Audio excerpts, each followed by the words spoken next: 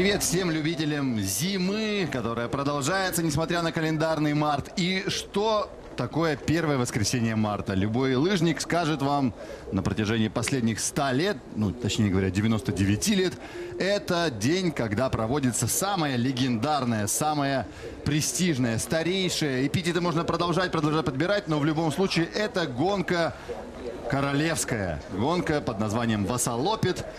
В Швеции 90 километров протяженность этой гонки. И эту супер-гонку, квинтэссенцию лыжных гонок мы и будем смотреть в прямом эфире на Матч ТВ. Меня зовут Всеволод Соловьев, ну и я скажу сразу, что нам очень повезло, что сейчас не в Швеции, а у нас в студии Александр Панжинский, серебряный призер Олимпийских игр и также участник, в том числе и Васалопит. Здравствуйте, дорогие друзья. Воскресное утро сегодня очень марафонское такое. Помимо Васалопыта сегодня заключительный день чемпионата мира по лыжным гонкам в немецком Аберсдорфе, где мужчины будут бежать 50 километров таким же классическим стилем. Ну а мы с вами сейчас, э, можно сказать, разогреемся этой длинной гонкой 90 километров, как сказал уже Всеволод. Действительно, очень длинная. Наверное, до прошлого сезона она была самой длинной в серии Ski Classic. И вот э, она не только э, тяжела и длинна, но она еще, конечно, очень богата своей историей, очень э, интересна по своей э, схеме трассы. И действительно, если ее в 77 году пробежал король Швеции, Карл 16 Густав. Кстати, тогда, в 77 году, победителем стал Иван, Иван Гаранин. Гаранин. Да, единственный наш соотечественник, который э, выигрывал этот э, легендарный марафон. Э, а вот король Швеции тогда, правда, бежал под каким-то псевдонимом, Карл Бернадот. Ну вот стал первым королем, э, который бежал гонку. Вассалопыт преодолел 90 километров. И вот действительно такой пример всем э, руководителям стран, да. Да, и э, поэтому э, в тот же год выиграл гонку Иван Гаранин, принес победу. Э, через 20 лет Михаил Ботвинов, э, также наш земляк, выигрывал, но уже тогда представлял сборную Австрии. Вот такая история. Гонка действительно королевская. Король, представитель династии Бернадотов, как раз таки и стал тогда участников. Ну, кстати говоря, не раз он это делал, а пару раз. А теперь королева. Королева лыжных гонок у вас на экранах. Сегодня возвращение Марит Бьорген. Несмотря на то, что ей уже 41 год исполняется в этом году. Несмотря на то, что она три года назад завязала со своей потрясающей карьерой, в которой было и 18 титулов чемпионки мира, и 15 олимпийских медалей, и 114 побед на этапах Кубка мира. Этот просто список можно продолжать и продолжать. Не сиделось ей спокойно на месте. И Марит Бьорген год назад, точнее говоря, в апреле, когда, видимо, все на карантине загрустили, получила звонок от Йоргена Окланда, одного из лидеров команды Рагдайндом. И тот спросил, не хочешь ли подготовиться ты к Васолопит?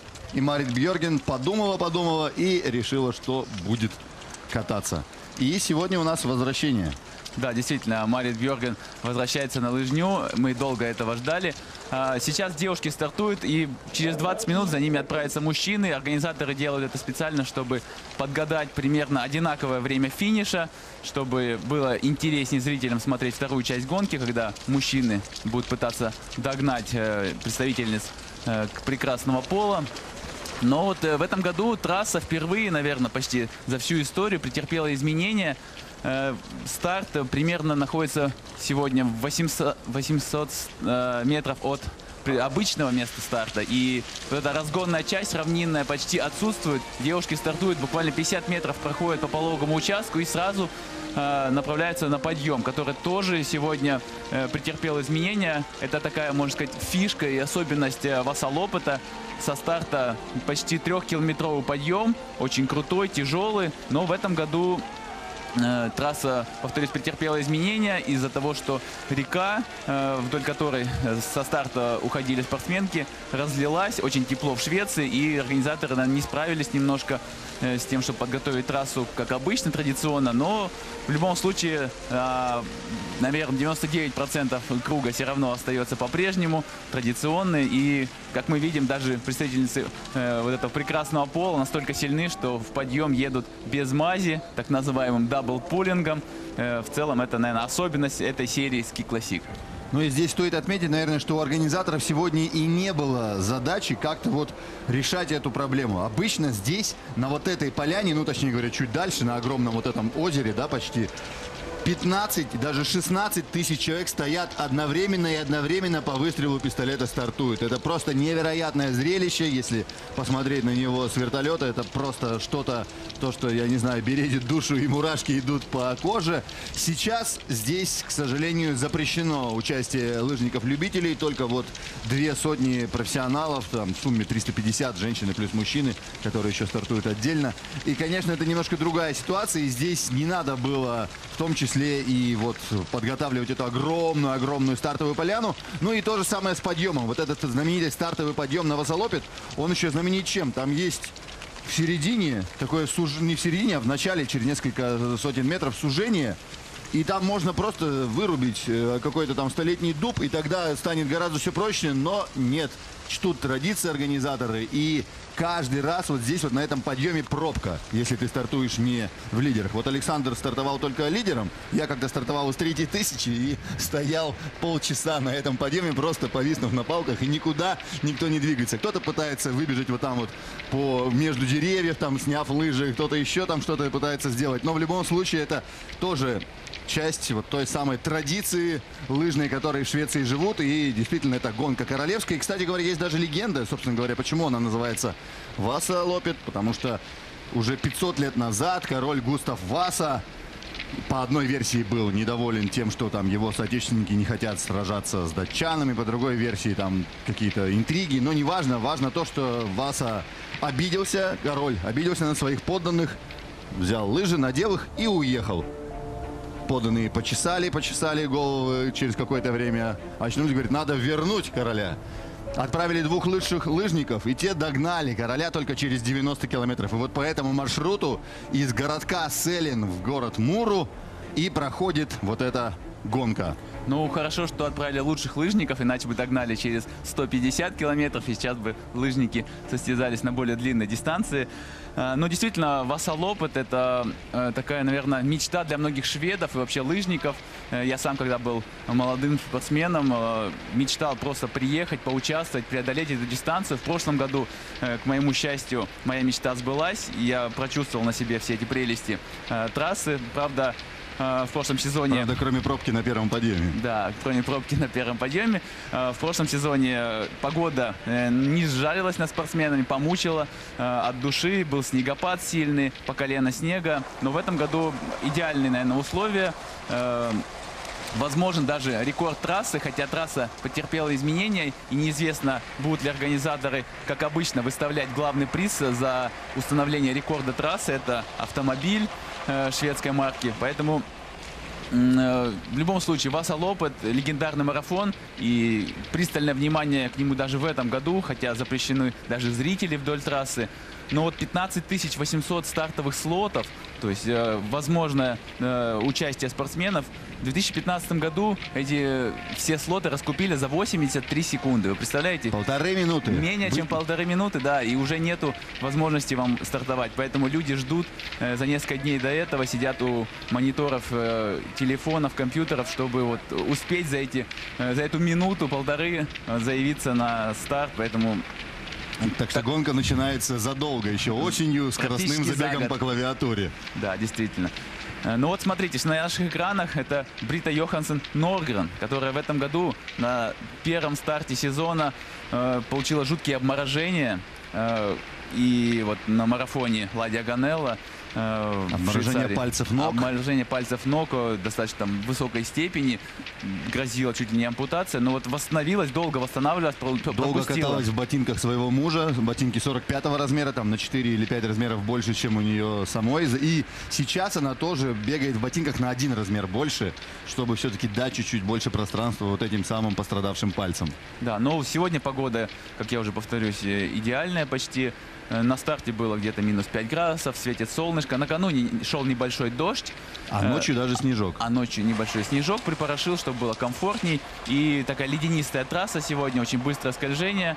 Э, вот у женщин непонятно, получится ли идти большой группой, потому что женщины любят с самого старта задавать высокий темп. А так как в стартовом протоколе есть Марит Бьорген, подруга Тереза Юхау, которая вчера продемонстрировала на чемпионате мира э, отрыв с первых километров. Я думаю, и Марит... уже выиграла, кстати, 14 золото чемпионатов мира, сравнялась с Еленой Вяльби, но до Марит Бьорген пока еще четырех золотых Терезы Юхаук не хватает. Э, Да, не хватает до Марит Бьорген, но Тереза Юхаук еще все впереди, мне кажется. А вот Марит Бьорген пробует себя в новой дисциплине. 40 лет, э, Марит Бьорген, опытная лыжница, хотя этого опыта, наверное, не хватило весной, чтобы подумать, что нужно все-таки заполнять Адамс и систему вот этого антидопинга, которая, она должна контролироваться постоянно, если она пытается э, продолжать карьеру, если хочет вернуться после рождения детей. И в связи с этим, э, так как необходимо полгода, э, чтобы допинг-офицеры имели доступ к тебе, чтобы им могли э, брать у тебя допинг-пробы любой момент. в любой момент. Поэтому, так как Марит Бьорга напомнила слишком поздно, поэтому первую часть сезона она вынуждена была пропустить, хотя готовилась, готовилась к Васа Лопет. И к к Марчелонге еще готовилась. готовилась к Марчелонге, но Марчелонгу вынуждена пропустить. А вот Васалопет, у нее появился шанс, и сегодня, я думаю, она будет пользоваться этим шансом. Видите, с самых первых метров она выходит э, на лидирующие позиции и задает высокий темп, и уже практически ну, 7-8 спортсменок э, отъезжают от группы преследователей. Это э, необычно для такой вот быстрой э, трассы, быстрого снега, но со старта тяжелый подъем, поэтому Ну, как будто, бы, как будто бы не было вот этих э, трех лет перерыва. Марит Бьорген говорила о том, что она вот сначала до звонка Йоргена Окленда, год назад, в апреле, точнее говоря, тренировалась за эти два года максимум 4-6 часов в неделю. Более того, еще в течение этого, этого двухлетнего периода у нее была вторая беременность, соответственно, во время беременности она мало тренировалась, но, правда, тут тоже стоит сделать сноску, на кто, кто такая Марит Бьорген. Во время своей первой беременности она каталась еще в день рождения ребенка и уже через 8 дней после рождения опять тренировалась и очень скоро вернулась на былой уровень. Но, как бы то ни было, вот за два года она тренировалась максимум 4-6 часов в неделю. Но при этом, при этом, что она делала? Три скоростные, интенсивные, порой интервальные сессии в неделю. Четыре раза в неделю по часику она вроде бы каталась, но при этом три раза из них, что называется, на все деньги. Вот, то есть, э, наверное, вроде бы немного тренировалась, учитывая такую дистанцию, но, скорее всего, держала былую форму и, конечно, не выходила на пик, но была сильна. не давала своему организму расслабиться, постоянно выводила его в гоночный стресс. А, Но вот хочется отметить, что женщины э, практически с самых первых соревнований было запрещено участвовать э, на марафоне Васа Лопет. Э, С 81 года им разрешили, с 1981 года, но до 1896 они бежали на общих основаниях, не было отдельного зачета. 97-го, да, до 96-го. До 96 а вот 1900. 1990. Да. А вот с 1997 впервые провели отдельный зачет уже по женщинам, награждали победительниц, че- чествовали их. И поэтому сейчас, э, в принципе, не такая большая и богатая история среди у женского зачета, но в целом марафон, конечно, легендарный. Ну, такая же была история, например, и на бостонском знаменитом легкоатлетическом марафоне. Женщины пробирались в число участников там всеми возможными хитрыми способами, наклеивали усы, там изображали там э, какими-то дополнительными накладками более мужскую фигуру, пролезали на старт, а затем уже на финише, когда все понимали, что вот это бежит женщина, то она привлекала больше внимания к себе, естественно, сразу же в СМИ и так далее. Ну и, естественно, после этого организаторы разрешили. Ну и вот мы видим верхушка этого первого знаменитого трехкилометрового подъема. где разыгрываются э, очки в горный зачет. И вот э, сейчас мы видим, как спортсменки приближаются. Возможно, будет какое-то ускорение предпринимать та же Марит Бьорген, чтобы принести дополнительные очки своей команде. Но нет, э, спортсменки идут одна за другой, спокойно проезжают эту отсечку, но Лин Корсгрен выигрывает ее и сейчас пытается уже после нее пропустить сзади идущую Марит Бьорген. Э, втроем отъезжают, и приличный отрыв уже. И Посмотрите, даже Ида Даль, обладательница клетчатой майки, проигрывает уже 11 Да, секунд. Ну- Клетчатая майка – это майка горного короля, Да. королевы. Ну и далее носит ее э, по праву э, второй в зачете, потому что Да. Лин Корсгрен да, также является лидером, и она сейчас упрочила свои позиции в, этом, в этой номинации. Э, но вот этот отрыв очень ранний, возможно, э, будет таким долгоиграющим. потому что очень сильные спортсменки собрались в первой тройке, и сейчас они могут продолжить наращивать свое преимущество. И вот уже Брита Йоханссон Норгрен проигрывает 16 секунд. Здесь мы видим отстают и остальные участницы, в том числе, как мы видим, и россиянки. Да, вот как раз таки мы, наконец, имеем возможность поговорить о российских участницах из команды «Русская зима». Ольга Царева из Республики Коми, которая только что достойно выступала на этапе Кубка в финале Кубка России в Сыктывкаре. Вот сейчас у нас в конце десятки, начале второго десятка. И также в составе команды «Русская зима» здесь в заявке Анастасия Власова, бронзовая медалистка прошлогодней тоблах картина. И, кстати говоря, только что она тоже была серебряной медалисткой в командных э, спринтерских гонках в Сыктывкаре. И Дина Некрасова, молодая гонщица из Удмуртии. Да, ну а сегодня хочется Анастасию Власову поздравить ее 30-летием. Замечательный возраст, еще молодая спортсменка, все впереди, вся карьера впереди. И э, это прекрасный такой период, мне кажется, настает. У нее уже есть опыт, опыт соревновательный, опыт жизненный, и она может реализовывать свой потенциал дальше. Как э, поется в известной песне, сегодня и водка не во вред, но мы знаем, что алкоголь вреден, а сегодня, мне кажется, для Анастасии и 90 километров не во вред. Э, В отличном настроении, главное, чтобы она проехала. Надеюсь, э, она начала чуть-чуть поспокойней, и на второй части гонки она сможет добавить темпа. Ну вот Дина Некрасова сейчас идет на 20 месте, пока Анастасию мы не наблюдаем. А вот Ольга Царева на 12 позиции довольно неплохое место и не такое большое отставание еще от лидеров.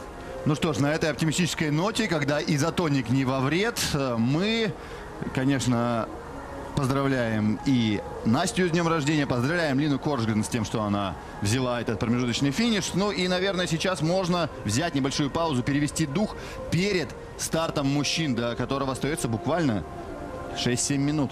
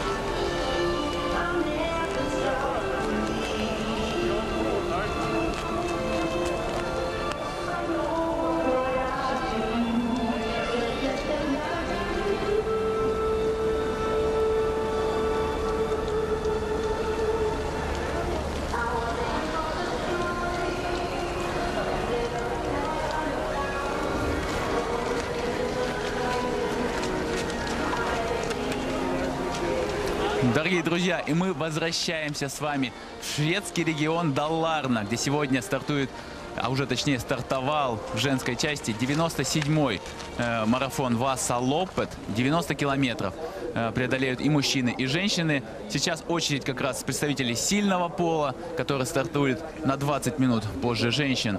И постараются догнать их. Э, Посмотрим, на каком километре это удастся. Организаторы э, ориентируются, что мужчины на финиш приедут примерно на 5 минут раньше. И вот э, такая просьба для участников, особенно мужской части, быть аккуратными э, к прекрасным дамам, когда они будут обгонять, э, быть вежливыми, э, без контактов обгонять и не мешать им в их борьбе уже в женском зачете. И тут стоит действительно сказать, что сегодня могут быть очень-очень высокие скорости, и, соответственно, есть опасность упасть и получить травму и так далее. Мы вот видели на чемпионате мира в Оберсдорфе немалое количество травм, связанных с тем, что там сложные спуски, повороты и так далее. Здесь вроде бы спуски простые, но лед может внести свои коррективы. А вообще, кстати говоря, насчет спусков, ну, понятно, для элиты спуски простые. Но любители, вот эти 15 тысяч человек, которые участвуют э, здесь регулярно на спуске с Рисберга, где-то вот там на 60, не- на, наверное, в середине дистанции где-то примерно, они просто падают огромными пачками, и даже много в интернете можете найти видео. Массакр Васалопит, битва, когда там еще со с дополнительной озвучкой, как будто бы там кто-то стреляет, люди валятся просто друг на друга. И это действительно такой местный элемент удовольствия. Там обязательно собираются все местные жители с фотоаппаратами, видеокамерами и так далее. И все это фиксирует для истории. И там действительно очень красивые кадры. Но это, конечно, у любителей происходит. Сегодня любители здесь в гонке участия не принимают. Исключительно лучшие из лучших профессионалов, в том числе и гонщики команды «Русская зима», например, Максим Валикжанин. Да, и хочется представить как раз, кто бежит сегодня за нашу российскую команду «Русская зима». Это Максим Валикжанин, как уже ранее сказали, представитель Удмуртии, президент Федерации лыжных гонок Удмуртии, который готовился к этому марафону э, в Рамзау. Представитель Коми, Вот Ермил как раз стоял в клетчатой майке, и мы сейчас увидим его выход, но для начала... Макс вот Новак, да, э, лидер э, молодежного зачета. Э, вот мы видим, что спортсмены до сих пор на старте стоят э, в масках, и вот такое требование от организаторов, только за минуту до старта можно снять маску. Вот Ермил Вокуев на наших экранах. Республика Коми, поселок Гам, село Мохча. Это, кстати говоря, родина и Раисы Сметаниной. И Ермил уже три раза в этом году поднимался на подиум. Победа на доблах картина, а также бронза на Марчелонге и, соответственно, медаль на Езерской 50 Да, и самое главное, вот сейчас 48-летний э, молодой норвежский спринтер э, Андерс Окланд. э, 48 лет, почти действительно, 50. Олимпийский чемпион 2002 года еще, чемпион мира 2003. Э, очень титулованный спортсмен и легенда вот этой серии Ski Classic. А сейчас на наших экранах лидер общего зачета, победитель уже нескольких э, марафонов, в том числе и Марчелонга в этом сезоне, Эмиль Персон.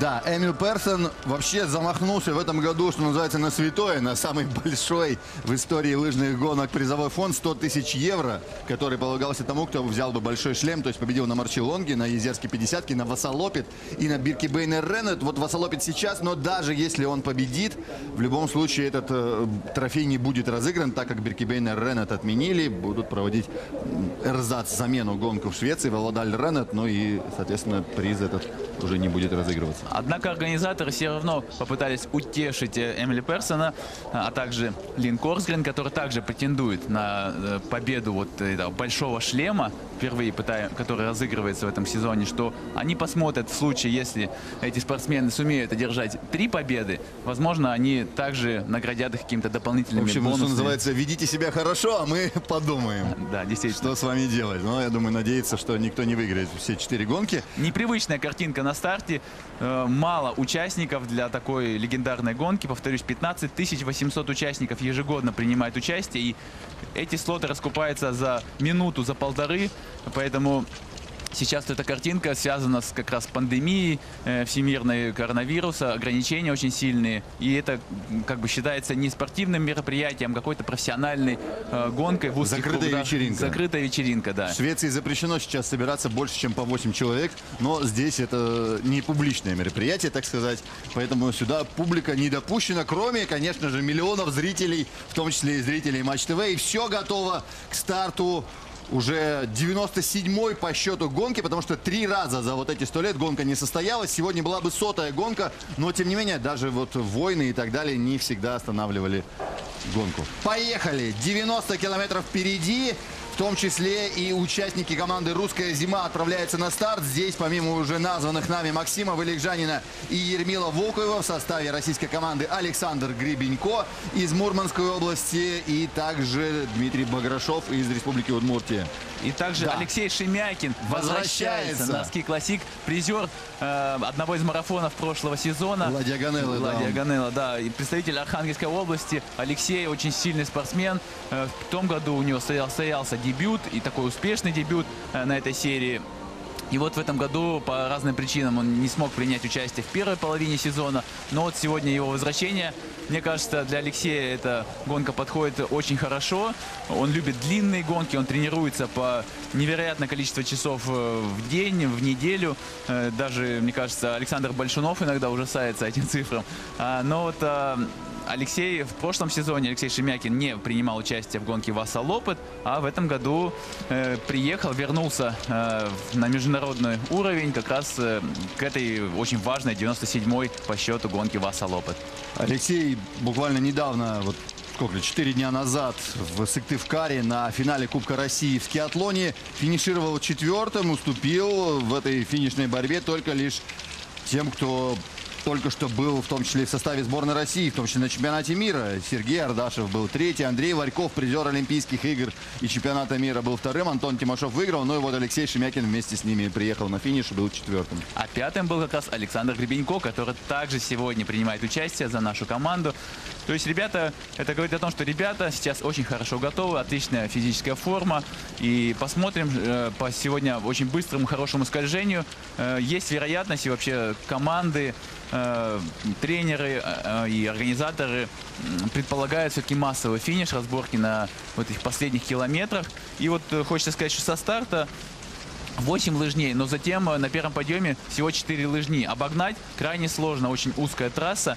И большой плюс, что Ермил Воку сегодня стартовал вот в этой э, клетчатой майке, то есть впереди э, всей группы. Э, у него отличная стартовая позиция, а так как подъем первый сокращен из-за малоснежности и э, то, что река разлилась, э, поэтому вот э, первый промежуточный финиш, где разыгрываются очки в горный зачет, э, будет через два с небольшим километра. Поэтому для Ермила очень важна была стартовая позиция. Он борется за это. Вот мы видим падение Максима Валикжанина. Очень Да, обидно. к сожалению, к Максим сожалению, здесь да. теряет очень много позиций на старте, но вот будем надеяться, что впереди дистанция длинная, 90 километров, но за очки побороться на вершине этого подъема Сложно будет, уже сложно. О, смотрите, Ой, Ермил, Воку, запнулся. да что ж такое, в нашей команде не везет с самого старта, но Ермил мы видели, что уже опять на лидирующей позиции, без поломок и без потери сильно позиции. Прошла эта вот э, осечка. Э, Сейчас Ермилу важно, конечно, держать позицию, потому что, повторюсь, очень узкая лыжня, э, очень узкая трасса, всего 4 лыжни, и поэтому обгонять будет сложно. Э, Ермил э, лидер сейчас э, горного зачета. И 99 очков он выигрывает у идущего вторым Петера Элиасона. И сейчас очень важно Ермилу здесь и, может быть, на следующей гонке Володаус Реннет забрать максимум очков для того, чтобы уже обеспечить чисто математически себе вот эту майку, как обеспечил себе Кубок мира Александр Большунов. Вот поэтому задача сейчас у Ермила обязательно постараться максимум баллов на этом подъеме забрать. Ну, гонка длинная, 90 километров, очень сильно отличается от обычного, привычного нам марафона, 50 километров, э, почти в два раза длиннее. И то, что вот это первые несколько километров идут в подъем, и Ермил так достаточно интенсивно работает, ничего страшного, потому что далее после подъема начинаются длинные затяжные равнины, и он может спокойно уйти в хвост группы, пилотона и уже отдохнуть. Самое главное сейчас забрать максимальное количество очков на первом промежутке, который, наверное, состоится уже через один километр. А, а вот нам сейчас картинку переключают, и мы видим, что тройка лидеров немножечко увеличилась, да, то Да, есть к ним подтягивается к подтянулись ним, еще э, две спортсменки, и вот эта группа слегка увеличивается. Хотя вот, э, наверное, пятый это идет кто-то представитель местного телевидения, как мы видим. Э, У него такая антенна торчит и номер э, Не тот. другого да, вида. Скорее всего, местное шведское телевидение запускает своего агента. Зайца. Зайца, да, и который следует и вот так в онлайн формате передает картинку, очень интересную картинку. Классное решение, находка, и мне кажется, стоит, э, возможно, перенять таки, такой опыт и использовать наших российских лыжников, которые уже заканчивают свою карьеру для того, чтобы следовать э, лидерам, особенно в женском зачете. Ну и мы видим, что гонщица сейчас предпочитает идти без лыжни, несмотря на то, что в лыжне, вот, например, на старте был лед, практически чистый лед, но здесь, судя по всему, вот тот самый снежок, который шел сегодня ночью, припорошил лыжню, и поэтому девушки, попробовав и лыжню, и, соответственно, вот этот вельвет проратраченной лыжни рядом решили, что здесь можно ехать быстрее, несмотря на то, что мышцы-стабилизаторы будут уставать, может быть, чуть-чуть больше э, тогда, когда ты идешь без лыжни.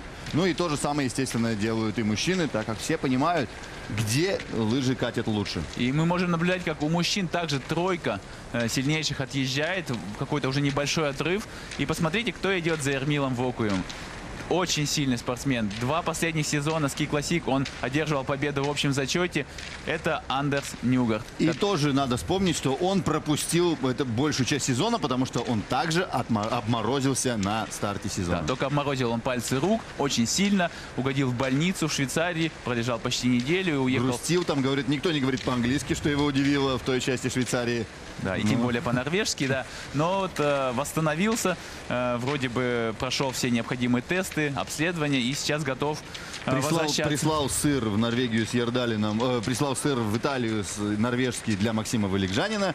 И уже после этого выполнил свою миссию, подготовился к Васалопе. Да, действительно. Но он является уже победителем э, позапрошлом году, да, в 2019 году. э, одержал победу на этой марафонской гонке Вассалопыт. А за ним следует э, Тораса Гердалин, также э, очень титулованный спортсмен, э, одна из легенд э, серии «Ски Классик». Э, И вот э, посмотрите, все с каждым толчком все дальше и дальше эта тройка отъезжает. Скорее всего, они планируют бороться за быстрые э, секунды именно наверху этого подъема, для того, чтобы максимальное количество очков в горный зачет получить. И интересно то, что здесь нет Петера Эллисона, а именно он отстает от Ермила Вокова на 99 очков. Тот же Ердалин проигрывает уже 138 баллов. Ну, а э, понятно, у Нюгора вообще там очков практически нет, потому что он пропустил большую часть сезона. Ну и на самом деле для Ермила то, что здесь нет э, Элиасона, это тоже плюс. В любом случае его отрыв будет продолжать увеличиваться в зачете этой клетчатой майки, в зачете горного короля. Но, конечно, тут э, важно постараться забрать сейчас максимум баллов. Да.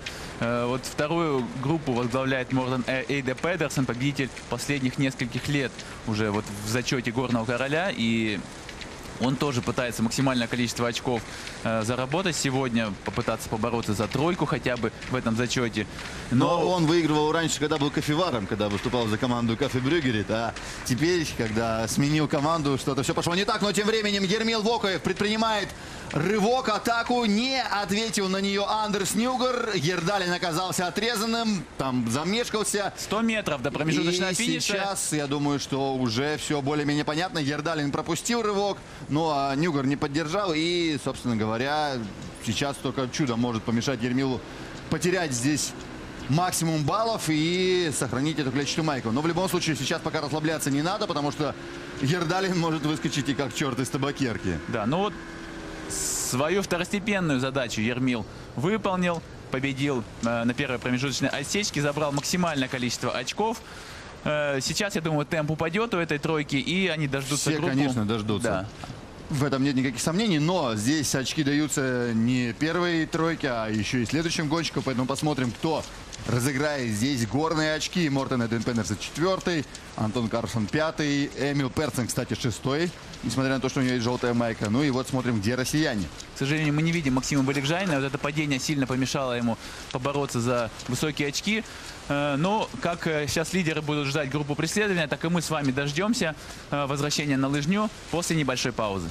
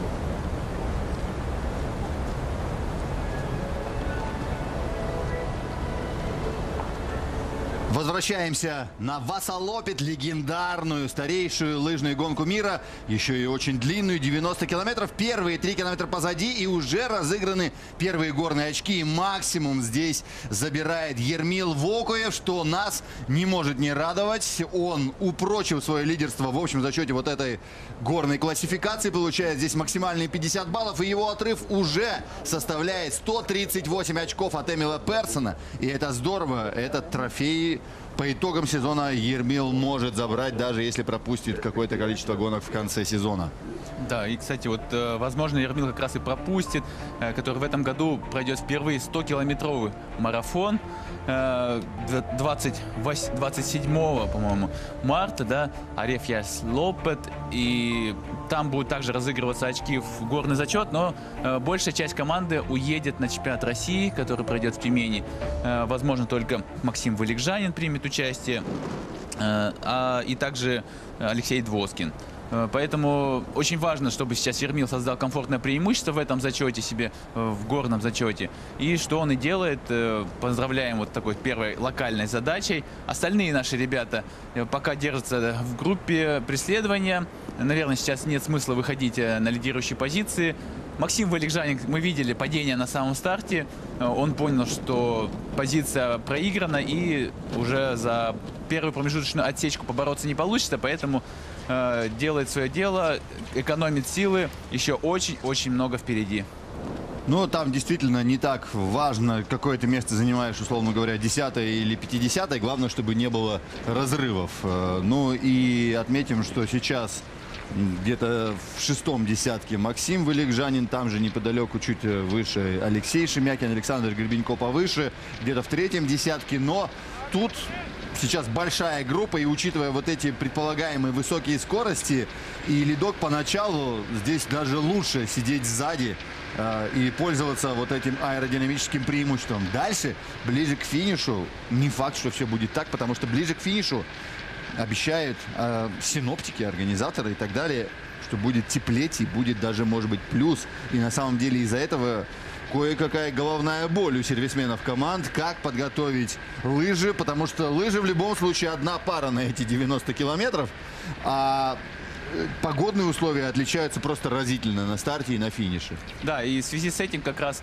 практически все мужчины и женщины из элиты э, бегут без мази. Вот когда мы говорим слово double pulling, то есть одновременно без шажный ход, когда вот как на картинке сейчас девушки толкаются только двумя руками, Э, не используя отталкивание ногами. Это как раз э, связано с тем, что э, посередине лыжи, под колодкой, нет мази держания. И поэтому спортсмены не могут отталкиваться ногами. Но это помогает подобрать более универсальную смазку, которая будет работать и на старте, и на финише. Конечно, стоит тренировать больше усиленно верхний плечевой пояс, свои руки, пресс. Это очень тяжелая нагрузка, но это в, общем э, совокупности всех факторов оказывается быстрее, и поэтому спортсмены уже, наверное, лет 10 назад пришли к тому, что длинные марафонские дистанции, особенно когда они проходят из одного города в другой, весенние гонки, э, намного быстрее получается преодолевать, если не использовать такую традиционную смазку для классического хода э, с мазью держания, а использовать только мазь парафины, ускорители, мази скольжения, и можно идти толкаясь только руками. Ну и естественно, что скорости тоже, да, возросли. И вот мы отмечали рекордные времена и то, что вручаются э, даже автомобиль за лучшую скорость, если трасса традиционная. И вот рекорд у мужчин 3 часа 38 минут, установленный Йоргеном Бринком в 2012 году. Ну и тогда же быстрее всех и женщина тоже проехала. Это была Вибеки Скофтерут из Норвегии. Вот Вибеки Скофтеру, к сожалению, трагически погибшая три года назад, э, была как раз-таки самой быстрой женщиной в истории. 4 часа 8 минут ей понадобилось для того, чтобы преодолеть эту 90-километровую дистанцию. А мы видим, как э, женские, женская группа лидеров все дальше и дальше отъезжает э, от группы преследования. Уже не видно даже на экранах. И они отрываются даже от сзади идущего позади идущего телевизионного лыжного мастера, да, и даже он не выдерживает их темпа. Ну и отмечаем, что все-таки Ида Даль смогла перебраться в эту группу. Она чуть-чуть отставала на вершине этого подъема, но затем на спусках смогла подкатиться. И сейчас э, сидит в этой группе четвертой, как приклеенная. Ну а на лидирующей позиции у девушек вышла Эмили Флеттен. Норвежка. Э, Кстати говоря, получается здесь единственная, да, норвежка, потому что все остальные шведки впереди. А, нет, ну, Марит Бьорген. Как, как мы могли забыть о Марит Бьорген? Марит Бьорген как будто бы и не было этого перерыва. Могла бы и на чемпионат мира заявиться, и вчера, может быть, бы на медаль бы замахнулась. Да, но в отличие от девушек, у мужчин огромная группа э, лидеров, и, скорее всего, это очень ожидаемо. И так будет э, еще порядка, я думаю, нескольких десятков километров, как минимум. Кстати, насчет Юхаук. Вот мы говорили о Терезе Юхаук, 14-кратной чемпионке мира. А это паренек, Карстен? Йохау, Ее, да, и ее брат родной. младший, да, и вот он здесь тоже пытается в стиле сестрички выступить. А, Вот, ну и правда, как мы видим, э, то есть, конечно, так легко убежать не дадут. Да, видимо, тактическим приемам его обучала сестра, но, наверное, не сказала о том, что такую, такой темп нужно держать э, все километры, не сбавляя. Кстати, насчет сестры. Сестра тоже заявлена на этот сезон в составе команды Рагде Айндом. И есть надежда, что где-нибудь ее мы в этом сезоне увидим. Пока, конечно, трудно сказать, где и когда, но тем не менее. Но учитывая, что сезон у лыжников, кубковый сезон совсем скоро закончится, 13-14 марта э, состоится последний этап, заключительный этап Кубка мира, э, который был перенесен из Норвегии в Швейцарию, в долину Энгадин. Да, и вот после этого уже лыжники, э, наверное, будут состязаться только на национальных чемпионатах, и есть возможность принять участие вот в этой серии Ski Classic, которая в этом году заканчивается практически в середине апреля. Юхаук, кстати говоря, вообще-то думала о той самой легендарной норвежской гонке Беркебейнер Реннет, но ее отменили, правда, проведут ее аналог почти по похожему рельефу в Швеции, Волдаль Реннет, э, 20 а, марта, получается, и если Тереза Юхаук, так сказать, свои пред, предсезонные планы воплотит в жизнь, то почему бы ей и не проехать шведскую гонку? Да, это, конечно, не то пальто, что называется, потому что Биркебейнер Реннет Норвегии это тоже легендарная гонка, и в ней мечтает принять участие каждый, и каждый мечтает выиграть, если говорить о профессиональных гонщиках. Но в любом случае, вот Терезу Хаук мы, может быть, увидим буквально через две недели в нашем эфире во время трансляции гонки Ski Classics Володаль Реннет. Ну, Тереза Юхаук уже является победителем Беркебайна Реннета один раз. э, И э, вот, э, скорее всего, возможно, Тереза не захочет принимать участие, так как это будет проходить не в ее домашней Норвегии, а в Швеции, да, ехать в другую страну, подвергать себя рискам при переездах. Э, Но вот э, следующие два марафона пройдут в одном месте, э, в местечке Валадален, недалеко от Астерсунда. Э, И пройдут они по разным трассам, но старт и финиш будет в одном месте.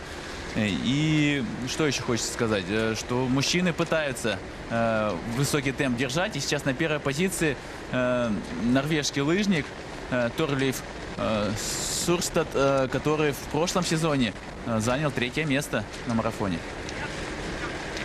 Ну и Карстен Йохаук тоже тут как тут. Наверное, это было одно- одним из условий, да, и Тереза Йохаук, чтобы ее брата тоже взяли в команду, когда она согласилась пробежать что-то в конце сезона. Но в любом случае конец сезона у нас сейчас э, тоже, что называется, под вопросом. Все живут здесь и сейчас, и все понимают, что в любой момент какие-то гонки могут быть отменены. Но вот Васалопит и в прошлом году состоялась. И в этом году тоже проходит, пусть, конечно, и в урезанном виде, но вот, что называется, матч состоится при любой погоде и при любой обстановке кругом. Прошлый сезон как раз э, Васалопыт завершил э, сезон серии Ski Classic, потому что после уже все марафоны были отменены э, из-за коронавируса. Но вот в этом году организаторы рискнули, несмотря на такие жесткие ограничения со стороны правительства Швеции, провели марафон, пускай и в таком э, очень узком кругу, но Ski Classic э, продолжает, продолжает э, Вассал опыт, свою историю пишет уже 97 раз, и совсем скоро будет юбилейный сотый э, выпуск этой легендарной гонки. Ну и ровно сто лет будет в следующем году. Соответственно, я думаю, рассчитывают организаторы, что все страсти по коронавирусу уже уляжутся к тому моменту и огромный-огромный праздник здесь не проведут. Кстати говоря, насчет праздника, из-за того, что очень много желающих принять участие в этом мероприятии или, лучше сказать, операции, да, а, здесь э, организаторы проводят целый фестиваль лыж на протяжении недели. Обычно здесь есть и чисто женская гонка, только женщины допускаются. Есть и ночная васа с фонариками, когда едут порой в очень жуткий мороз. Есть э, различные детские старты и так далее. И вот на протяжении недели здесь просто кишмя кишит от лыжников. Все окрестности, все леса, поля, болота. Здесь, кстати, много болотистых местности проезжает. Вот сейчас тоже, я думаю, по одному из болот несутся лыжницы.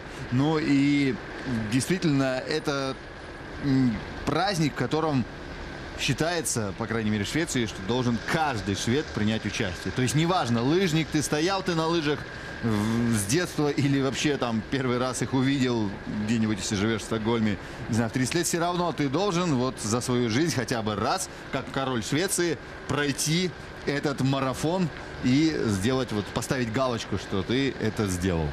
Э, ну, кстати, вот в прошлом году, когда э, я приезжал ставить свою галочку э, в выполнении этого мечты, достижения этой цели, меня очень удивило, когда накануне гонки вечером в 22 часа огромное количество лыжников собралось на поляне на стартовой Э, и когда я узнал, что сейчас они в 23 часа э, вечера будут стартовать на 90 километров с фонариками на лбу, э, и практически около 10 тысяч участников. Представляете, они финишировать будут под утро или кто-то уже к обеду следующего дня. И огромное количество желающих. Наверное, часть из них, которая не сумела вовремя заявиться на классический основной э, вассал-лопот, вот принимает участие вот э, эта неделя, которая предваряет э, основную гонку. Как раз проходит много стартов для желающих, чтобы реализовать свои амбиции в немного другом формате, в других гонках, но не менее интересных и уникальных по своему свойству. Да, и это действительно традиции, которые живут уже сто лет здесь, ну или больше, наверное. Но и в любом случае это тот самый праздник, который запоминается всем-всем-всем. В общем, каждый уважающий себя швед или шведка считает, что они обязаны пройти эту дистанцию. Это действительно самая старая, самая длинная, самая массовая гонка. Ну и да, наверное, тысяч под 50 в итоге вот за эту неделю принимает участие в различных стартах в обычный год. Этот год не совсем обычный, как мы понимаем, но в любом случае напоминание об обычной жизни это как раз вот это наша трансляция. И хочется отметить, вот сейчас лидеры э, немножко останавливаются, притормаживают, достают трубки. Э, это они употребляют изотоник, э, спортивное питание, которое находится у них... Изотоник на... не во вред сегодня. И вот сегодня изотоник никому не во вред, это очень полезен, потому что длинная гонка, около 4 часов понадобится лыжникам, чтобы преодолеть эту дистанцию. Кстати, Максим Валикжанин появился здесь на наших экранах, а на предыдущей отмет... отметке, отсечке был где-то около 60-70 места. И вот он сейчас появляется. А вот хочется продолжить э, тему насчет э, питания, как проходит оно. Мы видим на ногах вот у слева идущего спортсмена прикреплены гели, на поясе э, подсумок с изотоником, с питьем, трубка, которая крепится к номеру, стартовому бипу. И вот спортсмены, когда захочет, когда удобно, когда темп гонки позволяет, могут сделать несколько глотков. Э, также э, по ходу гонки тренеры, сервис бригады помогают и на пунктах питания специальных, но пункты питания разбросаны по трассе, так как э, гонка проходит из одного города в другой совсем. Да, на повторе сейчас падение Максима Валикжайна, очень досадно, и падение одного из итальянских лыжников команды Тим Робинсон Трентино, за которую в прошлом сезоне я выступал весь сезон. И в этом сезоне мы надеялись увидеть Александра тоже на гонках, но я думаю, зрители Матч ТВ точно довольны тем, что у нас Александр выступает в качестве комментатора, призер Олимпийских игр и участник. В кстати говоря, частенько в спринтерских разборках эм, Александр набирал очки. И сегодня нас тоже ждет два промежуточных спринтерских финиша. Ну а сейчас э, следующая отсечка будет как раз-таки подъезжает к деревушке Смоган мужчины. И здесь вот как раз 10,5 километров отсечка, спуск к Смоган. И вот мы сейчас увидим опять-таки список, кто, где, на какой позиции. Но группа огромная. Да, но помимо еще бонусных э, каких-то по очкам, то есть по спринтерским зачетам, э, зачетам в горном э, зач- майке. Есть еще 7 дополнительных промежутков, где призовые небольшие деньги от компании вот, шведской автомобильной. И также спортсмены некоторые, которые хотят хоть чуть-чуть заработать также за эту гонку, пытаются вот выбраться вперед и проехать, преодолеть первыми эту отсечку и каких-то небольшие, там, может быть, 50 евро. Итак, сейчас вот мы видим, что чуть-чуть потеряли контакт, получается, с группой лидеров российские лыжники. Судя по всему, Да, мы сейчас не видели Там- там- Александра Гребенько, э, Алексея Шемякина, Дмитрия Баграшова. Но ждем, ждем наших ребят. Э, Максим Валикжанин, один из лидеров сейчас гонки. Ермил Вокуев, мне кажется, тоже э, в группе э, лидирующей. да, Ермил вот сейчас э, 43-й, но там А. разрывов-то нет. Ну, то есть это... Вот, кстати, да, э, Гребенько там же. Гребенько там же и Шемякин рядом. Но, по-моему, чуть-чуть потерял контакт с группой Дмитрий Баграшов, если я правильно понял. Но в любом случае, вы видите, группа нет. Дмитрий тоже в этой первой группе, 15 секунд. Э, Здесь вот эти секунды значения не имеют. Э, И подводим итог, сколько человек в первой группе. Вот 68, да, по сути. Там есть 8-секундный разрыв, но 68 человек держатся сейчас вместе. И вполне возможно, что, кстати говоря, и эти 8 секунд кто-то там доест. А теперь Максим Валикжанин выходит и начинает Сольный, сольный отрыв. отрыв. Кстати говоря, в 97 году, когда победу одержал здесь Михаил Ботвинов, правда, тогда он как раз переходил из-под российской юрисдикции в австрийскую, и под австрийским флагом побежал. Так вот, тогда сотворил просто что-то невероятное Михаил Ботвинов. Он просто в первый подъем убежал от своих преследователей и все 90 километров в одиночку проехал и с большим отрывом победил. Да, но конкуренция год от года растет, э, результаты становятся все плотнее, спортсменов эта серия марафонская привлекает все больше, все более сильные спортсмены, титулованные, и поэтому сейчас вот э, практически 70 спортсменов до сих пор держатся вместе, поэтому ранних отрывов ожидать не стоит. Совсем скоро мы вернемся, не переключайтесь.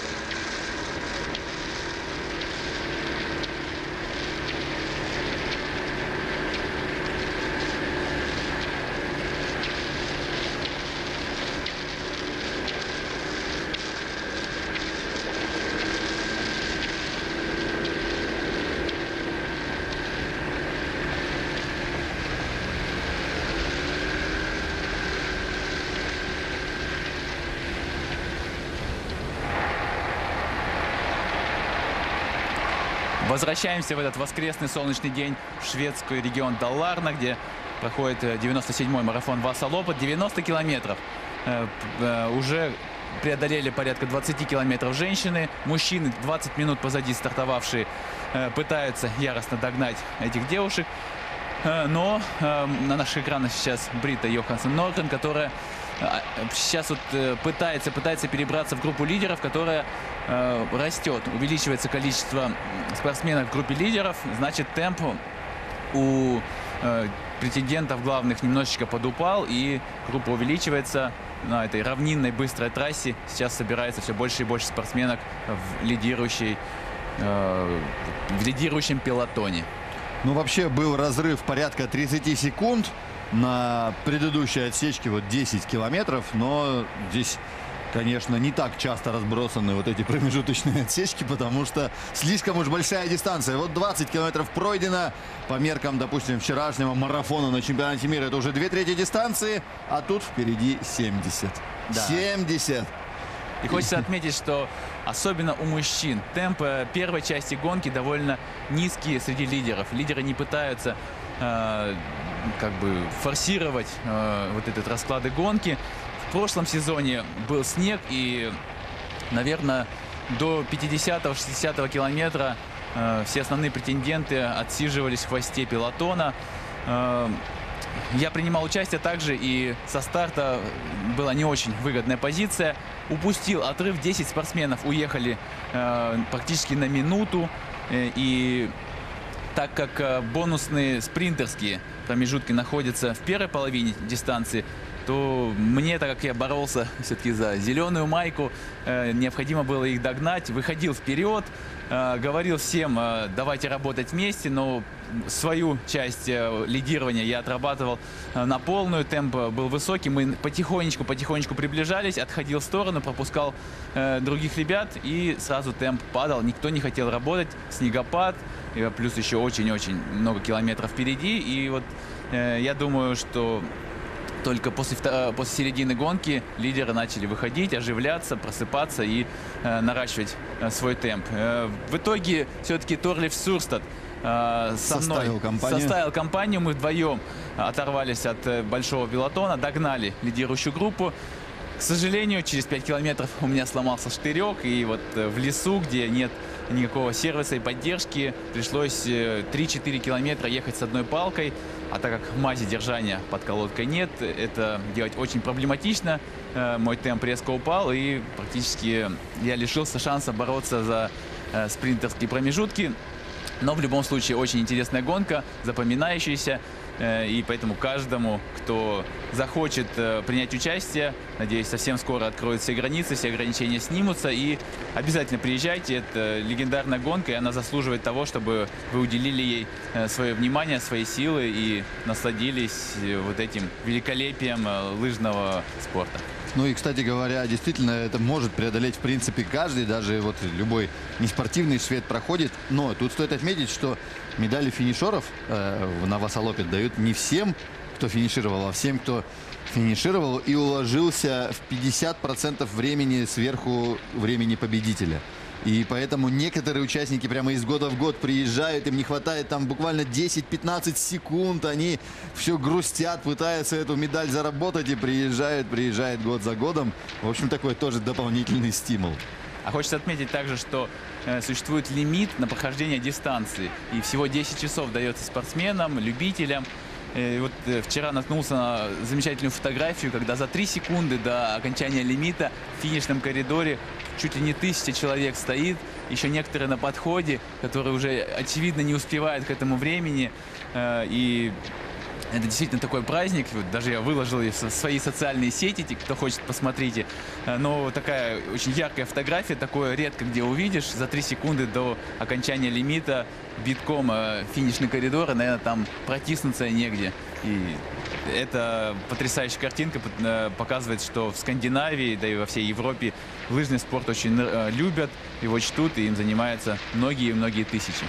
В России тоже любят лыжный спорт, и особенно в республиках Коми и Удмуртии. Сейчас как раз представители этих двух лыжных регионов во главе нашей, не во главе, а во главе преследования, скажем тогда, на второй и третьей позиции. Это Ермил Вокуев и Максим Валикжанин, трижды серебряный призер Олимпийских игр в Сочи, также чемпион мира в скиатлоне. Ну и, соответственно, сейчас вот российские лыжники, представители команды «Русская зима», вот эту погоню и возглавляют. Скорость, судя по всему, чуть-чуть возрастает. Совсем скоро будет, ну как скоро, по меркам Васолопит скоро. Так-то почти через 10 километров будет промежуточный спринт, где как раз и будут разыгрываться очки вот в этот зачет зеленой майки, где пока в зеленой майке у нас щеголяет Андерс Окланд, э, но там он лидирует опять-таки вернее, получает ее вот по наследству, что называется, потому что большая сумма баллов там у Эмила Персона, но у него более престижная желтая майка на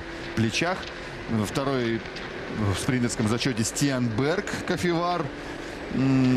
Который, по-видимому, сегодня пропускает гонку, и поэтому, наверное, Андерс Окленд вышел в этой зеленой майке, до сих пор держит ее, но э, сегодня очень близок к нему Макс Новак, всего одно очко позади, поэтому Борьба будет плотная. Плотная борьба, да, и пытаются спортсмены держать э, лидирующие позиции. Особенно это будет э, видно через там, 5-7 километров, когда будет приближаться к промежуточной спринтерской отсечке. А вот тот самый Торли Сурстед, который поддержал рывок Александра Панжинского год назад. И, кстати говоря, тогда ему, что называется, лыжные боги воздали за это. И он в итоге занял третье место, получил бронзу. И вообще это очень э, тоже крутое достижение для э, любого лыжника. Ну и тут стоит отметить, что он еще и представитель Норвегии. А, например, про норвежцев здесь вообще очень интересно. За первые 84 года, 83 года истории Васалопит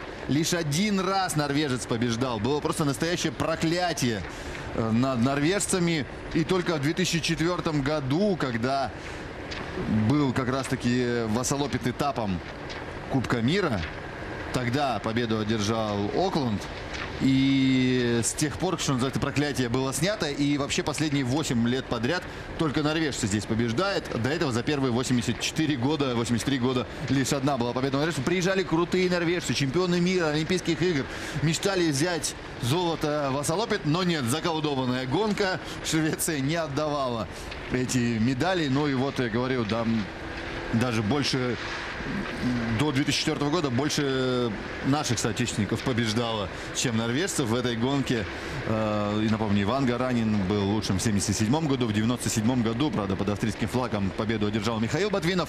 Но вот норвежцам ничего не удавалось. Кстати говоря, у женщин дважды побеждала Светлана Нагейкина. Э, в этой гонке. Один раз под российским флагом, один раз под белорусским.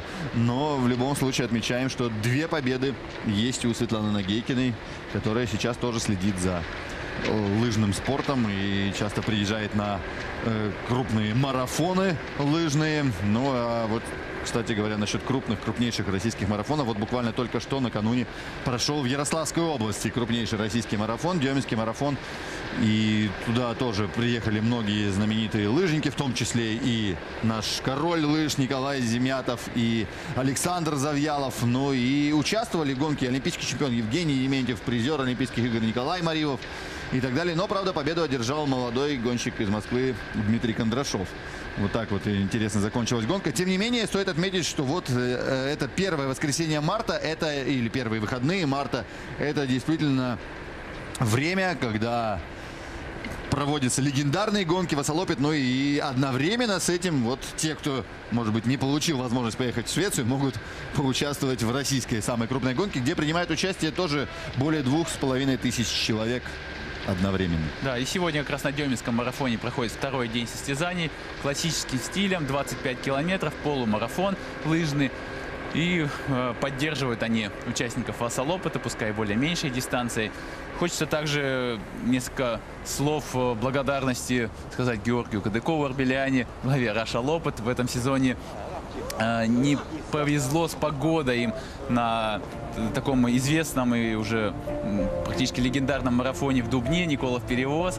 Вначале был невероятно какой-то э, Где трассы Кадыковские, как да. спрашивали в социальных сетях? Был э, снегопад, пришлось перенести трассу в последний момент уже, а затем вновь назначенную дату дождь, сильная оттепель и так как марафон проходит по руслу реки, получилось, что не бежали, а плыли. Это был водный марафон э, водных лыж. И вот, э, наверное, стоит пожелать все-таки развития э, и поддержать немножко этой серии Russia Лопет. И в первую очередь, наверное, сесть за стол переговоров с тем, кто отвечает за погоду в московском регионе, переговорить, договориться. И чтобы вновь в следующем сезонах уже никакая погода не мешала, а только помогала и радовала. Как сейчас на картинке, которую мы видим, солнышко, легкий морозец и идеальная трасса. Зато у них ратрак появился, что называется. Ну, вот здесь отратраченные трассы, в Монгсбодерне, Мо- Монгсбудерне даже скорее. Да, И это как это раз- спринт, да. спринт первый у девушек. И Здесь вот- будут разыгрываться очки. Лина Коршгрен забирает здесь максимальную сумму баллов. Все, косит просто все. Горные очки, спринтерские очки, ну или тоже желтая майка. Но обрати внимание, Катарина Смутна и Лин Семскара, а также Тея Крокон в эту группу также добавились. И теперь уже 7 девушек идут в отрыве. Смотрим, где же там российские участницы. Ольга Царева была лучшей из наших на предыдущей отсечке. Брита Йоханссон Орган здесь потеряла контакт с этой первой группой. Э, В компании с ней еще у нас здесь Анит Герне э, Альнес. Но и вот тот самый лыжник с антенной за спиной. Да, вот шведский телепузик. А, но э, так не подобрала, да, вот э, Брида Йор, э, Йоханссон Ногрен вот эту группу, так и держится отрыв 15-20 секунд.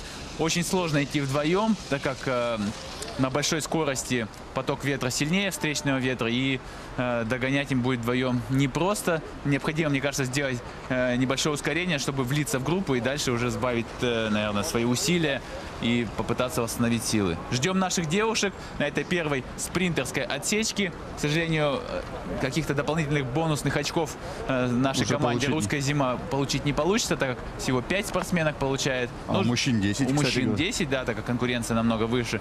Ну и мужчины обычно делают такое явное ускорение, идет ожесточенная борьба. У девушек мы видели, э, как ехал пилотон э, друг за другом в спину, так они и проехали, никаких ускорений никто не Ну, здесь не пилотон, здесь просто отрыв. Если у мужчин будет отрыв, то тоже вполне возможно ускорения не будет, если там не будет записных спринтеров, таких как Александр Банжинский, который здесь частенько боролся за спринтерские очки. Сейчас, кстати говоря, Максим Валикжанин располагается на пятом месте в зачете спринтеров.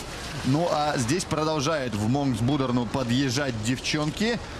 Ени Ларсон, кстати говоря, как и Дадаль, который хорошо выступает в молодежной категории, хоть и сейчас у них другие майки на плечах, э, вот э, тоже здесь в этой первой десятке, но первые пять получают очки, в том числе и Марит Бьорген. Посмотрим, как сейчас подкатит Ольга Царева. Вот она 12 на этой отсечке. Монгс Бодерне уступает 1 минуту 48 секунд, к сожалению. Минутный разрыв вот между Ени Ларсон, идущей на 10 позиции, и Ольгой Царевой, которая вместе с Эллен Молин идет сейчас на 11-12 позиции. Вот здесь вот в местечке Монгс Будорна. Такой вот э, лес, по таким болотам, лесам, деревням, хуторам едут участники. Но обратите внимание, везде идеальная лыжня, прорезанная, подготовленная. Ну а хочется рассказать, по каким деревням, лесам ехали э, наши спортсмены с, от- с финала Кубка России из Сыктывкара. Ольга Царева, Дмитрий Баграшов э, с тренером Виктором Ревиным. Э, сдали э, ковид-тест, э, так, все правильно, отрицательный в Сыктывкаре прилетели с этим тестом в Швецию. Однако в Швеции такие правила, что всего лишь в течение 48 часов необходимо пройти э, вот с этим положительным тестом от э, момента сдачи. Прошел уже 51 час, к сожалению, три лишних часа. Э, шведские пограничники отказали во въезде, продержали всю ночь э, в небольшом закутке наших спортсменов и тренера. И пришлось лететь на следующий день уже в Хельсинки самолетом, чтобы там сдать тест, потому что шведские пограничники отказались вообще даже общаться и сказали, мы вас не пускаем в нашу страну, тест сдать вы у нас не можете, улетайте обратно. Вот, да, наши ребята улетели в Хельсинки, сдали тест, прилетели обратно э, и уже тогда пустили их. На этом приключения не закончились. Э, На одном поезде они доехали до пересадочной станции, где э, следующий поезд э, сломался, отменили. Поезд пришлось им менять свой маршрут. Ехали несколько часов до Фалуна шведского, откуда их уже забирал менеджер команды Андрей Тютерев. И еще два с лишним часа добирались до места. То есть почти три, три дня ушло на дорогу, да, учитывая, что Можно было и спортсмен- на лыжах. да, учитывая, что спортсмены э, уехали из Сыктывкара сразу после скиатлона, это 15-30 километров, то есть утомленные, и вот три дня в дороге провелись. Сегодня, конечно, это явно сказывается, и на Ольге это видно, да, отрыв растет, но, тем не менее, она сегодня по-прежнему лучше среди нашей команды и борется, э, борется с собой, с обстоятельствами, которые помешали ей э, отдохнуть э, за эти про- прошедшие три дня. Но Э, Надеемся, что гонка длинная. На спусковой части круга она немножко восстановит свои силы и по- постарается приблизиться к лидерам. Ну и в прошлом году тоже Ольга принимала участие в э, Васалопит. Э, Здесь вместе с Максимом Валикжанином они были в составе русской зимы годом ранее. Ну и тогда тоже не удалось побороться за место в тройке, но тем не менее получила опыт. Опыт э, очень полезный. Ольга, и, насколько я помню, тогда она была в десятке сильнейших, но и э, в этом сезоне, да, в принципе, она все время железно в десятке, там шестое место, пятое, четвертое, нет, четвертого не было пока, но, в общем, шестое, пятое, и будем надеяться, что удастся вернуться, опять-таки, в первую десятку Ольги Царевой, представительницы Республики Коми. И посмотрите, по картинке отчетливо видно, как Ермил Вокуев очень расслабленно идет. Э, Мне кажется, дышит сейчас даже носом, и э, огромный запас сил чувствуется в нем. А рядом идущий Торлиев Сюрстад, призер прошлого Васалова, прошлогоднего, э, с такой некой гримасой на лице сейчас уже, мне кажется, начинает терпеть и чувствует утомление. Поэтому Ермил, конечно, силен в этом году, показывает очень стабильно высокие результаты. Э, Он любитель вот этого стиля передвижения, одновременно бесшажный ход или double poling, как принято сейчас называть. И с удовольствием принимает участие. Э, Уже давно отмечали э, все эксперты и тренеры, что Ермилу подходит именно вот эти гонки длинные, где необходимо толкаться только верхним плечевым поясом. И в этом сезоне Ермил по-настоящему раскрылся для нас, для соперников, хотя уже в прошлом сезоне одержал свою первую победу. Но в этом сезоне стабильность его нас радует и поражает. Что-то знали организаторы Ski Classics, которые постоянно прямо отдельные новости выкладывали. Ермил Вокуев э, фаворит такой-то гонки. Ермил Вокуев обязательно поборется за победу на Биркибейнер Реннет, хотя до этого у Ермила были в основном четвертые места. Ну и накаркали, что называется. Спасибо большое. И в этом сезоне Ермил уже трижды поднимался на подиум. И сегодня, безусловно, является одним из претендентов на самые высокие места. Но, правда, тут стоит э, отметить, что дистанция 90 километров это все-таки немного другой калинкор, что называется. И тут нету гарантии ни у кого, что он будет себя чувствовать так же здорово после того, как пробежит 70 километров. Там бывает, начинает сводить мышцы пресса, еще что-то. Все мышцы сводить, абсолютно все мышцы организма. Вот тут очень важно следить за питанием, постоянно вот получать эту подпитку, поэтому подавляющее большинство, как мы видим, едет вот э, нагрузившись и э, поясом с водой, ну, точнее говоря, с изотоническим напитком. Есть гели. Кстати говоря, вот ты говорил, что на ногах гели закреплены у соперников Максима Валикжанина, у самого Максима Валикжанина. Карманчик на икре, вот сзади комбинезона, он сам, собственно говоря, проектирует эти костюмы для команды «Русская зима». И именно он как раз и предложил эти вот карманчики на э, лодыжках, на икре делать для того, чтобы было удобно перевозить те самые энергетические гели, которые помогут вот на такой длинной-длинной дистанции по провинции Даларна. 90 километров сегодня в меню у участников этого легендарнейшего марафона Васа Лопет по следам короля Густавы Васы.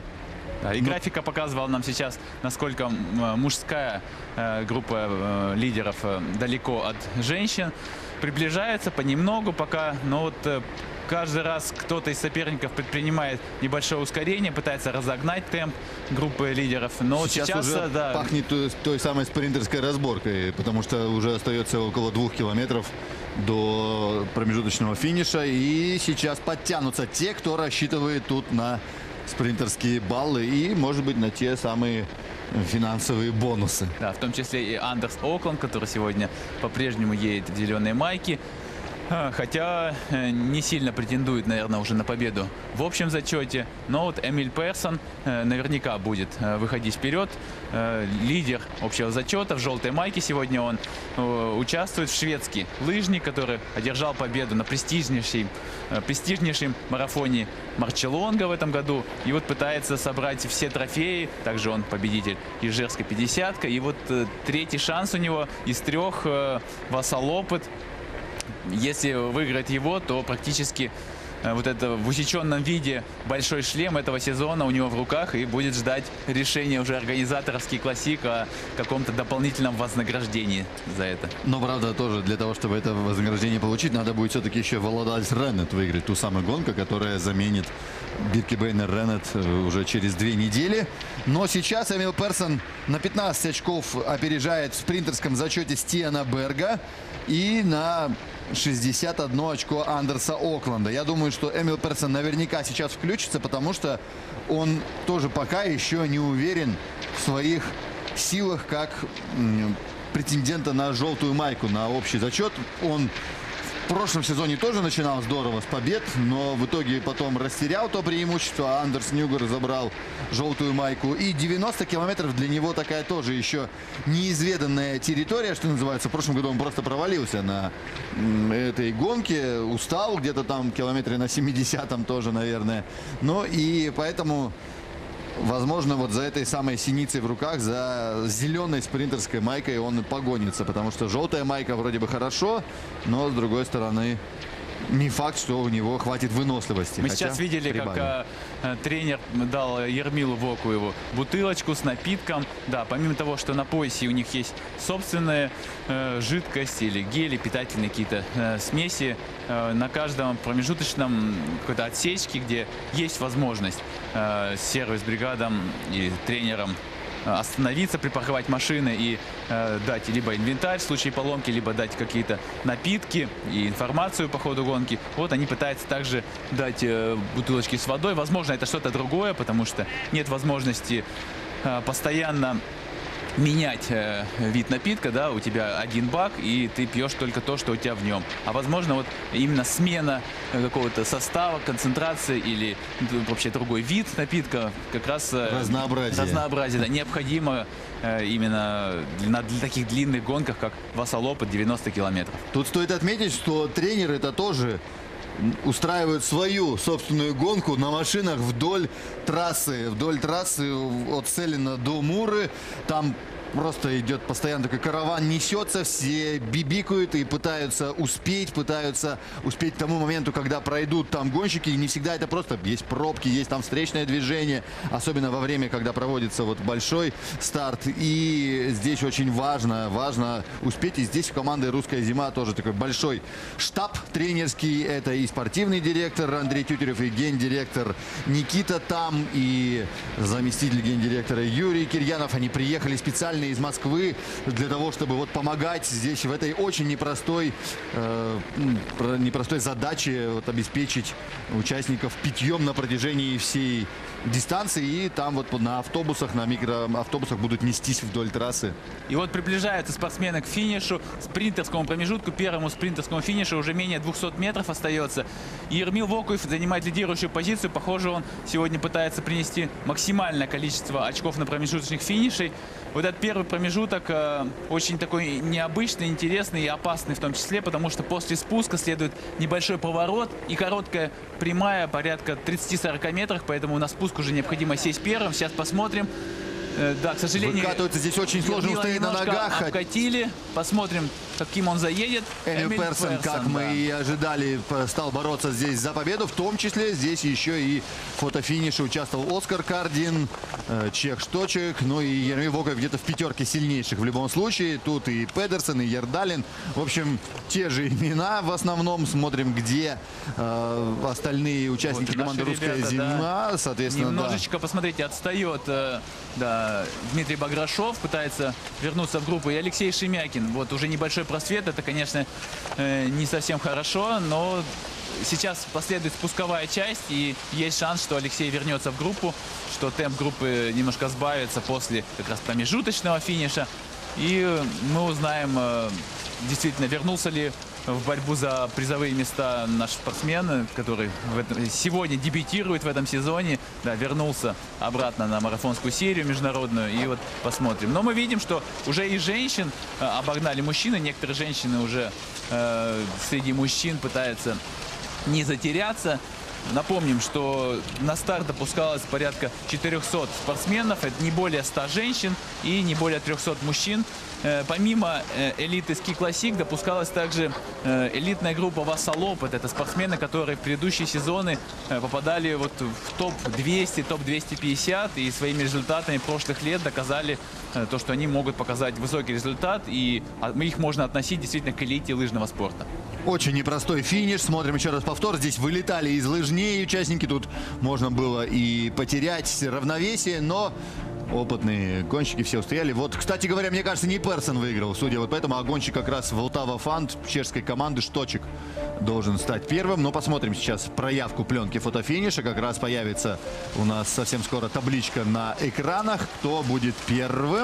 Нет, все-таки Персон первый, Фабиан Шточек второй, Оскар Кардин третий. Ну и Ермил Боков также приносит очки команде «Русская зима», которая, кстати говоря, мы видели по промежуточным вот этим отсечкам, пока шла на третьем месте. Возможно, сейчас э, тоже где-то будет рядом пятерки сильнейших. И стоит отметить, что команда «Русская зима» сейчас вот после прошедших уже гонок занимает третье место в общекомандном зачете. И это очень-очень здорово. До этого вот год назад рекорд установила опять же команда «Русская зима», став пятой в общем зачете. Очень здорово команда выступает, и с ней теперь считаются. Ну а пока смотрим за позициями россиян. На 23-м месте Максим Валикжанин, но он в этой первой группе. И здесь неважно, первый, второй, третий или 23-й ты. Главное не допустить отрыва, отставания. Александр Гребенько тоже в этой группе на 40-й позиции. Да, И посмотрим позицию остальных наших ребят. Дмитрий Баграшов на 44-й позиции, 15 секунд. Э, уверен, что он сократит. А вот э, Алексей Шемякин 20 секунд отстает от лидеров. Ну там же и Петр Эллисон, так что я думаю, Петр подтянет. У Петра нет ускорения, он не любит эти вот все ускорения, но зато он, кстати говоря, побеждал здесь тоже не раз и э, уезжал. Уезжал Петр Эльсон ну, в прошлом году как раз победу, да, держал Петр Эльсон. Итак, вот этот фотофиниш. Все-таки Чех уступает какие-то миллиметры шведу Эмилу Персуну, который тоже в стиле Лины Коршгрен забирает все здесь бонусы.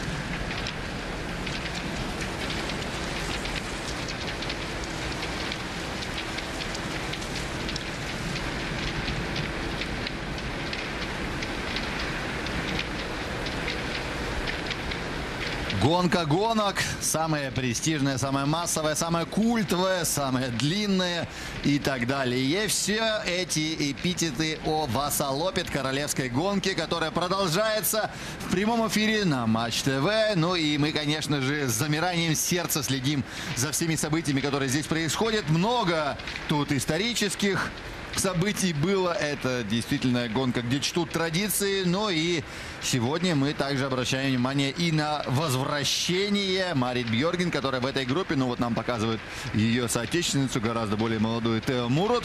Но и Бьорген здесь тут как тут, вот в этой оранжевой повязке. 14 нет, 18-кратная чемпионка мира, 15-кратная обладательница медалей, 114 побед у нее, 114 побед на Этапах. этапах Кубка мира. Ну и, в общем, можно долго-долго-долго все перечислять. Но в 2018 году повесила лыжи на гвоздь. После очередного успеха, после того, как э, стала, по-моему, девятикратной олимпийской чемпионкой, обладательницей вот 15 медалей, да, восьмикратной олимпийской чемпионкой, сравнялась с э, Бьорном Дели. Но решила вернуться. Надоело сидеть дома в декрете, так сказать. Да, но Марит Бьорген считается самой титулованной э, спортсменкой из зимних видов спорта, из зимних олимпийских видов спорта. 15 медалей с Олимпийских игр, 8 из них золотых. И да, и вот она, наверное, не повесила лыжи на гвоздь, а поменяла на пеленки и подгузники и соски. Да, у нее замечательная семья, дети. И вот но, наверное, зов сердца к лыжне, да, не смогла остаться в стороне и увидела эм, новый способ реализовывать свой огромный потенциал, да, свою одаренность уже в- немножко в других гонках, более длинных, э, менее ответственных, наверное, но, тем не менее, не менее интересных. И вот сейчас мы видим возвращение Марит Бьорген, да, этой легендарной лыжницы, которая в любом случае украшает любое лыжное мероприятие. Кстати говоря, Бьорген вообще на Васалопит как бы побеждала. Да, вот мы видим Брита Йоханссон Норган усилием воли возвращается, похоже, в эту группу.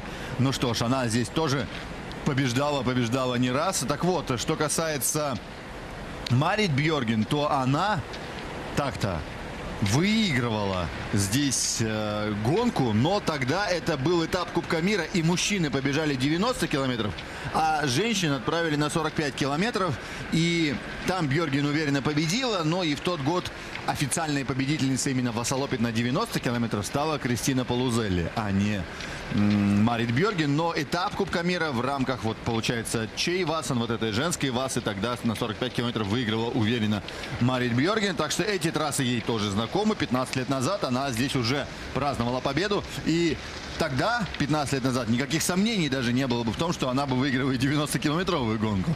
Но сейчас есть тут специалистки именно double poling а, которые сильны именно в этом стиле передвижения, вот одновременном бесшажном ходе. И в том числе это и Брита Юхансон Норгрен. Но сама Марит Бьорген рассказывала вот в недавнем интервью, что она большое внимание как раз-таки уделяла double poling у, вот начиная вот с прошлого мая стало... Ух ты как! Сейчас, по-моему, как раз Никита Евгеньевич там пробежал прямо перед... Э, Петером Эллисоном. Да, перед Петером Эллисоном, прошлогодним победителем этой гонки. Ну и что касается Марит Бьорген, то да, она начала тренироваться в мае минувшего года. Поехала на тренировочный сбор с командой Рагде Айндом, то есть как раз в том числе с Петером Эллисоном, прошлогодним победителем, победителем 2015 года. Ну и говорит, что впервые за 4 почти года встала на роллеры и на первой же тренировке так устала после там третьей тренировки, что э, плюнула на все, ушла домой сказала, что руки болели и так далее, но потихоньку втянулась, втянулась, и сейчас, как мы видим, Э, Втянулась так, что теперь лидирует на этой гонке, да, и, по-моему, без устали сейчас толкается. Но в любом случае, 45 километров она уже побеждала здесь э, в 2006 году. Э, то есть до 40 пятого километра в любом случае она будет в лидерах. Посмотрим, что будет на второй части, которая ей пока что неведома. действительно, ощущение на марафоне Васалопот очень сильно отличается от привычного. Когда в прошлом году я сам участвовал, когда ты проезжаешь уже 60 километров и видишь впереди табличку еще 30, э, наверное, остаток силы куда-то исчезает, э, дух куда-то падает, и действительно очень сложно, очень длинная.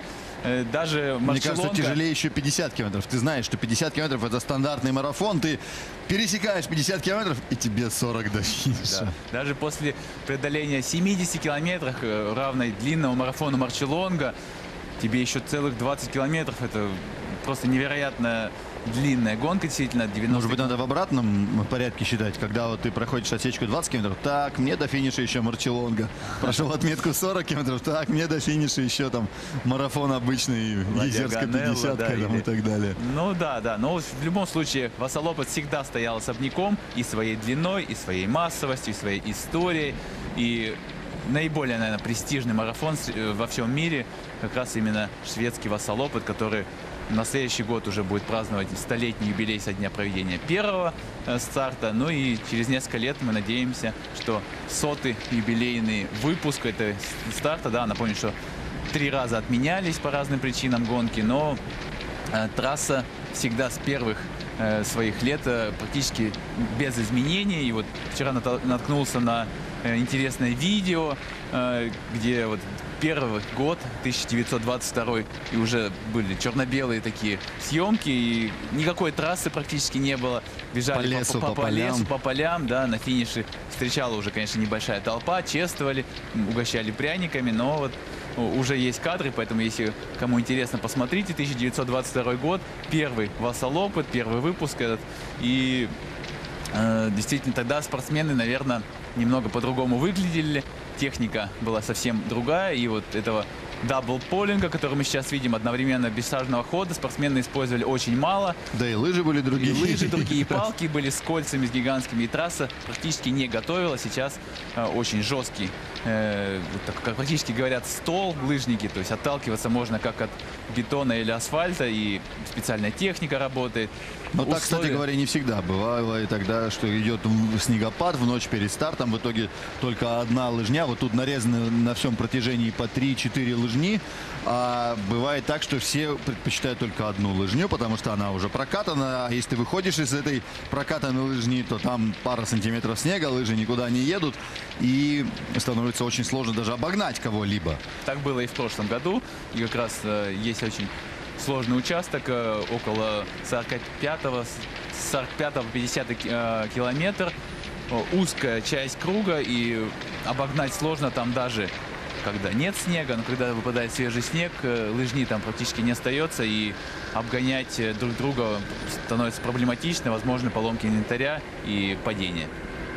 Ну да, и напомним, что да, в прошлом году была поломка инвентаря у Александра Панженского в том самом по- погоне за спринтерскими очками. К сожалению, не повезло, подвела. Палка сломался, штырек, ну вот такое случается. И в жизни, в том числе в спортивной жизни, мы видим многое зависит, в том числе и от вот таких, ну, можно сказать, случайностей, как, например, вот э, в- на чемпионате мира вот сейчас в эстафете женской Швеция просто замазалась э, и э, лишилась всех шансов на победу, несмотря на то, что были главными фаворитами. Да. Ну а сегодня шведские лыжники также э, сейчас пытаются, лыжницы э, пытаются навязать борьбу. И вот Брита Йохассон Ногрен, наверное, самая сильная шведская лыжница э, последних лет. Возвращается. возвращается в группу лидеров, да, и возвращается на лыжню после своего обморожения на первом старте сезона. Ну и она здесь, кстати, побеждала два года назад и четыре года назад. То есть в нечетные годы она привыкла побеждать. Ну и вот сейчас как раз у нас нечетный год. Но, правда, тут Марит Бьерген может вмешаться. Смотрим эту группу. Она, соответственно, увеличивается, да, пока в размерах, но До шести спортсменок. да, Лина Коржган, Марит Бьерген, Тео Мурут И они приезжают в и городок Брита, да, седьмая да, да, здесь. седьмая, да. П- Приезжает в городок Рисберг, где очередной пункт питания, а вот э, Линсомскра, да, нет, Брита Йоханссон Норган опять выпадает из группы лидеров, 15 секунд отрыв, и э, не получилось у нее задержаться, да, в этой лидирующей группе, к сожалению. Видимо, Марит Бьорген э, и Лин Корсгрен опять э, взвинтили темп, нарастили свои скорости и пытаются разорвать группу, уменьшить количество участников э, в борьбе за призовую тройку. Ну, на самом деле, тут, может быть, и лыжи тоже не идеально работают у Бриди Йоханссон Норгрен, потому что вот сюда, к этому самому Рисбергу, идет такой тоже спуск. Тот самый веселый спуск, где падают в огромном количестве любители. И, возможно, что здесь на спуске чуть-чуть не смогла подтянуться, а наоборот отстала, отпустила этих э, лидеров Брита Йоханссон Норгрен. Да, э, хочется сказать, что очень много участников Кубка мира пытается побороться за победу вот в этой серии «Ски Классик» на разных стартах. И Иван Нисканен после Олимпийских игр 2018 года в финском э, Уля Слеви пытался выиграть, однако остался пятым. В прошлом сезоне на Марчелонгу приезжали э, и Дарио Колония, еще Рёте. Э, Но, вот, к сожалению, для них все-таки специфика этих дистанций, очень длинные гонки, э, и где нет смены э, техники, нет смены вот, э, хода лыжного. Все-таки необходима, наверное, немножко специальная подготовка и конкуренция, которая растет из года в год, даже внутри этой серии Classic, э, приводит к тому, что спортсмены Кубка мира, лидеры э, Кубка мира не могут побеждать. Очень интересно, мне кажется, для всех сейчас было бы, как Александр Большунов смотрелся бы э, на вот этих гонках. Но Э, сегодня у Александра Большинова другая задача. Другая задача. Мы надеемся, что у нас появится новый король лыж. Да, но Смотрите, да, сегодня трансляцию уже после гонки в Осолопет. Как раз таки эстафету примут наши лыжники, ну и лыжники всех стран на чемпионате мира в Оберсдорфе. И, конечно же, мы, это покажем в прямом эфире. Там уже и Дмитрий Губерниев, Александр Ликов разминаются, сейчас готовятся тоже к этой трансляции. пожелаем удачи Александру Большунову, Алексею Червоткину, Евгению Белову и Илье Семикову, который сегодня дебютирует на чемпионате мира. Специально Всем- готовился да, к этой специально гонке. готовился к марафону. Э, Ребята на чемпионате мира побегут с мазью держания. Не будет никакого double poling а, потому что на чемпионате мира есть зоны специальные, где нельзя использовать этот ход. Ну и там трасса такая, в подъем тот э, многоминутный double poling ом сложно проехать даже Мартину Йонсруду Сундбю. Мы видели, как Да. он, натренировавшись как раз таки после поражения от Петтера Элиассена в double poling е, натренировался, через год победил на Биркебейнерреннет, но на этапах Кубка мира на очень крутых подъемах все-таки он терял время. Ну и мы помним финал спринтерской гонки на чемпионате мира, когда э, Оскар э, Свенсон попытался как раз даблполингом без мази держания навязать борьбу за тройку сильнейших, однако уже на втором подъеме отстал, э, без шансов доехал на последнем месте э, до финиша. И действительно, когда очень сложная трасса с крутыми рельефами, э, с сложными подъемами, этот ход, э, наверное, теряет все свои преимущества. А вот сейчас мы видим, как на затяжном подъеме лыжники играют так называемые шашечки, да, то есть из права влево пытаются перестроиться, обгоняя женщин, девушек, которых они догнали, которые стартовали на 20 минут ранее. Хотя это для вас, опыт большая редкость, когда э, разный старт в разное время, потому что э, обычно, традиционно гонка стартует э, одновременно, и мужчины, и женщины, и все любители стартуют одно время, не- небольшими волнами, чтобы э, получилось, э, не, не было большого столпотворения на первом подъеме затяжном, однако Все равно столпотворение Столпотворение есть. все равно есть, да, как э, под Новый год в Москве на дорогах пробки, так и здесь э, на первом подъеме. Ну, конечно, 16 тысяч участников практически э, все стартуют одновременно, и из 50 лыжней на старте э, смыкаются в 8 или в 6. Э, сеть- в этом году усеченная программа, ограниченное количество участников, и поэтому женщин пустили пораньше, для того, чтобы картинка во второй половине гонки была намного интереснее, мы видели, как лидеры мужской гонки догоняют лидеров женской части. И финишируют почти одновременно. Ну вот планируется, что сегодня скорости будут довольно высокие. Быстрее 4 часов должны по предварительным раскладам пройти мужчины эту трассу, может быть, чуть-чуть медленнее 4 часов женщины, но в любом случае ожидаем, по крайней мере, вот такой прогноз от организаторов, что финиш будет где-то вот через 3 часа 45 минут после старта мужчин. И после них вскоре, вскоре женщины должны финишировать. Но организаторы предполагают, а вот эта лыжня все-таки располагает. И мы уже будем знать, каковы результаты этой гонки ближе к финишу, который, ну, в лучшем случае, чем че- через два с половиной часа состоится. Да, это два с половиной часа наслаждения, истинного наслаждения для всех ценителей спорта, лыжного спорта особенно. В этом сезоне Матч ТВ дарит нам огромный подарок э, в виде э, еж- практически ежедневных трансляций лыжных гонок, да, особенно последние две недели. Э, И массовый вот лыжный спорт в этом году такой претерпевает некий бум, да, в, в центральной России огромное количество снега, и мы уверены, что до апреля он будет лежать. Э, Хоть э, на календаре весна, но морозы э, обещают снова в центральной части России, и поэтому по всей стране сейчас проходит огромное количество марафонов. Каждому участвующему желаю получать наслаждение от и просмотра, а самое главное и от участия вашего персонального вот, в лыжных гонках, в лыжных марафонах. Занимайтесь спортом, наслаждайтесь лыжными гонками. Это огромное удовольствие и очень полезно для вашего здоровья. Ну и сейчас мы возьмем небольшую паузу. Очень скоро вернемся на Васолопец. Супер гонка продолжается. Далеко не уходите.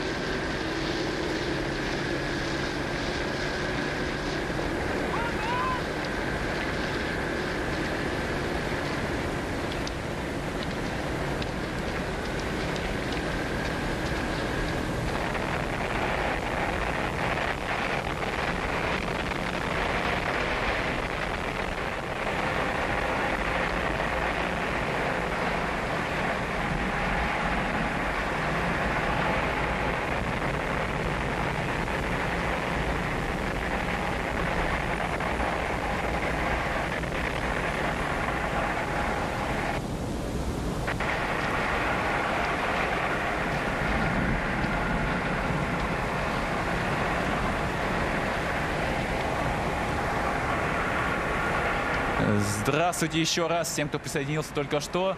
Э, темп гонки возрастает, страсти накаляются, потому что с каждым километром спортсмены приближаются к экватору гонки.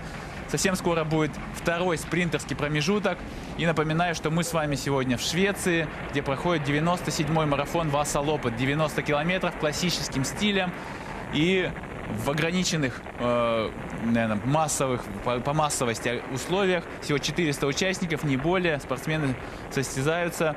Женщины уж стартовали на 20 минут ранее мужчин, и сейчас стремительно с каждым километром они приближаются. Вы посмотрите, какая Кстати, скорость. как раз тот самый спуск к Рисбергу, на котором и падают в огромных количествах любителей. Здесь, э, когда 15 тысяч человек едут, э, очень много интересного происходит. Но вот, конечно, профессионалы у них и более разреженная ситуация, но и уровень мастерства повыше, поэтому обходится без падений. Но скорость очень высокая на этом спуске к Рисбергу, где совсем скоро мужчины уже пройдут вот эту отсечку 30 4,3 километра. Женщины эту отсечку прошли. Уже девушки сегодня преодолели больше, чем вчера на чемпионате мира, в том самом марафоне женщины. Ну и сейчас вот у нас группа лидеров 6 женщин. И там как раз таки лидирует э, Лина Коржган. Рядом Марит Бюрген. Отмечаем, что на 12 месте Ольга Царева, 13 Анастасия Власова. Она почти догнала, почти догнала сейчас Ольгу Цареву слишком быстро, видимо, Ольга начинала. Анастасия правильно распределилась. Ну и вот Рисберг. Отсечки Ермил Волков здесь второй. Это как раз таки неофициальные спринты, но где тоже можно понемножку денег заработать. Да, копеечка к копеечке. Да, и Ермил Вокуев э, постоянно сегодня мелькает на передних первых позициях. А все Второй ребята, да, здесь. все ребята наши близко. На 16 позиции Максим Валикжанин. Мы видели в этой большой группе. И Александр Гребенько, вот 25-й. Ну и там промелькнули в том числе и Дмитрий Баграшов тоже, получается, с Алексеем Шемякиным рядом где-то. Вот. Да, на 33-й позиции Дмитрий Баграшов. Всего 12 секунд от лидера. Это совсем незначительное преимущество. Просто позиционная пока борьба идет. Ну и Алексей Шемякин также в этой группе. Э, сейчас мы посмотрим, на какой позиции. Ну, кстати говоря, вот здесь, э, судя по всему, либо мы его упустили, что называется, либо здесь все-таки разрыв появился. Да, Элиасон, Элисон, посмотрите. И Шемякин, да, отста отставание есть. Э, и Макс Новак с ними, посмотрите, огромное. Вот. И Даниэл Рикардсон. Вот как раз, да, проходит Алексей Шемякин.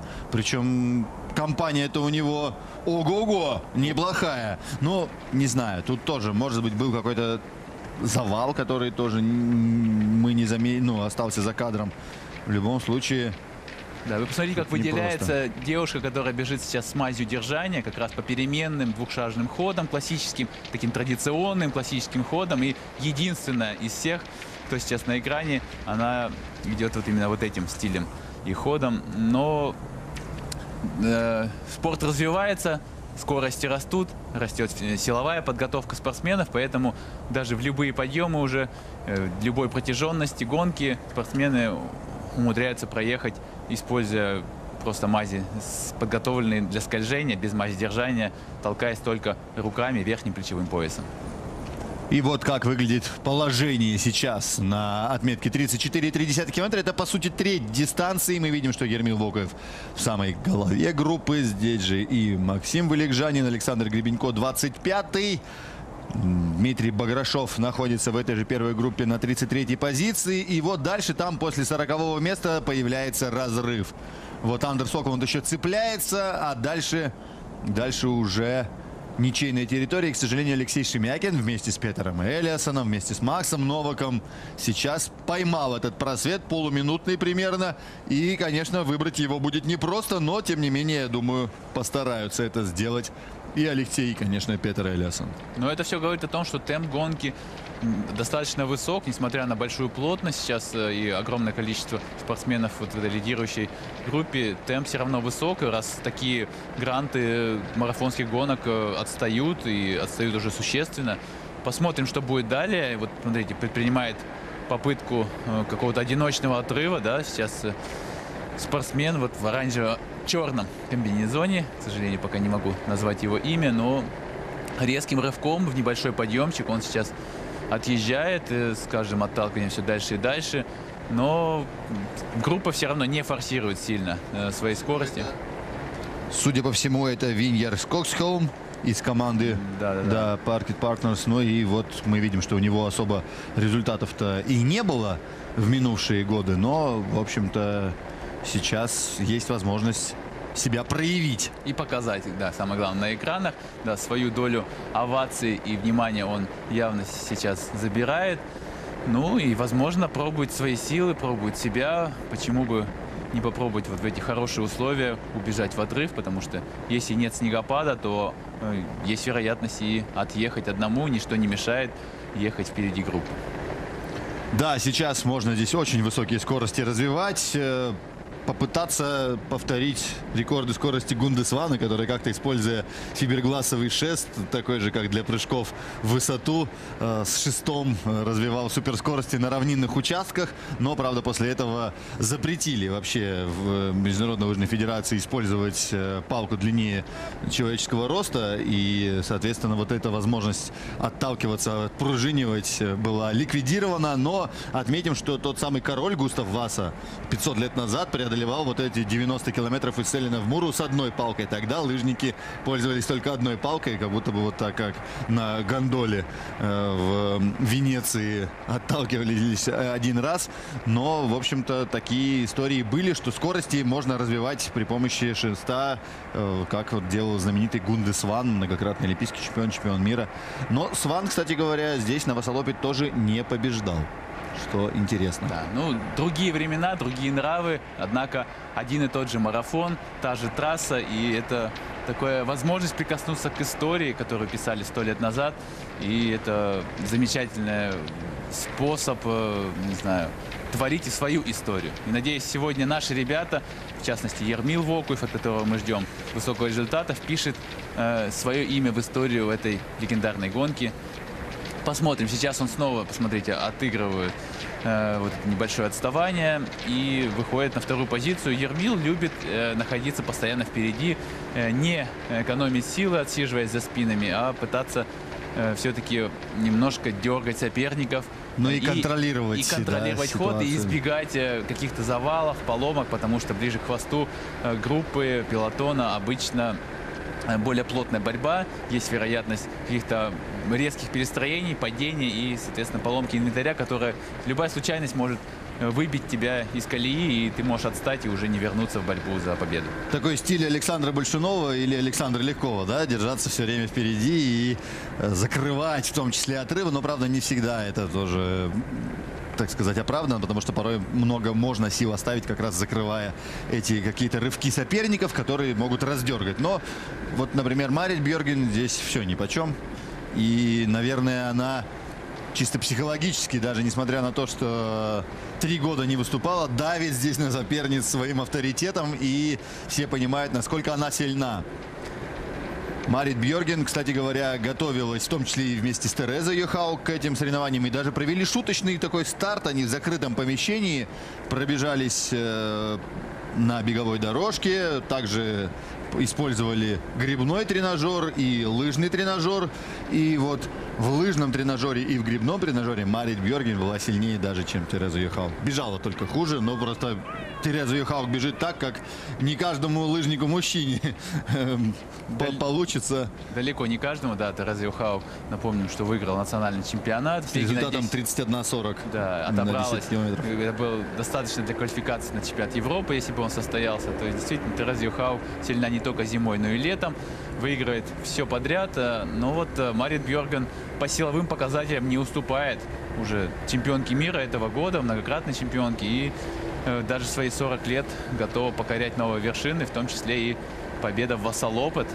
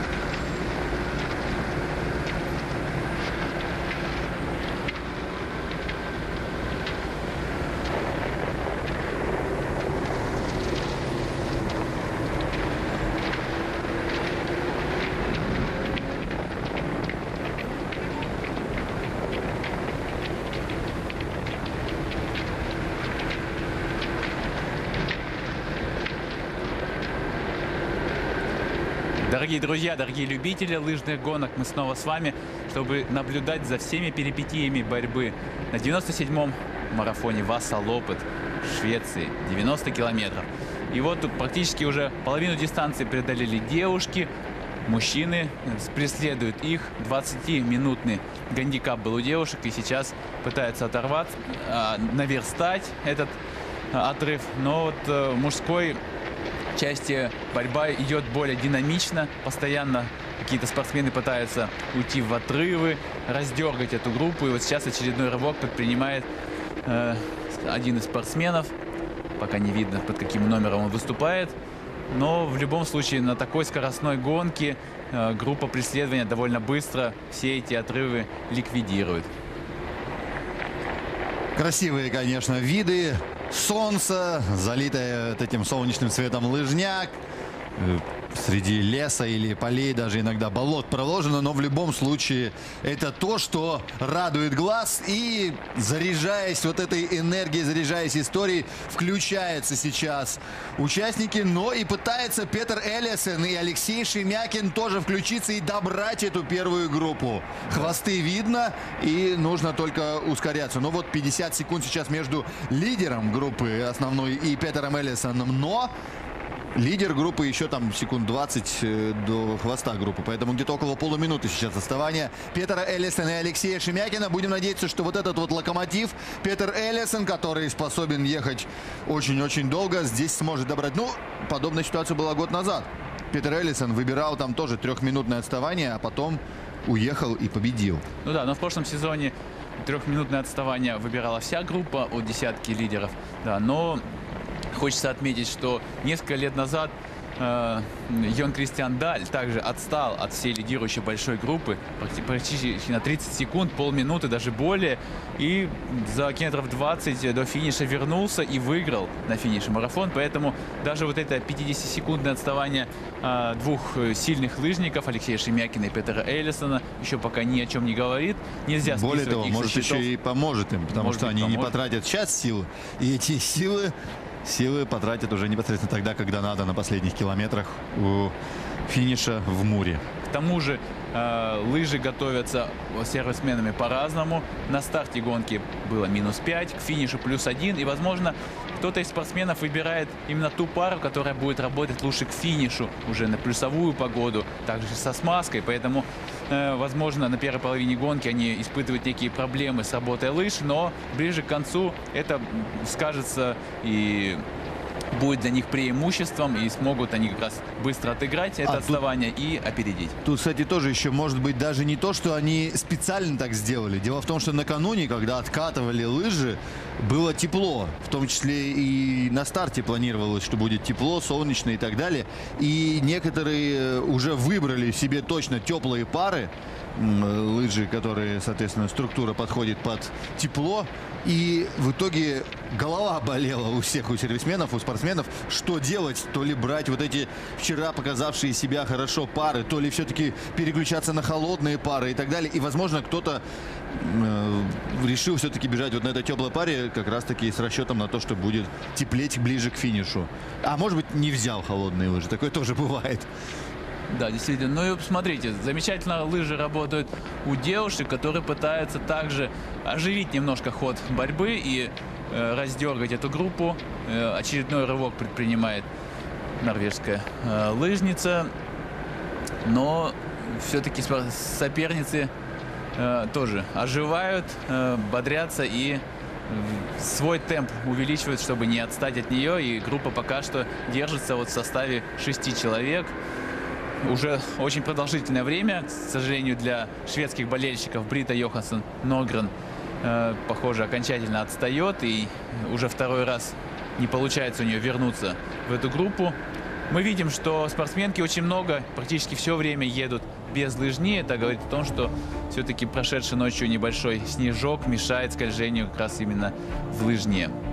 Мужчины все ближе и ближе к женщинам, но совсем скоро у девушек будет спринтерская разборка в Эверцберге. Соответственно, там будут тоже еще разыграны дополнительные очки. Правда, Тут уже 6 оторвались, 5 мест получат очки, поэтому нет смысла там тоже э, рвать жилы, что называется. Но, тем не менее, экватор близок. 45 километров, женщины скоро преодолеют эту отсечку, но впереди будет еще 45. И это, конечно, невероятно. В три раза больше дистанции, чем, например, вчера в марафоне чемпионата мира была у Терезы Йохау. Да, действительно, и почти в два раза больше, чем преодолеют сегодня наши мужчины на заключительный день чемпионата мира в немецком Аберсдорфе, где мы ждем э, отличной и яркой борьбы, в том числе и за победу от наших ребят. Напоминаю, что Александр Большунов, Алексей Червоткин, Илья Семиков и Евгений Белов выйдут на старт 50-километровой гонки классическим стилем. А здесь э, в сегодняшней гонке нашу команду представляет Ермил Вокуев, Максим Валикжанин, Алексей Шемякин, который, к сожалению, сейчас немного отстал и пытается наверстать 50-секундное отставание вместе с Петром Эллисон. Но вот Александр Гребенько и Дмитрий Баграшов также в лидирующей группе, поэтому четверо россиян сейчас э, в головном пилотоне, и это отрадно. Сейчас они достаточно уверенно себя комфортно чувствуют. Вот в чем плюс сидеть, э, наверное, в большой группе, то, что на спусковой части, на равнинной, когда высокая скорость группы, у тебя получается отдыхать, э, идти в спину, и впереди идущие спортсмены берут на себя весь встречный ветер, рассекают его, а сзади в таком воздушном мешке, воздушном кармане ты тратишь намного меньше сил и энергии, и экономишь силы для много впереди грядущих километров этой гонки. Обратите внимание, что Дмитрий Баграшов сейчас выбирается тоже в лидирующую группу, в голову этой группы. И сейчас вот, когда поменял э, вот этот вот подсумок питья Ермил Вокоев, как раз уже в спину встает э, за Ермилом Дмитрий Баграшов. Здесь как раз пункт питания.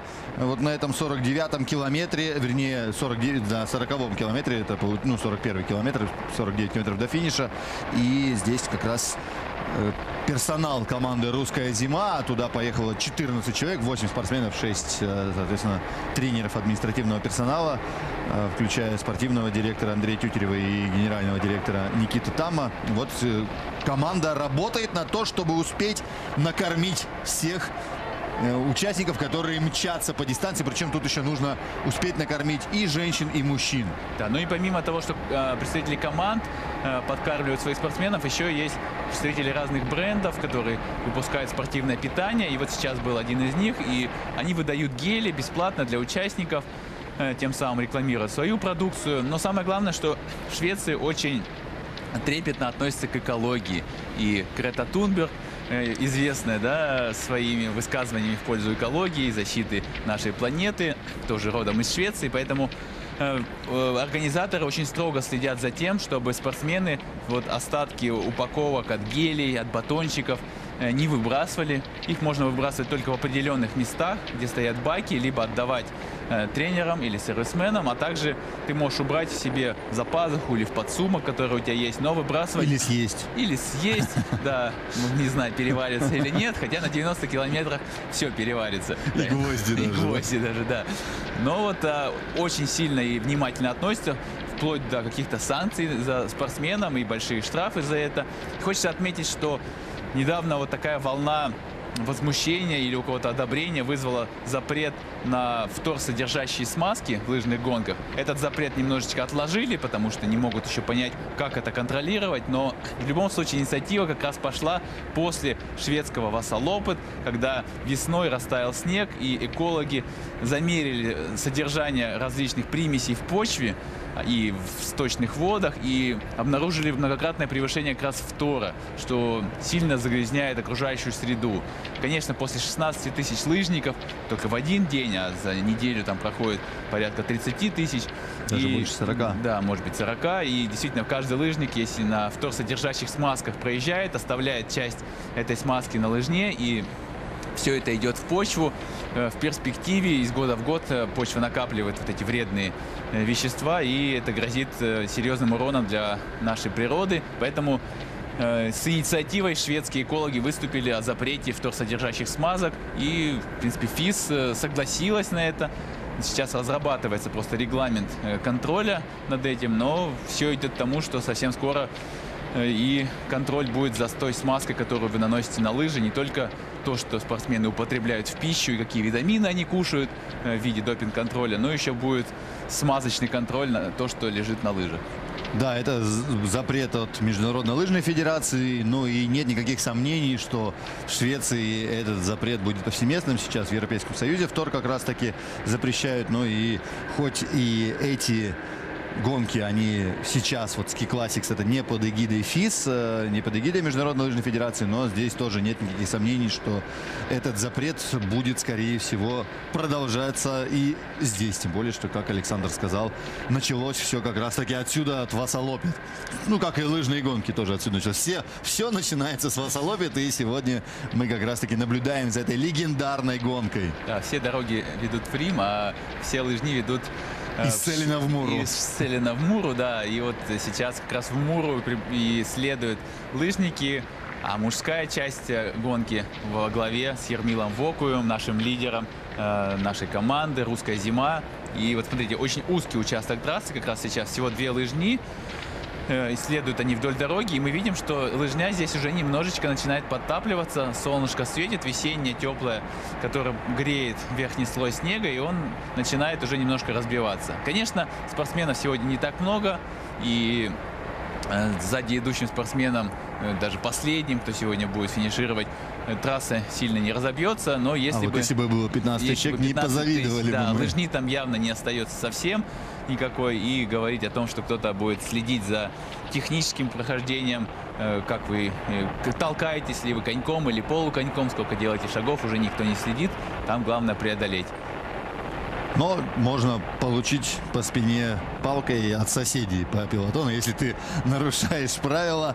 Также запрещено менять лыжи во время дистанции и, собственно говоря, маркировка выдается на каждую лыжу во время этих стартов. Уже, например, маркировка на этапах Кубка мира уже отменена лыж, но вот на таких традиционных марафонах по-прежнему есть маркировка и, естественно, лыжи менять запрещено. Конечно, втихаря в лесу кто-то где-то может как-то намухлевать, что называется. Но в целом, конечно, это не приветствуется. И э, будут, по крайней мере, соседи по пилотону зорко следить. Ну а лидерам этого сделать невозможно, потому что они всегда под присмотром телекамеры. Тут уже э, физической такой возможности нет, все это все прекрасно заметят. Но лыжи менять запрещено. В отличие, кстати говоря, от марафона сегодня на чемпионате мира, где есть специальные скибоксы.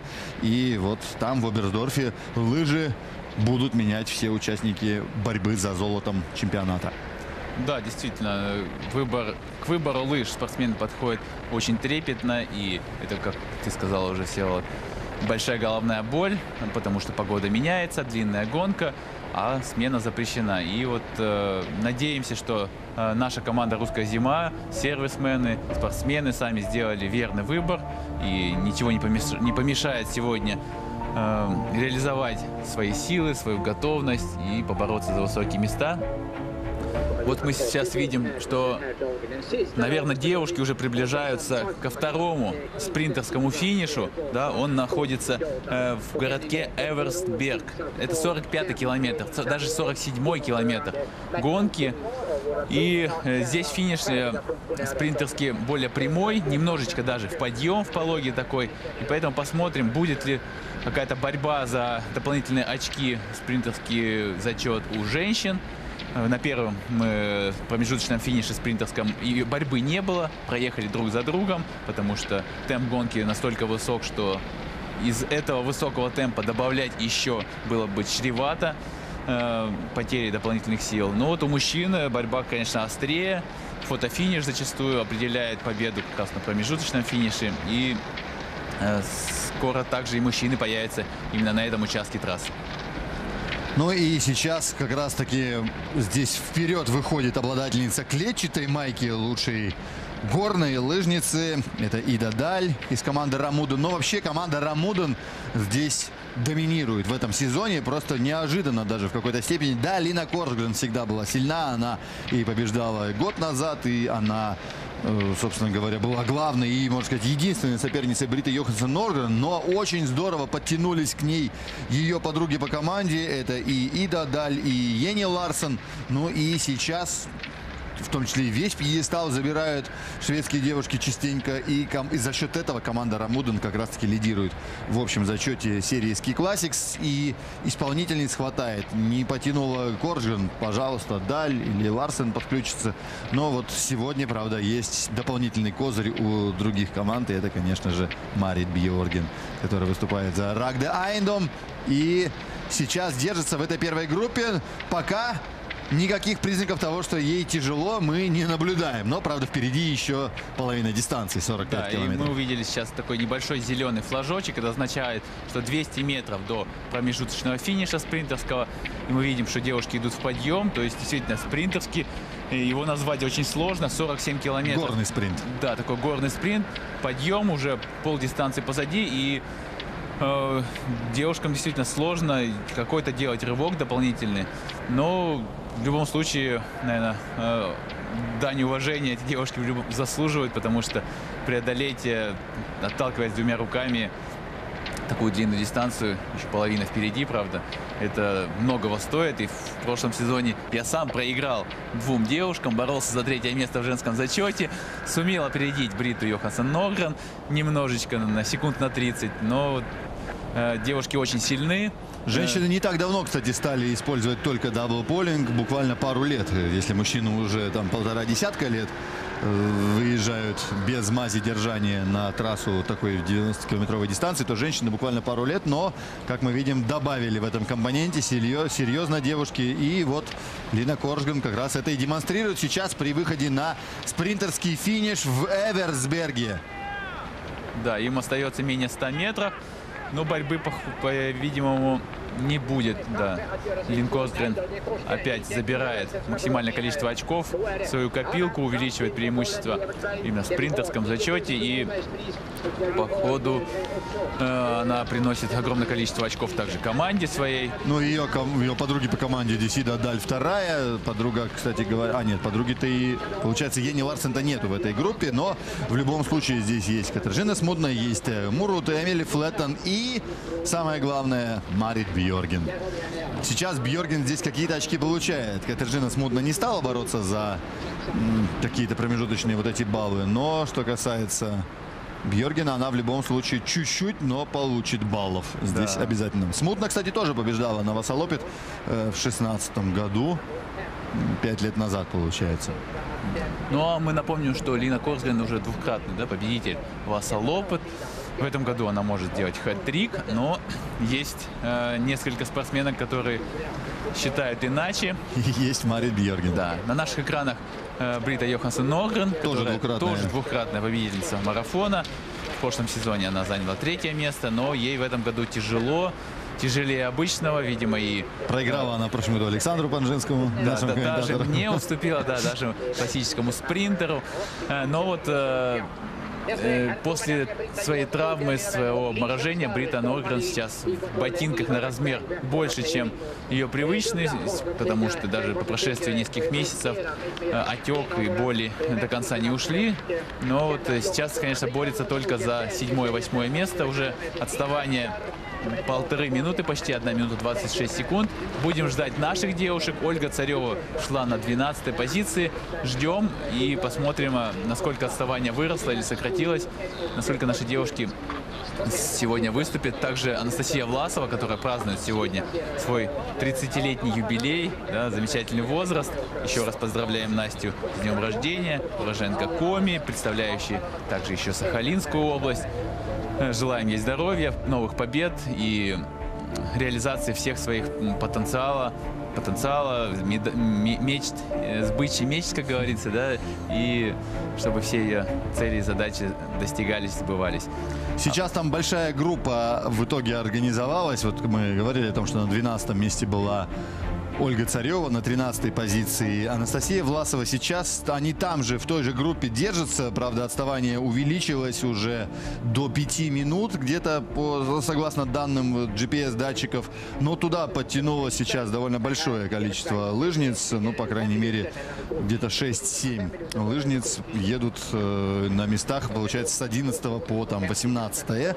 10 должна приехать сюда Ени Ларсон если тоже нет никакого сбоя в, э, работе GPS-датчиков. Ну и дальше уже российские участницы, представительницы команды «Русская зима» Ольга Царева и Анастасия Власова. Но Дина Некрасова проигрывает тоже и этой группе.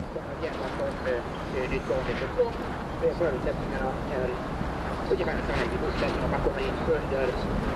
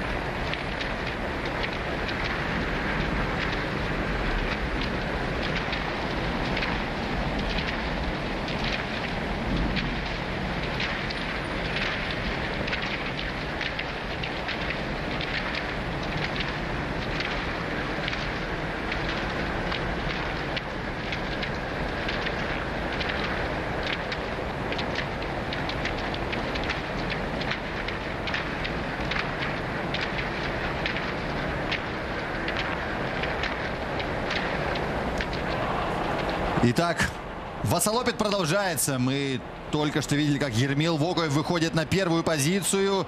Обладатель клетчатой майки лучшего горняка. Более того, победитель одной из гонок этого сезона Ермил Вокоев из республики Коми. Сейчас впереди всей группы. Ну а в этой же группе мы видим сейчас и в том числе, получается, Дмитрия Баграшова. Нет, да, Здесь это еще, да, это просто лыжник в похожем комбинезоне Даниэль Рикардсон. Это, кстати говоря... Который сумел вернуться в группу лидеров, а до этого шел вместе с Петром Эллисон и Алексеем Шемякиным. Ну, надеемся, что и Алексей Шемякина скоро мы также увидим в этой лидирующей группе. Мужчины Включается... приближаются так к спринтерскому промежутку. И э, Ермил Вокуев разрывает позиции, группу. Да. Здесь только три, два гонщика с ним остаются рядом. В том числе и тот настырный чех, который взял очки в первом спринте. да. И сейчас Ермил на первой позиции обходит здесь женщин. Ну и забирает опять максимум. Браво, Ермил! Да, браво, браво. И самое главное, что приносит огромное количество очков в командный зачет. Ну и также улучшает свою позицию в спринтерском отдельном зачете. Посмотрите, Макс Новак также э, сейчас в десятке сильнейших на седьмой позиции, а еще совсем недавно он вместе с Алексеем Шемякиным э, замыкал группу, точнее даже возглавлял группу преследования этого первого пилотона. И ждем тогда Алексея. Возможно, если несколько спортсменов из той группы сумели переместиться в лидирующий. Вот, мне кажется, сейчас и Алексей. Нет, вот Алексей появляется, к сожалению, да, он не смог сюда Пока переместиться. Что не смог, да. Но посмотрим отрыв. Возможно, сокращается и э, скоро воссоединятся две группы. И борьба будет еще более плотная и упорная. Стиан Холгар здесь на 39-м месте в конце вот этой первой группы. Между прочим, год назад он был, получается, да, вторым за э, Петером Элиасоном. Ну и вот Алексей Шемякин проходит эту отсечку. 59 секунд, но по-прежнему около 30 секунд разрыв. И здесь же Петер Элиасон, который так сейчас как-то спокойно проходит через этот пункт питания. Кстати, насчет пунктов питания. На Васалопит знаменитый черничный кисель дается на пунктах питания.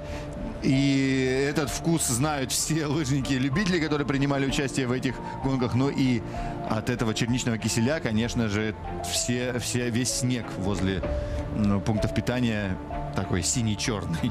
А сейчас нам показывают повтор, когда девушки проходили, вторая группа девушек, и вот в ней как раз Анастасия Власова, Ольга Царева и Дина Некрасова. Все наши три девушки во второй группе, группе преследования, конечно, уже далеко позади от лидеров, но э, борются за свои места, за, э, преследуют свои цели и по своим силам сегодня, надеюсь, покажут довольно неплохие э, результаты. Вся борьба еще впереди, только да, сейчас впереди-то 40 километров да, еще. Только сейчас начинается, наверное, настоящий марафон, настоящий вассалопыт. И э, на утомлении уже кто как сможет проявить себя, у кого начнет ломаться техника, у кого начнут сводить мышцы, или кто просто останется без энергии, которую нужно постоянно восполнять гелями и э, питанием. Но у Ермила Вокуева энергии хоть отбавляй. Посмотрите, резким рывком, буквально 10 отталкиваний, и он спокойно пересекает с отрывом финишную черту очередного спринтерского промежутка. Забирает 50 очков в копилку спринтерского зачета, а также э, в общекомандный зачет. И, я думаю, поднимает рейтинг команды «Русская зима» э, в общекомандном зачете. Посмотрим сейчас, кстати, скорее всего, мы увидим и виртуальное положение в этом командном рейтинге здесь, конкретно на Васолопит. Но по итогам сезона, по промежуточным итогам сезона, на третьем месте команда «Русская зима» располагается. Антон Карпшин здесь второй, Фабиан Шточек, э, настырный чех, на третьем месте. Ну и Эмил Персон тоже тут как тут э, считает, что желтую майку, вернее зеленую майку тоже упускать не стоит. Ну и Ермил такой же многостаночник тоже. И на желтую майку нацеливается, и на зеленую, и на клетчатую. Максим Валикжанин на 15 позиции, Александр Гребенько на 16 и Дмитрий Баграшов на 27 месте. Всего 17 секунд, то есть практически в группе лидеров, э, в которой сейчас, э, наверное, более 40 спортсменов, да, и ну вот, наверное, да, вот до 46. А Станислав Резок, да, э, да, великий э, ветеран э, марафонских гонок, 23 секунды замыкает э, группу лидеров, а Алексей Шемякин, к сожалению, почти возглавляет минут, группу преследования. Возглавляет группу преследования, которой не получается приближ... приблизиться.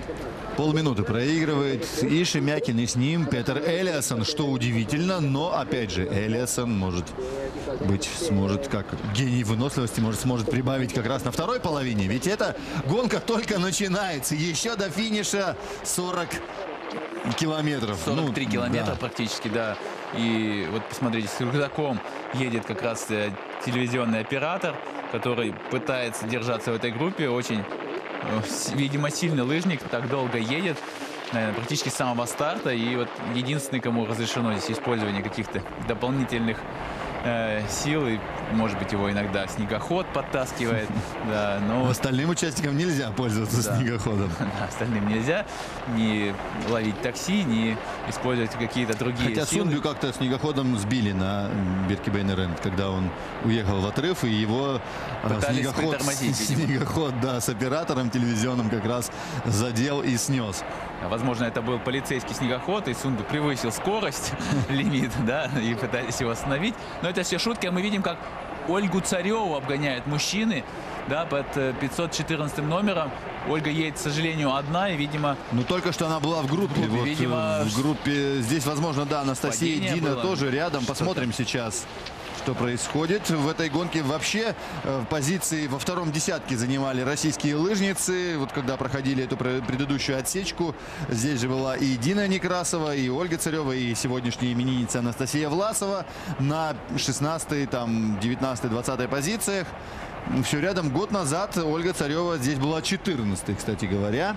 А, ну и вот на этот раз сейчас пока тоже во втором десятке располагаются все три представительницы команды «Русская зима». Ну, возможно, как раз тому причиной, э, как я раньше рассказывал, вот эта трехдневная сложная дорога с приключениями из Сыктывкара э, в Швецию, на Васалопет, где им отказали в визе. Всего три часа был просрочен тест на коронавирус.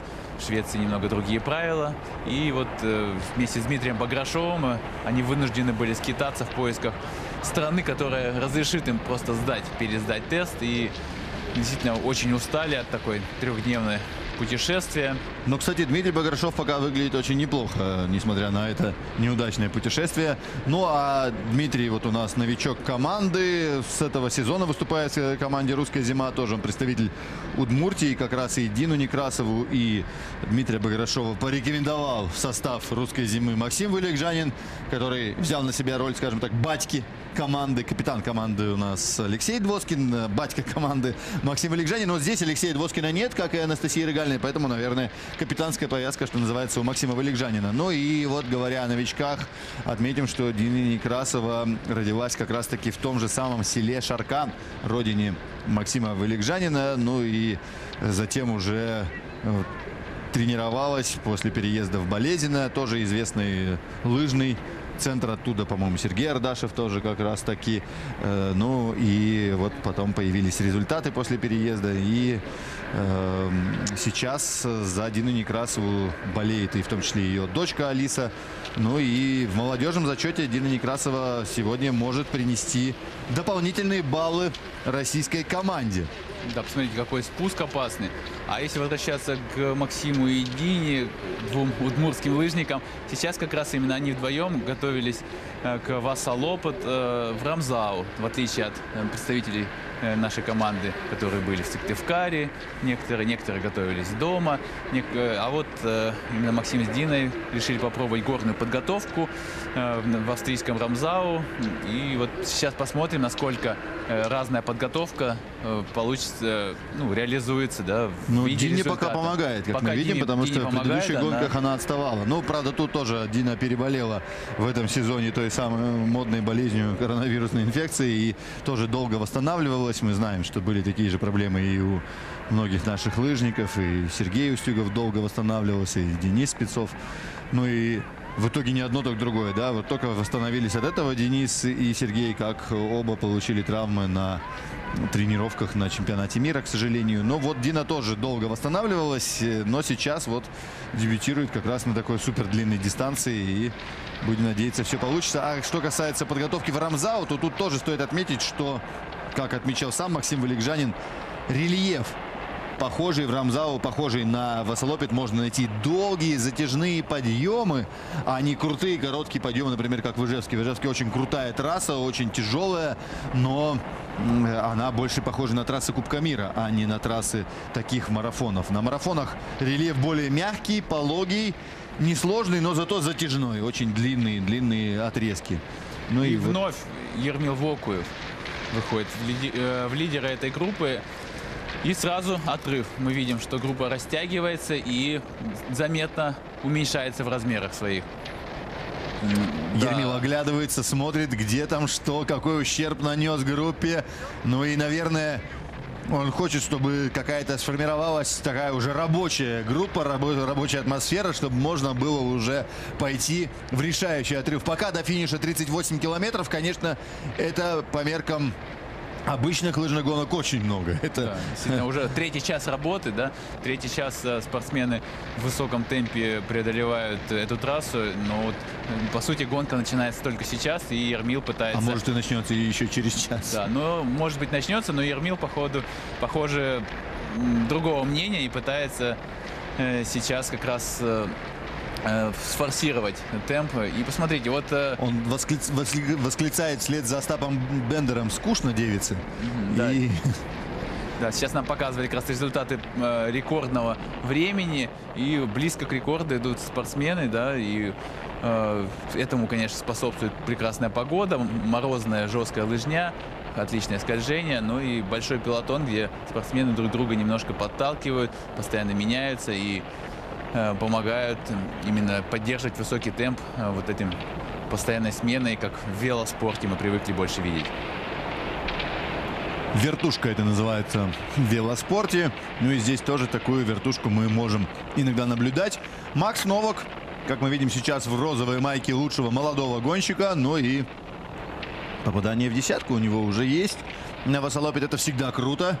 Быть в десятке сильнейших, но еще круче получить венок на голову. Вот, кстати говоря, мисс городка Мура. Каждый год вот проводится конкурс красоты. И в этом городке Мура. И вот победительница этого конкурса как раз-таки наделяется почетным, почетной обязанностью вручать этот венок на голову победителя. Но порой, когда идет финишная разборка, там это приходится делать уже после финиша. А так м, стандартное видео это когда победитель получает на последних метрах дистанции этот венок. И посмотрите, сейчас нам показали, что 20 секунд уже отрыв э, от группы э, Ермила Вокуева, лидирующей группы. И Макс Новак возглавляет как раз группу преследования. Э, Как в этом сезоне, наверное, мы уже привыкли видеть, а соперники привыкли э, страдать, когда Ермил выходит вперед, темп возрастает и группа разрывается. Сейчас всего 4 спортсмена сумело удержаться за Ермилом. Э, возможно, чуть больше, но вот э, на этот длинный спуск с опасными поворотами они э, всего четвером садятся вместе и Ермил пытается держать темп. Никто не сменяет его, но, возможно, сейчас как раз произойдет смена позиции для Ермила. Не хочет он оставлять, наверное, до, до финиша вот этой массовой разборки, массовый финиш, но Хотя сам он тоже неплохо себя проявляет в финишном ускорении. Но, обрати внимание, в этой группе вместе с ним едет и Тур Асли Ердалин, тот самый любитель очков авиаторов, обладатель тоже очень хорошего финиша. И Ердалин не отпускает Вокуева. Здесь же Антон Карлсон и Ветле Тули. Вот, судя по всему, такой состав этой первой четверки. Ну и примерно 20 секунд сейчас преимущество у этого квартета над остальной группой. Ну и в остальной группе начинают уже включаться и соперники. Так, успевают здесь покормить. Нет, или не успели, не да? успел, да, к сожалению. Андрей Тютерев не успел дотянуться до Ермила Вокуева, но, возможно, у Ермила хватает своего питания, своего изотоника, гелей, поэтому он и не пытался притормозить как-то, или либо просто, э, чтобы не сбавлять темп. И вот посмотрите, Ермил Вокуев догоняет уже Ени. Ларсон, да, которая в зеленой майке э, едет сейчас. И едет на седьмом, на седьмом месте, месте, среди да, женщин. действительно. И скоро, На восьмом. совсем скоро уже, э, через несколько минут мы увидим, как э, лидеры мужчин догоняют э, женскую лидирующую группу. И, возможно, именно Четыре минуты остается. Вот сейчас 4 минуты проигрывает Ени Ларсен, соответственно, 4 минуты э, разрыв. И зачастую именно в эти моменты группа лидеров у женщин разрывается, потому что кто-то пытается сесть за мужчинами, у кого-то хватает сил, чтобы переложиться и хотя бы 500 метров или километр э, просидеть за мужчинами. А кто-то не может, кто-то идет уже на пределе и уже безвозвратно отстает. Но насколько здесь правильно, например, вот женщинам, той же Марит Бьорген, пытаться сесть в этот пилотон из четырех гонщиков или лучше дождаться основной большой группы мужчин? Но, скорее всего, это будет основной большой пилотон у мужчин, потому что там, скорее всего, скорость типа ниже, и именно вот эта аэродинамическая труба от большой группы намного выше, и у Марит э, или у другой лыжницы есть больше шансов хотя бы сколько-то продержаться в этой большой группе. Поэтому совсем скоро мы увидим, э, как будет на этот раз, но будет, обещаю, интересно, и этот момент стоит э, как раз э, внимательно и пристально смотреть. Ну и сейчас пока еще есть несколько, наверное, минут, даже больше, потому что 4 минуты разница. А Ени Ларсен все-таки десятая сейчас. Есть там еще Брита Йоханссон Норгрен на восьмой позиции. Э, вместе с ней еще и Лин Сёмскар, ну и Анникин Ерде Аунес застряла на девятом месте. Совсем скоро вот как раз-таки Анникин Ерде Аунес и будет обгонять Ермил Вокуев, который, безусловно, очень хорош.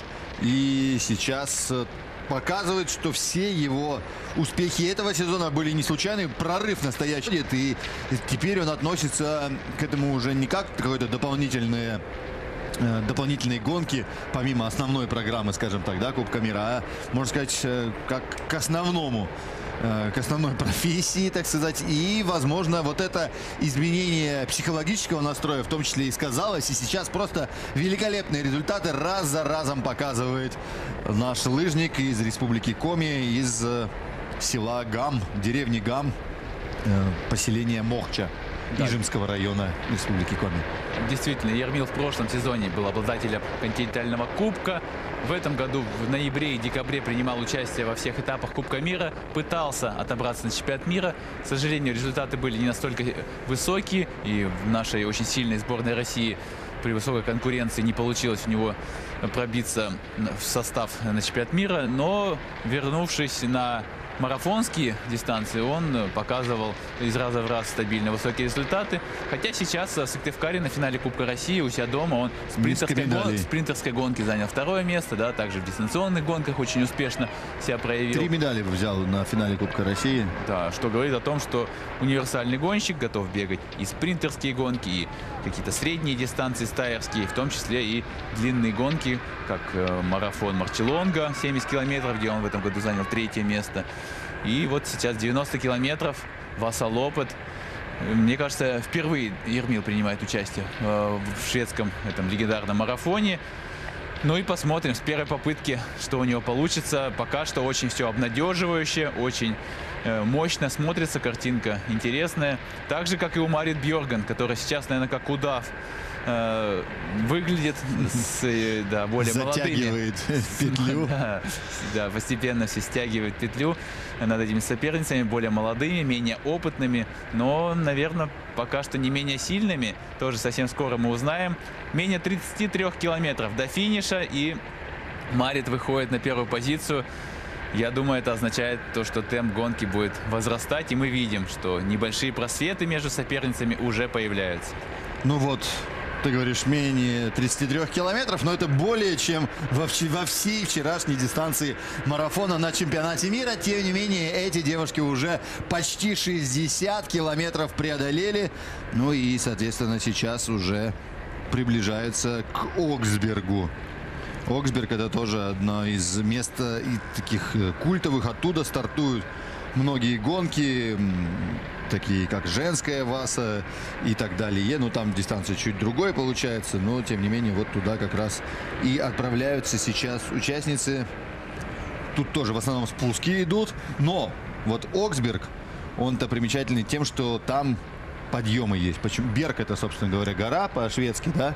Ну и вот в Оксберге будут такие неприятные подъемы, которые не так-то просто преодолеть как раз вот этим самым даблполингом без использования мази держания. И там и могут случиться какие-то тоже серьезные отрывы у женщин. Да, действительно. Но вот э, Марит Берген пытается уже сейчас сделать отрывы, хотя группа немножко опять уплотняется. Ну вот начинаются а... подъемы как раз в Коксбергу, получается. Да-да-да.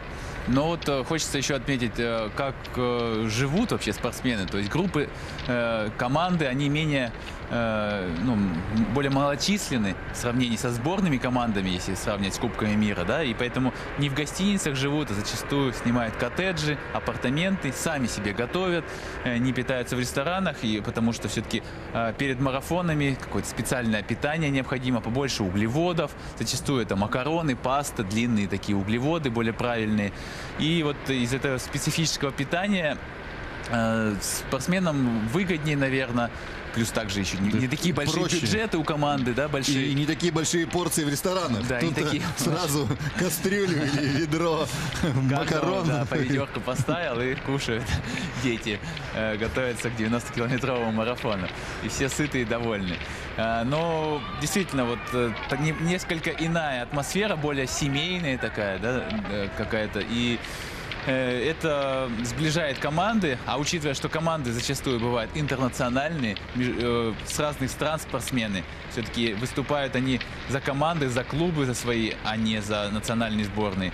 И вот это все немножко иной характер, атмосфера совсем другая, э, плюс зрителей ну, не так много зачастую бывает по ходу трассы. И вот очень такая расслабленная, приятная атмосфера именно на этих марафонских сериях, поэтому многие лыжники с Кубков мира приезжают сюда, особенно по завершению своей карьеры на Кубках мира, и получают удовольствие и пытаются продемонстрировать свой опыт, накопленный годами. И вот как мы видим сейчас на примере Марит Бьоркен. Она получает удовольствие, но боюсь, что ее здесь подругам по этому отрыву это уже не удовольствие, а испытание. Сейчас настоящей мучительницей становится Марит Бьорген для своих соперниц. Оглядывается, она смотрит, и только лишь Лин Коржгрен остается у нее на пятках на этом подъеме очень непростом Лундбексбекен.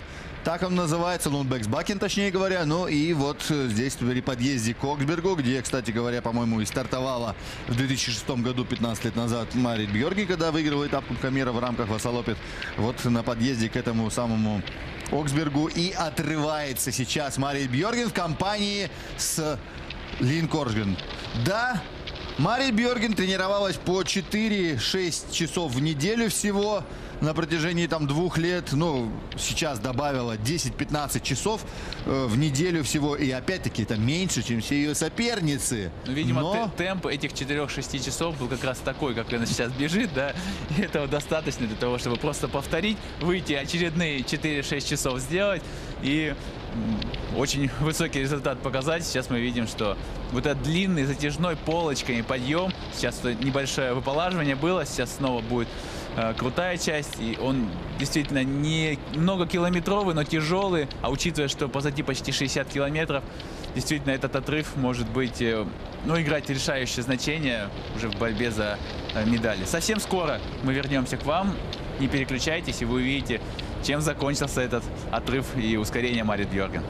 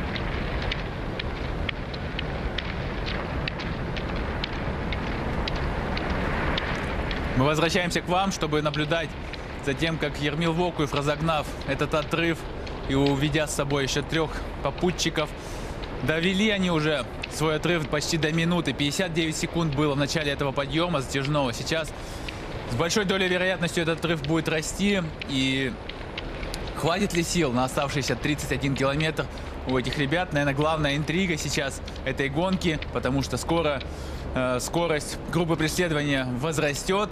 Э, лидеры поймут, что отрыв уже опасен и начнут пытаться наверстывать. И вот тут самый главный вопрос. Хватит ли сил? А тем не временем четверка лидеров догоняет, обгоняет уже двукратную победительницу марафонов Васа Лопет, Бриту Йоханссон Норгрен, которой, видимо, очень тяжело дается этот сезон. Посмотрим, когда они догонят лидирующую группу, в которой сейчас темп задает Марит Бьорген и пытается увести за собой Лин Корсгрейн. Оглядывается сейчас э, задающий здесь темп Ветли Тюли из команды Кофеваров. Но и вот отдают опять инициативу Ермилу Вогуеву, который продолжает наращивать темп и наращивать преимущество. Таким образом, тем более, что в группе преследователей сейчас нет Петера Эллисона. Он уже в третьей группе. И Петер Эллисон всегда с удовольствием себя вот эту ношу взваливает бремя лидера, того, кто будет догонять. Но сегодня, видимо, Эллисон пока, по крайней мере, не чувствует себя достаточно хорошо. Может быть, лыжи тоже как-то подводят или еще какие-то есть проблемы у Эллисона. Бывают, да, случаи, что, не знаю, ты говорил о том, что не доверяют ресторанной еде. Может быть, съел что-то не то в ресторане. Как вчера у Шарлотты Каллы. Да, да, да. Да, которая сошла с 30-километровой гонки на чемпионате мира и как раз жаловалась на то, что что-то не то съела, боли в животе. Но надеюсь, что э, этих э, неприятностей удалось избежать, самое главное, нашим э, ребятам, представителей команды «Русская зима». Ну и также Петер Эллисон не жалуется на живот, возможно, другие проблемы, а э, есть такая вероятность, что просто тактика какая-то, стратегия его. Придерживается ее. Пока что держится и, да, пытается беречь силы, пытается сдерживать себя и Главное, чтобы это было э, не фатальным, вот это не привело к ошибке. Ровно 30 километров до финиша. Практически это треть дистанции до финиша. Ну, две трети позади, но еще целых 30 километров. Как раз вот подбираются к Оксбергу. И все сокращается и сокращается. Разрыв между лидерами среди женщин и лидерами среди мужчин. Но вопрос еще, будет ли сегодня рекорд трассы? Хотя трасса чуть-чуть видоизменена. Тем не менее, вспоминаем, что 3 часа 38 минут рекорд среди мужчин, но и 4.08 рекорд у женщин. Да, но у женщин сейчас Марит Бьорген своими усилиями увозит за собой Лин Корсгрейн. И мы видим, точнее не видим уже преследовательниц. Это порядка, наверное, 30 секунд. Уже отрыв очень быстро вырос. Ну и Марит Бьорген оправдывает статус, наверное, фаворита. Хотя и темной лошадки, но в то же время и фаворита. И не зря она тренировалась, даже всего по 6 часов в неделю, но этого достаточно, чтобы э, на последнюю треть дистанции уходить э, лидером с, отставай... Э, с большим отрывом. Вот видите, 27 секунд от группы преследования и растет и растет отрыв. Сейчас, мне кажется, она в стиле Ермила Бокуева держит темп, давит и давит в этот подъем. И смотрите, уже, наверное, из последних сил и Лин Корсгрейн явный лидер этого сезона, держится за ней. Поэтому для Лин э, большое счастье, что Марит Бьорген вовремя не заполняла Адамс и забыла, что ей нужно тестироваться вот в пуле, это международном системы Адамс, антидопинговом пуле. А и... так бы и Марселонку тоже, а, да? Бы так бы, возможно, да. А может быть и большой старта. шлем бы забрала вот так вот сразу тот самый суперприз. Но, правда, мы помним, что отменили гонку в Норвегии, и поэтому не разыгрывается сейчас 100 тысяч евро, самый большой чек в истории лыжных гонок. Да, но вот э, Торасо Гердалин, тоже многократный победитель и общего зачета ски классик, и многих гонок под четвертым номером сейчас выходит вперед. В этом году он сменил команду. Команда под названием XPND. А, сменил команду он, потому что как раз зарплатную ведомость команды Рагдайндом заняли Тереза Йохаук и в первую очередь Марит Бьорген. Да, действительно, ее денежки уплыли из-под носа. Но тут э, очень большая конкуренция как раз в этой команде и очень сильные спортсмены. э, в том числе и победитель последних двух лет э, Андерс Ньюгард и Оскар Кардин, кстати, Да. лидировавший в этом сезоне. И, э, победитель первого марафона. Да? И, конечно же, да, и Андерс Окланд. В общем, там команда Да, и тоже. Петер Элиассон. И Петер Элиассон. В общем, команда суперзвезд. И теперь еще и в женском зачете тоже суперзвезда добавляется. В Оксберге, здесь, где стартовала 15 лет назад Марит Бьорген, она проходит и наверняка вспоминает эти места и вспоминает то, как она доминировала в Кубке мира. И вообще, это была только разминка, первые 61 километр. И сейчас, наверное, Марит Бьорген будет Стартовать. стартовать и уже включаться по-настоящему на тридцатку, на привычную дистанцию, более привычную ей. Ну, действительно, очень легко идет, очень хороший темп держит, динамично, не проваливая сильно спину. Э, Хорошая техника в 40 лет э, после большого перерыва ничуть не поменялась э, вот ее стиль, такой силовой, доминирующий, мощный и Ну, мы видели со спины фотографии Марит Бьорген, там многие мужчины бы позавидовали и не только трицепсом, но, может быть, и бицепсом, и широчайшим мышцам спины. Да, действительно, в тренажерные залы можно вешать фотографии Марит Бьорген для того, чтобы стимулировать даже мужчин к такой фигуре. А вот раз, отрыв, посмотрите, до 40 секунд уже увеличился и очень тяжело приходится Эмили Флеттон, Катерине Смутно и Ида Даль для того, чтобы приблизиться как-то и побороться за первые позиции. Видимо, своей тройкой они будут уже разбираться за э, бронзовую медаль. Э, также сейчас проходит эту отсечку Тео Мурут. Тео Крокон Мурут. В прошлом сезоне также представляла команду Рагда да, Айндам. Рагда Айндам, но вот э, в этом сезоне пришлось и ей поменять. Э, пришла э, неумолимая Марит Бьорган. Да и Терезию Хаук. И Терезию Хаук сместили, да. всех. Кстати, без женщин большую часть гонок э, первой, первой части сезона провели представители команды Рагдайном. Подумали, что хватит э, одной Марит Бьорген и Терезы Юхаук еще в концовке сезона, чтобы собрать там большое количество очков. Ну и вот в Оксберге уже и лидеры среди мужчин. И здесь Ермил Волков сейчас на небольшом просвете, но я думаю, это не так-то и важно. Но это связано с тем, что Ермил сейчас только что выпил гель на небольшом спуске э, и восполнил наверное, э, свою энергию, которая уже начинает заканчиваться. 61,5 километр, точнее 61 600 метров. И вот подсказки от тренера, от менеджера. И э, подсказывает, скорее всего, какой отрыв от сзади идущей группы. И Ермил, выпив гель, спокойно э, не торопясь, расслабился, ушел за спины соперникам и э, восполнил необходимую энергию. А вот группа преследования, которую возглавляет как раз э, Оскар Кардин, оживилась. Эмиль Персон за ним и как раз мы видим здесь и Максима Валикжанина также. Да, здесь вот интересно как раз командное взаимодействие. Если бы был Йордалин по-прежнему в команде Рагда Айндом, то мы не увидели бы Оскара Кардина на первой позиции. Но сейчас Кардин понимает, что нужно свою команду возвращать в число претендентов на самые высокие места. И именно он работает. Максим Валикжанин тоже в голове этой группы. И здесь же Андерс Александр Ньюгард. Гребенько. Да. И также Александр Гребенько, молодец, держится в группе лидеров. И Андерс Ньюгард, э, который победитель прошлого сезона, общего зачета, победитель Васалопа 2019. Э, Вот он в своем стиле сидит в хвосте э, группы. И мы видели, как вот в этой же группе преследования у мужчин затесалась Брита Йоханссон Ногрен, о чем мы и говорили, что некоторые из женщин будут пытаться э, цепляться вот за большим пилотоном лидеров мужчин и сколько могут просидеть для того, чтобы вот на этом поезде проехать, по- подтянуться к впереди идущим соперницам или оторваться от идущих позади. Совсем скоро и лидеры мужчины будут догонять женщин А сейчас мы лидеров. видим но вот графику относительно график. рекорда, да, и э, проигрывали, если 6 минут в Рисберге, э, в Эверцберге 5.03, в Оксберге 5.50. То есть действительно отрыв от рекорда трассы достаточно большой, порядка 5 минут, даже более. И у женщин рекорда трассы точно не будет. Посмотрим, насколько Ну, если только мужчины... не включится э, Марит Бьерген Да, ну, еще на тех скоростях, 5 которые минут, конечно, да, раньше. сложно будет отыграть. Достаточно большой отрыв э, от э, лучшего времени в истории Васалоппет. женщин. Скофтеруд показала этот результат. К сожалению, трагически ушедший из жизни три года назад. Кстати говоря, вместе с Марит Бьерген она выигрывала и золото Олимпийских игр, и золото чемпионатов мира. А мы видим промежуточный итог на отсечке 61 километр 600 метров, где Марит Бьорген с Лин Корсгрейн э, в отрыве 40-секундном от идущих позади Эмили Флеттен, Катерины Смутной и Дадаль. Ждем наших девушек.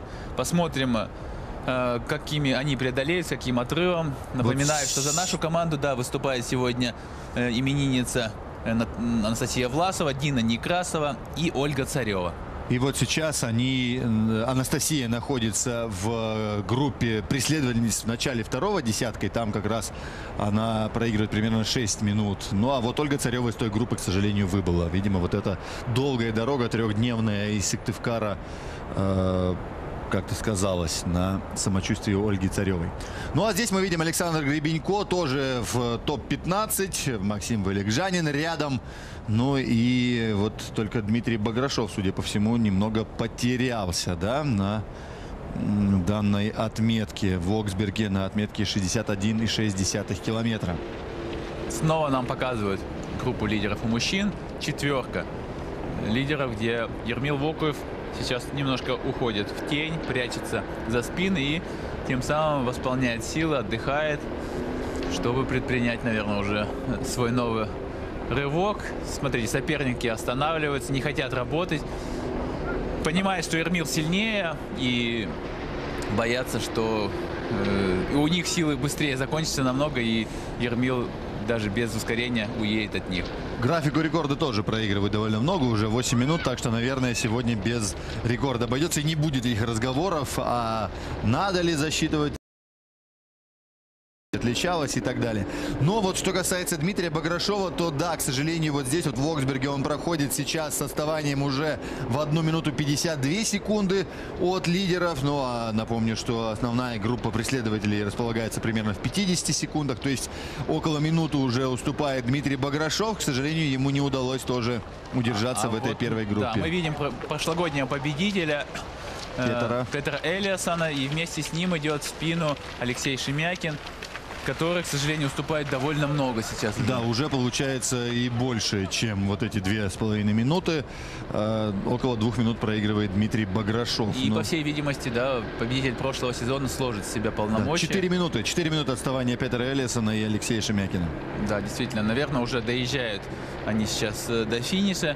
Какая-то локальная борьба будет между ними, но уже не так важна. Зачастую как раз вот на таких длинных гонках э, спортсмены, которые ну, претендуют на самые высокие места, если гонка не пошла, если они понимают, что отрыв сильно большой и они не могут бороться за десятку сильнейших, они зачастую бросают гонку и не сходят, конечно, но... А е- тут и не сойдешь, это Да, не тут гонка и- по кругам. Тут надо в любом случае доехать до финиша. Да, доехать до, до своих э, вещей, до еды, до обеда. В любом случае ехать вперед придется. Но они уже не торопятся, не выжимают из себя остатки сил, не насилуют свой организм, а потихонечку получают еще больше удовольствия, на- наслаждаются, зачастую общаются уже друг с другом и докатываются на каких-то, может быть, 70-х, 80-х позициях. Э, Тем самым готовят свой организм уже к следующему старту, на котором, возможно, смогут уже навязать борьбу за лучшие, более высокие места. А вот у Марит Бьорген сегодня все получается. Гонка пошла с первого раза в этом сезоне, и вот этот отрыв э, от преследователей растет. Единственный вопрос, сможет ли она скинуть до финиша э, лидера этого сезона Лин Корсгрен или нет.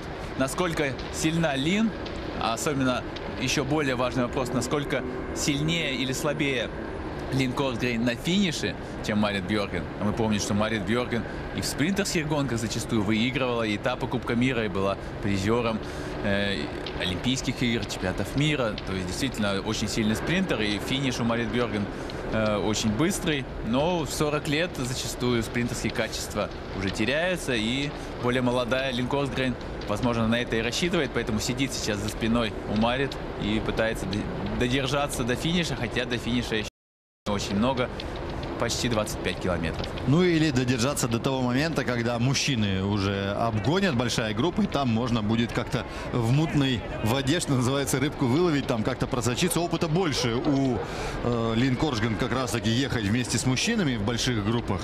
Порой там доезжали, да, и почти до конца высолопят женщины вместе, ну, первые 60 километров как-то держались на высоких скоростях. И там тоже, может быть, как-то помогут вот эти невольные помощники из мужчин. Но при этом вообще запрещена какая-то вот прямая помощь. И были случаи, когда даже были дисквалификации за то, что однокомандники мужчины как-то пытались э, активно помогать своим подругам по команде. Да, мы видели, как сейчас как раз группу преследования обгоняли мужчины, лидеры. Это вот э, места с третьего по пятое у женщин. Как раз их обгонял э, Турас Лагердалин. Но никто даже не подумал о том, чтобы стоит зацепиться. Да, действительно, там, мне кажется, даже Ермилу Вокуеву уже тяжело. Он так немножко нехотя объезжал девушек. И, и Турас Лагердалин задает высокий темп. И... Да, динамику у Ермилова как-то пропала. Он стал проваливаться так помедленнее. Возможно, уже сказываются эти почти 70 километров дистанции. В такие моменты очень важно выпить какие-то э, напитки, которые быстро доставляют углеводы к организму. Возможно, это Кока-Кола, какие-то такие вот э, с, с кофеина содержащие напитки. Существует множество гелей с кофеином, таурином, гуараной. То есть вот э, надеюсь, что Ермил как раз выпил именно такой похожий гель какой-то несколько минут назад, и сейчас именно эффект будет, и Ермил вновь оживет, откроется второе дыхание, прояснится в голове, и он будет готов к дальнейшей борьбе. Ох, как жарко. Сейчас нам тоже надо зарядиться кофеином.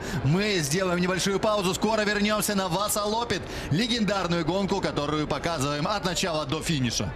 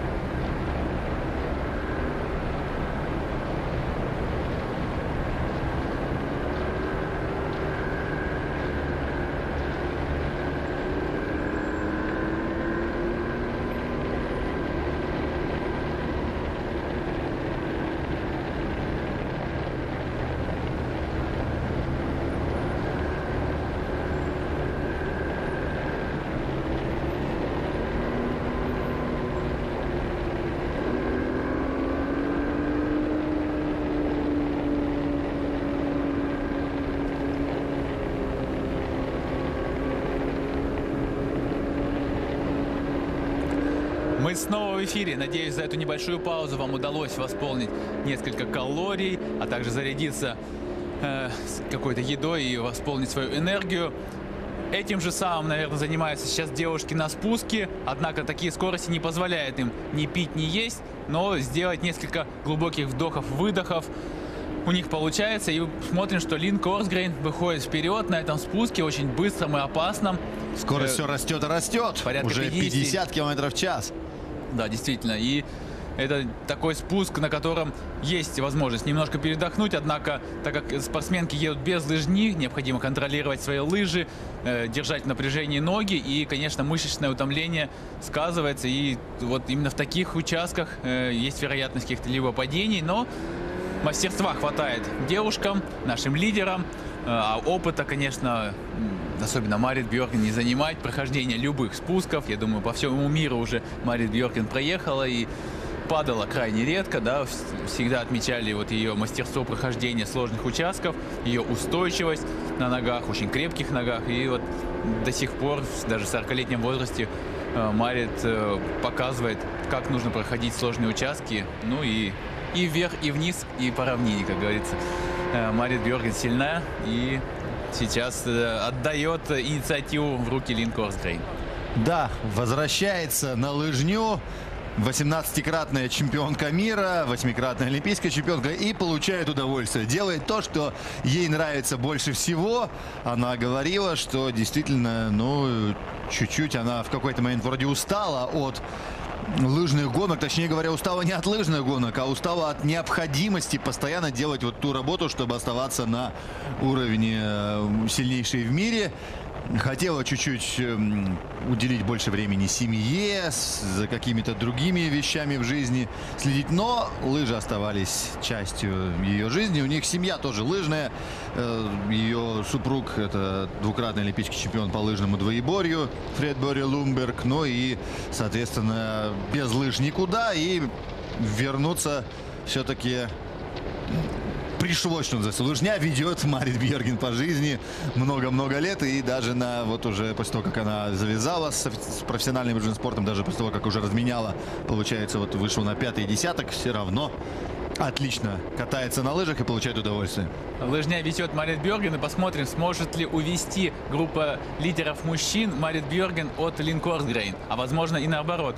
И вот как раз сейчас, совсем скоро состоится вот этот э, момент, момент когда лидеры мужчин обгонят лидеров женщин, да, и уже э, помчатся все к финишу. 21,5 километр до финиша. И будет ли какие-то попытки со стороны Марит Бьорген или Лин Корсгрен усидеть за нашим Ермилом Вокуевым, представляющим русскую команду «Русская зима». И вот мы видим, лыжи даже у мужчин чуть-чуть получше работают. Может быть, возможно, они посильнее растолкались именно на спуск. С двух сторон объезжают аккуратно, чтобы без поломок инвентаря, не дай бог, какие-то падения. Но... Корджин там оглядывалась, она-то не знает. Мы-то смотрим гонку уже два с половиной часа. Она не знала, как развивается гонка у мужчин. Ей, наверное, сообщали о разрывах у женщин. А вот она оглядывалась и опасалась, что там сейчас пилотон из, не знаю, 100 человек будет прошивать. Главное, и чтобы не там, растоптали, да. да. А оказалось, что всего 4 человека. Ну и, я думаю, тоже поняв это, девушки, по-моему, не стали даже, да, ускоряться? Или нет? Да, нет, пытается, пытается, пытается, да. Немножечко э, получили вот такой просвет, да, э, расстояние некоторое, но потом сделали ускорение и подобрались к мужчинам. И представляете... Фоторамки не стали заезжать. Вот это вот специальное место, где можно было фотографию получить, если ты любитель. Да, а Ермил сейчас получил питание. Вот а. менеджер команды Андрея Тютелева и уходит в хвост э, небольшой группы. Надеюсь, он не будет вставать за девушками. Ну, а смотрите, в этот же момент Торас Гердалин делает небольшой рывочек и все-таки, наверное, Ермил успевает сесть э, в спины, а вот девушек они уже скидывают и э, Дальше придется разбираться между собой, да, Марит Бьорген и Лин Корсгрен. Хотя у Марит Бьорген замечательный опыт тренировок с мужчинами в этом сезоне. В подготовительном сезоне мы видели в социальных сетях много моментов, когда как раз... Ох, падение, посмотрите. Макс Новак падает. А снова Макс Новак, как и на Марчелонге, на гонке. И вот. опять лыжи у него, да, слетает, и все плохо. Расстраивается, психует, можно сказать, Макс Новак. Получает, Проблема с креплением, него, да. да, судя по всему. Получится ли одеть крепление? Вот сейчас он пробует. Если крепление не сломалось, если вот эти пазы не отломались, то, возможно, получится э, вновь одеть, э, не без применения каких-либо дополнительных э, средств. Но вот, да, походы, похоже, получилось. Но... Но очень много времени упущено, конечно. Нет, ничего не получилось, ничего не и получилось. он просто со злости сейчас пяткой бьет по этому креплению, и теперь уже окончательно его доломал. Вот так вот. Вот такая гонка, и на утомлении возможно ли всякие падения, и Неизвестно, кто прав, кто виноват, но пострадал, конечно, Макс Новак очень сильно и лишил себя шансов э, не только на высокопризовое место, но и вообще на хороший исход гонки, да, так как э, Макс Новак является шведским лыжником у себя дома, он мечтает выступать очень хорошо, здорово. Э, и в Чехии, кстати говоря, он тоже мечтал хорошо выступать, потому что его семья родом из Чехии, его родители. Да, Но Новак, вот... чешская фамилия. Но вот если про Макса Новака небольшую историю рассказать, как в начале сезона на отборочных стартах в Швеции э, он выиграл первый отборочный старт классическим стилем, 15 километров, но Использовал там как раз даблполинг, единственный из всех спортсменов, и сумел выиграть. Э, вроде бы отличная, отличная новость и для самого Макса, но через несколько дней оказалось, что Макс Новак э, поставил э, букмекерской конторе ставку не на себя причем, а на занявшего второе место э, Поромя, который является бойфрендом Фриды Карлсон. Но тот занял второе место. Ставка Макс Новака не сыграла, однако профессиональным спортсменам запрещено участвовать в различных вот этих э, ставках э, на спорт, особенно в видах спорта, где они сами принимают участие. И вот Шведская Федерация наказала, лишила его участия, возможности участия на один месяц э, во всех лыжных соревнованиях под эгидой Шведской Федерации и Международной Федерации лыжных гонок, показав тем самым вот пример, что соблюдать правила нужно неукоснительно и даже не только антидопинговые нарушения караются, но и вот такие юридические какие-то моменты тоже нужно соблюдать. Но смешно, да? Все-таки Новак мог бы поставить, если бы какой-то был у него умысел, да, мог бы поставить как раз против себя и специально проехать помедленнее. Но нет, он поставил... Да. Вернее, он поставил против себя, а проехал быстро. Да, и выиграл есть гонку, да. Ну вот, да, сам себя лишил и выигрыша э, да, на своей ставке. Еще и рассказал об этом. Еще и рассказал об этом, еще и понес наказание месячное без э, различных стартов. Ну, сегодня также судьба сыграла злую шутку с ним, сломалось крепление, он выбывает из борьбы. Надеюсь, сможет найти дополнительную лыжу и доехать до финиша. Но мы возвращаемся к борьбе за первое место, за лидерство у женщин. 20 километров до финиша. Марит Бьоргенс вновь выходит вперед и вновь задает высокий темп, но Лин Корсгрейн все-таки не робкого десятка, очень цепкая девушка и держит этот темп. Э, Они все дальше и дальше уезжают от преследователей. Наверное, там уже более минуты отрыв. Да, 1 минута 16 секунд сейчас, согласно данным датчиков GPS от э, Иды Дали. Причем Ида там, судя по всему, еще и отъехала чуть-чуть от Эмили Флеттон и Катержины Смутной на 10 секунд. Возможно, что какие-то тоже уже начинаются трудности у Смутной, у Флеттон. Это уже 70-й километр дистанции. Здесь уже действительно усталость накопилась, уже мышцы не такие свежие, их начинает порой подергивать. э, судорог. И тут важно тоже вовремя добавлять различные пищевые добавки, в том числе и соли и так далее. Многие едут, кстати, с солевыми таблетками, ну или с какими-то подобными веществами, что называется. Ну да, из-за повышенного потоотделения очень много микроэлементов вы- вымывается из организма, в том числе из мышц. И вот э, различные э, магниевые или солевые таблетки очень помогают как раз вот, э, восполнять недостающие микроэлементы в организме и не давать, э, чтобы спазмы в мышцах не появлялись. Тем временем уже в местечке Хёкберг появляется опять слово «берг» мы видим, и это значит, что здесь тоже будет подъем. Он, конечно, небольшой, не такой крутой, например, как на этапах Кубка мира или на чемпионате мира, но все равно здесь за 19 километров до финиша рельеф идет вверх, и опять-таки, говоря о том, что мышцы уже не такие свежие, и эти небольшие пологие подъемы уже начинают ощущаться как какой-то Альпа де Чермиз. Да, мы видим табличку спринт 100 метров, но этот спринт не несет каких-то дополнительных бонусов в виде очков э, в спринтерский зачет, но несет какую-то финансовую выгоду, э, хотя и небольшую, от организатора соревнований. Ну и на первой позиции здесь сейчас на этом подъемчике, в этом спринтерском ускорении показывается Антон Карусон. Ну и он вот, эти вот эту сумму и получит Да, таким образом. Ну, девушки не совсем далеко отстали, однако все равно им придется уже идти своим темпом. Но совсем скоро, возможно, их догонит уже э, Большая более, группа. да, более массовая группа спортсменов, группа преследований. И вот там есть у них шанс усидеть подольше, затесаться э, в тесные ряды э, мужских э, лыжников мужчин и э, что-то изменить вот именно в своей очном, своем очном противостоянии между Лин Корсгрейн и Марит Бьоркен. Посмотрим, как здесь в Хокберге будут идти и российские девушки. Сейчас лучшая из россиянок сегодняшняя именинница Анастасия Власова. Она в начале второго десятка на 14 позиции держится. Дина Некрасова 17 но она уже, как и Ольга Царева, потеряла контакт э, с группой, где сейчас бежит Анастасия Власова. Отставания уже большие. Дин- Дина Некрасова проигрывает более 7 минут, ну а Ольга Царева уже еще больше уступает. И хочется обратить внимание, на пятой позиции сейчас идет немецкий лыжник Томас Бинг. Э, Постоянный представитель сборной Германии на этапах Кубка мира, на чемпионате мира. В этом году он не принимал участие у себя дома в Аберсдорфе. э, на чемпионате мира, но вот э, решил попробовать себя в марафонской серии и довольно неплохо, пока на пятой позиции держится и легко идет. Перепрыгнул через финишную черту вот этого промежуточного финиша, в этой отсечке. Посмотрим, что будет на финише. Я думаю, это, возможно, даже дебют в этой серии марафонской у Томаса Бинга. Очень сильный немецкий лыжник. Вот повторюсь, что многие с Кубков мира, элитные лыжники Э, готовы принимать участие в вот этих марафонских сериях и тем самым продлевая свое пребывание на международной арене на самых высоких уровнях. Одну минуту сейчас проигрывают лидерам преследователи у мужчин.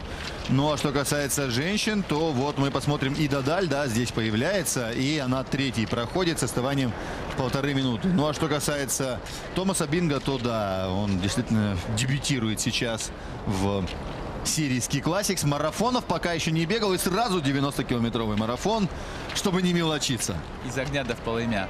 А, ну вот, а, да, смотрите, Идадаль уезжает на почти 20 секунд от Эмили Флеттон и Катерины Смутно, и это преимущество растет и становится более комфортным, однако 20-секундное э, преимущество можно также быстро и растерять, особенно на таком утомлении, когда уже восьмой десяток километрах э, проходят спортсмены.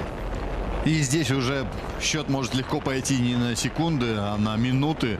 И порой вот на этих последних 10 километрах, если, что называется, приуныл, то тогда можно на этой грусти очень-очень серьезно отстать. И подъемчики, вот эти небольшие подъемы начинают очень тяжело даваться, как сейчас тяжело не даются Тео Кроконмурут из команды Кафе Брюгерит, команды Кофеваров. Э, да, отставание становится уже заметным. Надеюсь, э, эти подъемчики даются по-прежнему легко нашему лидеру и единственному представителю команды «Русская зима» в группе лидеров э, Ермилу Вокуеву. Но вот сейчас все больше и больше он позади, за спинами соперников. Ну, может быть, как раз копит силы для финишного О, решающего рывка. Очень хочется в это верить. Торас Лагердалин э, лидировал какой-то э, промежуток, сейчас отходит в сторону и пытается подгонять какими-то словами. Давайте, ребята, работать, чтобы нас не догнали. Но ему надо было выучить язык коми, которым отлично владеет Ермил Воков, чтобы Ермилу как-то подсказывать, при этом еще и подсказывать что-то или говорить с ним, подсказывать так, чтобы еще не понимали, в том числе и участники команды «Русская зима», ну, по крайней мере, большинство. Но это все, конечно, шутки. И, тем не менее, вот сейчас третью позицию Ермил легко отдает как раз Турасле Ердалину. Э, то есть вот все время норовит четвертым, последним сидеть в этой группе Ермил. Что это, пока не ясно. Будем надеяться, что с силами все в порядке у Ермила. И он будет оставаться в этой группе и будет бороться уже в четвертый раз в этом сезоне за медали. Ермил Воков выигрывал Тоблах Картина, был призером Марчелонги и Езерский 50 но вот последние гонки, три гонки подряд, он все время в призах. Нужно продолжить эту серию и сегодня. Ох, как хочется, чтобы Ермил сегодня э, замечательно выступил. Но вот мне кажется, вассал-опыт начинается именно сейчас. Менее 20 километров до финиша, все уставшие, вымотанные. Лыжи также уже набрали и грязи, и воды, и начинает работать хуже. Солнышко беспощадно топит лыжню.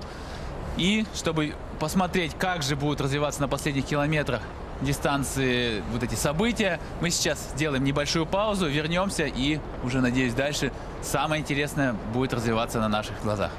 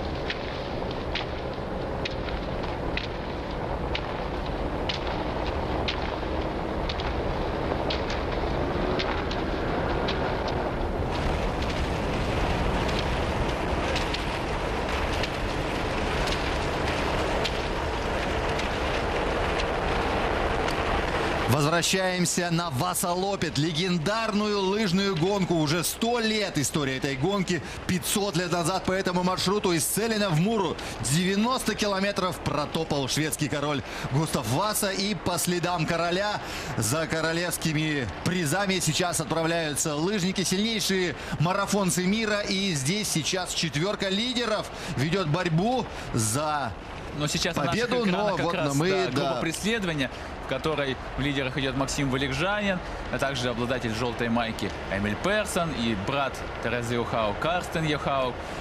Но отрыв очень большой, около одной минуты. Вот немецкий лыжник Томас Бинг, про которого мы до рекламы э, разговаривали.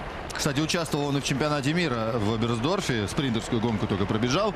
Ну, Там, правда, как-то не э, ус- снискал успехов. В 49-м был в квалификации, соответственно, в финал не вышел. Но сегодня он предпочел как раз марафон чемпионата мира, марафону в Швеции, Васалопет. И посмотрим, насколько это э, выбор был э, правильно сделан. Пока что складывается у него довольно неплохо дела. Э, претендует он э, борьбу за пятое место, хотя вот этот минутный отрыв э, возможно и отыграть, потому что 20 километров большое расстояние, а учитывая сколько уже позади за спинами у спортсменов, то велика вероятность, что кто-то из впереди идущих все-таки не сдюжит, силы закончатся и резко покинут и просто остановится. Но вот у Макса Новака не силы подвели, а подвел инвентарь во время падения, получается, да, ну просто сломалось у него в итоге крепление, вылетело и так далее.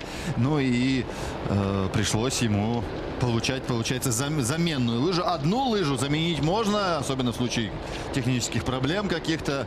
Э, Кстати говоря, даже вот после поломки лыжи, получается, да, в 2002 году Вторым финишировал, по-моему, норвежец э, Фруда Эстил, несмотря на неудачное начало гонки. Так что такое бывает. Это может даже помочь. На адреналине можно даже потом и догнать кого-то, несмотря на проблемы с инвентарем.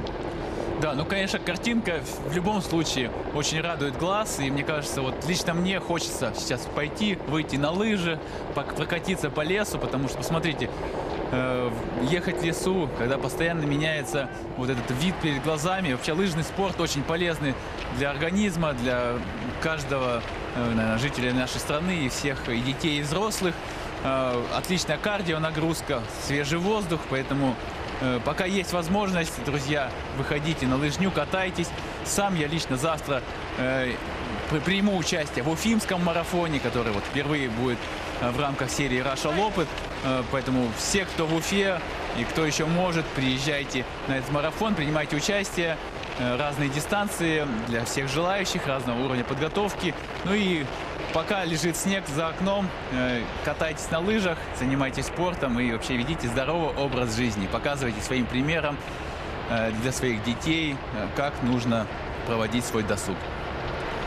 Ну и сейчас показывает своим примером, как ну, можно проводить воскресенье Александр Гребенько из Мурманской области. Он сейчас в этой группе, вот в комбинезонах цвета гжель. Это комбинезоны команды «Русская зима», которая потрясающе представляет Россию в этой профессиональной марафонской серии. Сейчас на третьем месте в общем зачете команда «Русская зима». Ну и уже есть немало призовых мест, вот, э, который завоевал вот этот парень в клетчатой майке, э, в синем комбинезоне. Это Ермил Вокоев из Республики Коми, который начинал заниматься в том же регионе, что и Раиса Сметанина в селе Мохча. Тренировал его там Алексей Ануфриев. Ну и вот Раиса Сметанина, олимпийская чемпионка многократная, тоже всегда болеет за Ермила. В этом сезоне у Ермила есть победы и два призовых места. На тех же гонках отмечался, кстати говоря, призовыми местами и Тур Асли Ердалин, норвежец, у которого два серебра в этом году. Ну и, конечно, обладатель вот этих э, э, очков авиаторов, он сейчас за кадром, вот как раз перед нами, а, он мечтает тоже о победе, но Ермил может ему помешать. В общем, это противостояние должно стать украшением финала этой гонки, хотя еще впереди 13 километров. По меркам возлобит чуть-чуть, но по меркам обычной гонки это вполне себе самостоятельная полноценная гонка. Биатлонисты вообще меньше бегают обычно. Да, но самое главное, сколько уже позади и в каком состоянии на эти последние 13 километров подъезжают спортсмены. У кого-то еще есть силы, а у кого-то они практически на исходе. Вы посмотрите, вот все-таки девушки в эту группу преследования мужчин влились э, довольно плотно и тесно. И вот Лин Корсгрейн Марит Бьорген сейчас за спинами у мужчин за третьим номером Торлейфов Сурстадом, э, прошлогодним бронзовым призером Васалопет. И сейчас будут максимально долго ехать за ними, держаться, возможно, до самого финиша, хотя это будет сделать сложно, потому что группа все равно состоит из довольно сильных лыжников, в которой есть несколько представителей нашей команды.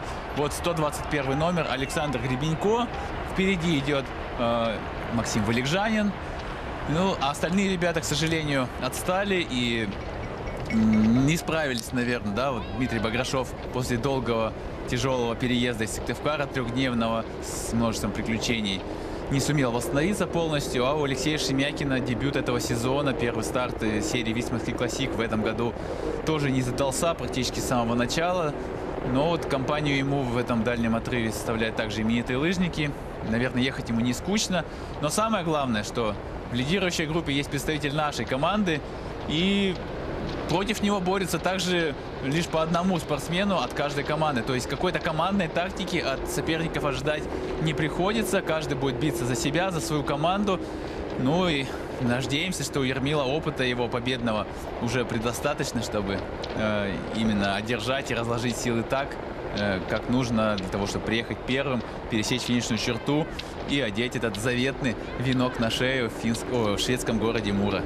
И, кстати говоря, еще и можно будет желтую майку лидера тогда примерить, потому что мы видим, что Эмил Персон там потерялся, как, собственно говоря, мы и предполагали. Ну, потому что он до этого в прошлом году не слишком здорово выступал. Сейчас Эмил Персон э, все-таки вот отстает уже на больше, чем минуту. Ну, как потерял? Он, конечно, может там пятым финишировать, у него хорошее финишное ускорение, но э, отставание увеличивается, и в любом случае большой суммы баллов Эмил Персон сегодня не получит. Но, опять же, самому Ермилу надо здесь тоже максимум собрать, чтобы претендовать на эту первую позицию. Да, а сейчас мы видим не так-то просто. Включается, включается Ердален, и у него появляется небольшой отрыв. Просвет есть. Да, только Антон Карлсон сумел уцепиться, а Ермил дает небольшой просвет, который потихонечку растет. Посмотрим, насколько это будет фатально.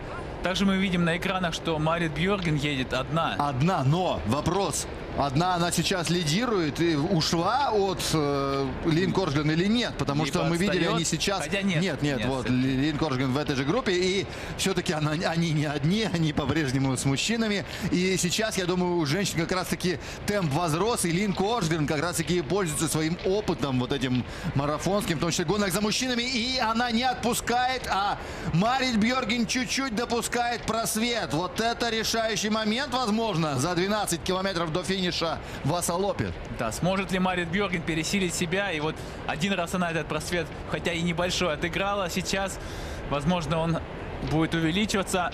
И даже идущий сзади нее э, телелыжник, или как его назвать, наверное, пытается как-то подбодрить. Однако вот этот просвет буквально 3-5 метров, он не дает ей преимущество вот сзади идущего лыжника, то есть воздушного мешка, кармана она не получает. И ей, конечно, необходимо сейчас как можно быстрее отыграть вот это э, расстояние, но как, знаю на своем опыте, это очень тяжело, когда силы на исходе. Легко сказать, Легко сложно сказать, сделать. Да, почти э, идешь на грани, на пределе, а Линк Орсгрен понимает, чувствует, что дыхание утихает и стук палок все дальше и дальше. Ей нужно держаться за, как раз за нашим Александр Гребенько, представитель Мурманской области, который сейчас идет э, в группе преследования, в первой группе преследования мужчин. И вот Линк Орсгрен Действительно, смотрите, увеличивает расстояние от Марит Бьорген. Да, сразу же резко. Ну, тут потеряла, что называется, контакт, да, с этой группой, а Лин держится в этой группе мужчин. Мужчины догнали уже на 20 минут женщин, соответственно, вот они 3 часа ровно находятся на дистанции. Женщины уже 3 часа 20 минут. Но и Сейчас кризис небольшой начинается у Марит Бьорген. Триумфального возвращения мы, наверное, все ждали. Но вот сейчас все-таки тренировки по 4-6 часов в неделю, ну или там 10-15, как было последние там полгода, этого может быть недостаточно, чтобы претендовать на победу. Но на серебро в любом случае шансы очень высокие, потому что отрыв более двух минут от Иды Даль. Но, к нашему счастью, все-таки Ермил Вогуев, мне кажется, сокращает отрыв. И смотрите, он один подъезжает, да. Без, без Ветля Тули, да, который, кажется, уже отстает, силы закончились. Ермилу также тяжело, некий кризис, который он, надеюсь, преодолел. Сейчас сделаем небольшую паузу, выдохнем. Надеюсь, что этот кризис уже не вернется к Ермилу, поэтому не переключайтесь. Совсем скоро будем с вами.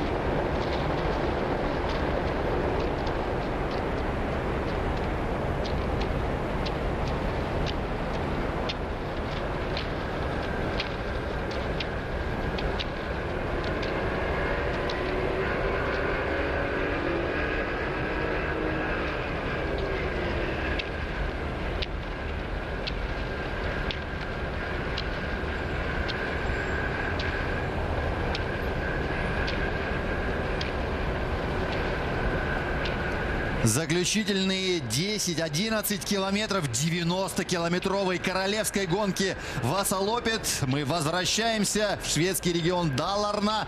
Из Целина в Муру 90 километров преодолевают лыжники и лыжницы, что тоже важно. Женщин сюда долго даже не пускали. И вот сейчас мы видим на наших экранах Лин Коржгрен, которая пытается не отпустить пилотон мужчин и уходит. За счет этого уходит от Марит Бьорген, знаменитой, великой и ужасной Марит Бьорген, 18-кратной чемпионки мира, 8-кратной олимпийской чемпионки. Да, 5 секунд сейчас разрыв, но, похоже, он продолжает увеличиваться. Да, отрыв небольшой, если бы Лин Коргрен сейчас потеряла контакт с, с мужчинами, то, скорее всего, Марит Бьорген отыграла его. Но Лин Коргрен зубами просто цепляется, как будто на жесткой сцепке идет с этим пилотоном и понимает, что это ее спасительный круг. Это единственный шанс, который э, может дать ей э, вот, возможность победить в третий раз.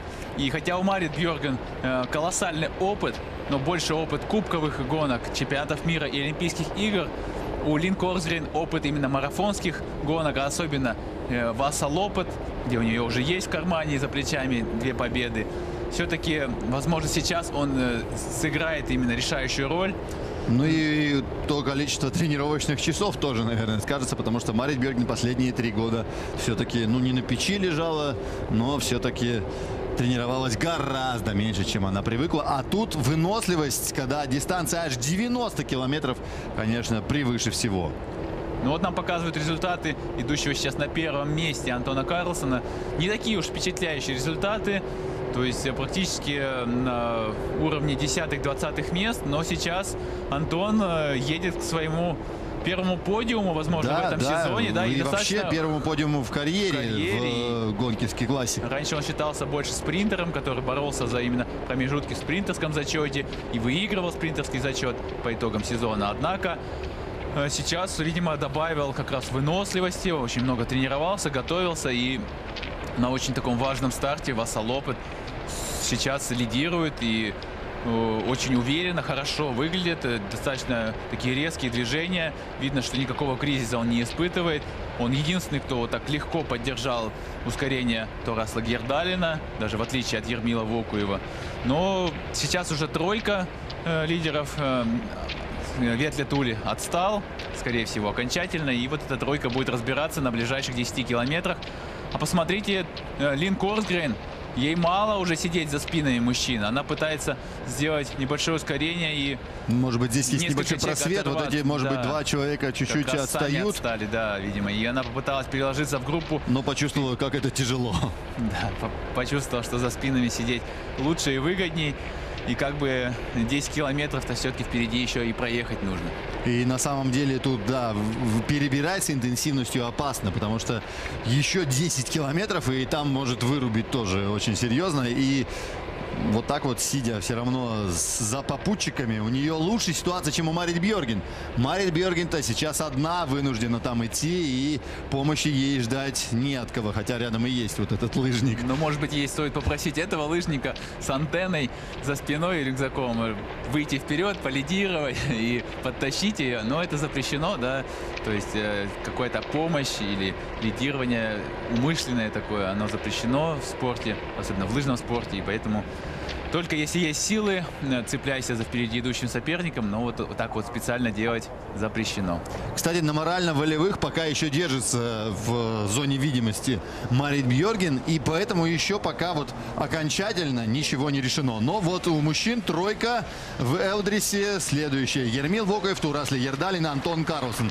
Кстати говоря, о Карлсоне стоит отметить, что шведы, которые не отдавали норвежцам побед на протяжении первых вот 85 практически лет, не побеждали у себя дома на этой легендарной гонке, которой каждый уважающий себя швед считает э, обязанным принять участие. Так вот, э, шведы не выигрывали, получается, уже 8, даже 9 лет. В 2012 году, тогда, когда как раз был установлен рекорд, Йорген Бринг, преодолев эту дистанцию за 3.38, стал последним на данный момент шведским победителем. Он три раза подряд побеждал, ну и вот затем норвежцам отдали инициативу шведы. И, конечно же, любой швед, который, наконец, прервет эту гегемонию норвежцев, станет национальным героем. И вот этот шанс сегодня есть у Антона Карлсона. Но, возможно, эту норвежскую гегемонию прервет не швед, а русский, россиянина, да, Ермил Вокуев. Посмотрим. э, В этой тройке как раз есть один и норвежец, Торасла Гердалин, которого нет за плечами побед на вот этом шведском легендарном марафоне Васалопет. Посмотрим. Группа преследования, большая группа, м, уже менее, э, конечно, многочисленная, чем до этого. Но в ней идет Максим Валикжанин, и отстают они на минуту 0,8, то есть расстояние они не могут сократить. Если раньше было 59 секунд, затем не- немного более минуты, сейчас минута 0,8, и действительно, наверное, все идет к тому, что тройка, э, эта тройка будет э, биться за победу. Но вот активнее всего, всех ведет здесь себя Торас Гердалин, который постоянно делает сильные рывки. А мы видим, что Александр Гребеньков все-таки тоже теряет контакт вот с той группой большой преследователей. И сейчас он возглавляет эту группу преследования, но из которой, в которой практически там рядом и женщины тоже, да, но все-таки мы видели, что и женщины тоже отвалились, скорости возросли. И вот сейчас только вот в окружении этих двух мужчин, это, наверное, Габриэль Хёлюнг из команды Энчкон, а также еще кто-то, Лин Коржган, проходит. Она поняла, что здесь ей лучше пока тянуться вместе с ними, а не пытаться в первой группе усидеть. И вот 12 секунд разделяет Коржган и Бьорген. Еще не все потеряно для Бьорген. Мне кажется, шансы еще есть. Всего 12 секунд. Это действительно очень шаткое преимущество. И еще почти 9 километров впереди, поэтому вся борьба у женщин впереди, так же, как и у мужчин. Посмотрите, очередной рывок от Торасла Гердалина, который очень тяжело дается Ермилу Вокуеву и Антону Карлсону. И посмотрите, отъезжает, отъезжает уже порядка 10-15 метров. Антон Карлсон позади, еще за ним столько же Ермил Вокуев. Ермила очередной кризис. Посмотрим, сумеет ли он преодолеть его. Здесь практически уже не остается длинных спусков, на которых можно восстановить силы. Затяжная равнина, которой только работать, работать и работать. Когда сил немного, хочется, конечно, передохнуть. Но эта равнина идет все-таки чуть-чуть вниз под уклон, поэтому тут можно еще воспрять духом, но главное, чтобы и лыжи работали. Да, ну вот смотрите, опять небольшой бугорочек, и насколько часто и активно толкается в него Турас Лагердалин, и немножечко подзатягивает Ермил Вокуев, и даже на таком небольшом там, 50-метровом подъемчике Ермил, мне кажется, еще одну-две секундочки отстает. Будет видно совсем скоро, но вот есть пару, не знаю, секунд, э, десятков секунд передохнуть. Э, Крутой такой спуск э, с выкатом, и дальше будет уже практически равнина, без спусков. Будет сложнее и сложнее все. И сейчас у Ердалина есть небольшое преимущество, но Ермил Вокуев по-прежнему сражается за медаль. Он уже три раза подряд поднимался на подиум. Стартовский классик в этом сезоне. Уже есть победа на Тоблах Картина, призовые места на Марчелонге и на Езерской 50 И, конечно же, сейчас нужна поддержка. За Ермила сейчас, кстати говоря, безусловно, переживает его семья и супруга Ольга Репницына, известная лыжница, и дочь Аглая. Ну и, конечно же, олимпийская чемпионка, четырехкратная олимпийская чемпионка Раиса Сметанина, землячка Ермила. Вот э, вы, выглядит сейчас как основная группа, 20 человек. Александр Гребенько вторую группу преследования возглавляет, но это уже 14 позиция. Ну и Максим Валикжанин получается в первой группе. Ну посмотрите, даже снегоход уже не справляется, съезжает на обочину, застревает. Погас там да, свет. потому что чуть не сбил снегоход э, э, этот от скорости улетел в сторону от скорости Турасла Гердальна. Высокая скорость и он э, так уверенно уходит. Мне кажется, на каком-то кураже сейчас, на эмоциях он, потому что остается менее 7 километров, 6 километров с половиной. И он э, наращивает свое преимущество. Самое главное, что Ермил Вокуев не может даже приблизиться к Антону Карлсону, чтобы, может быть, вдвоем поработать, вдвоем сменами и подъехать к Гердалину, но нет. Едут каждый поодиночке, каждый борется сам с собой в первую очередь, ну и с соперниками. Сил уже практически нет и уже в любом случае на морально-волевых э, вот последние 5-6 километров э, довольно легкие по рельефу, но после 85 километров, 84, конечно, никакой легкости уже нет и в помине.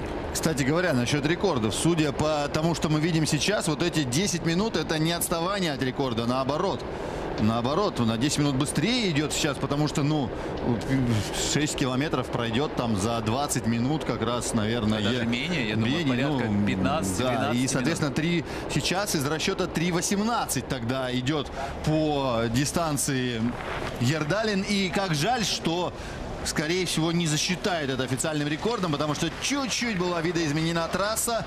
Ну и, соответственно, и не получит он свой суперприз автомобиль.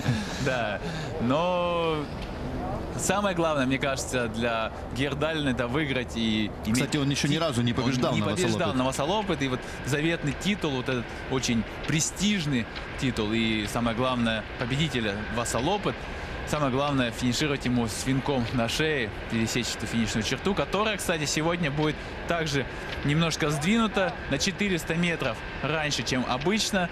Э, из-за отсутствия снега, а также из-за того, что невозможно э, участие вот 15-тысячной э, всей аудитории желающих на марафоне. Э, организаторы приняли решение не засыпать центральную улицу города Мура снегом, по которой обычно проводился финиш. И финиш перенесли ближе к стадиону города, ближе к лесу, где уже более натуральный снег лежит. И э, именно вот финишная прямая намного укороченная.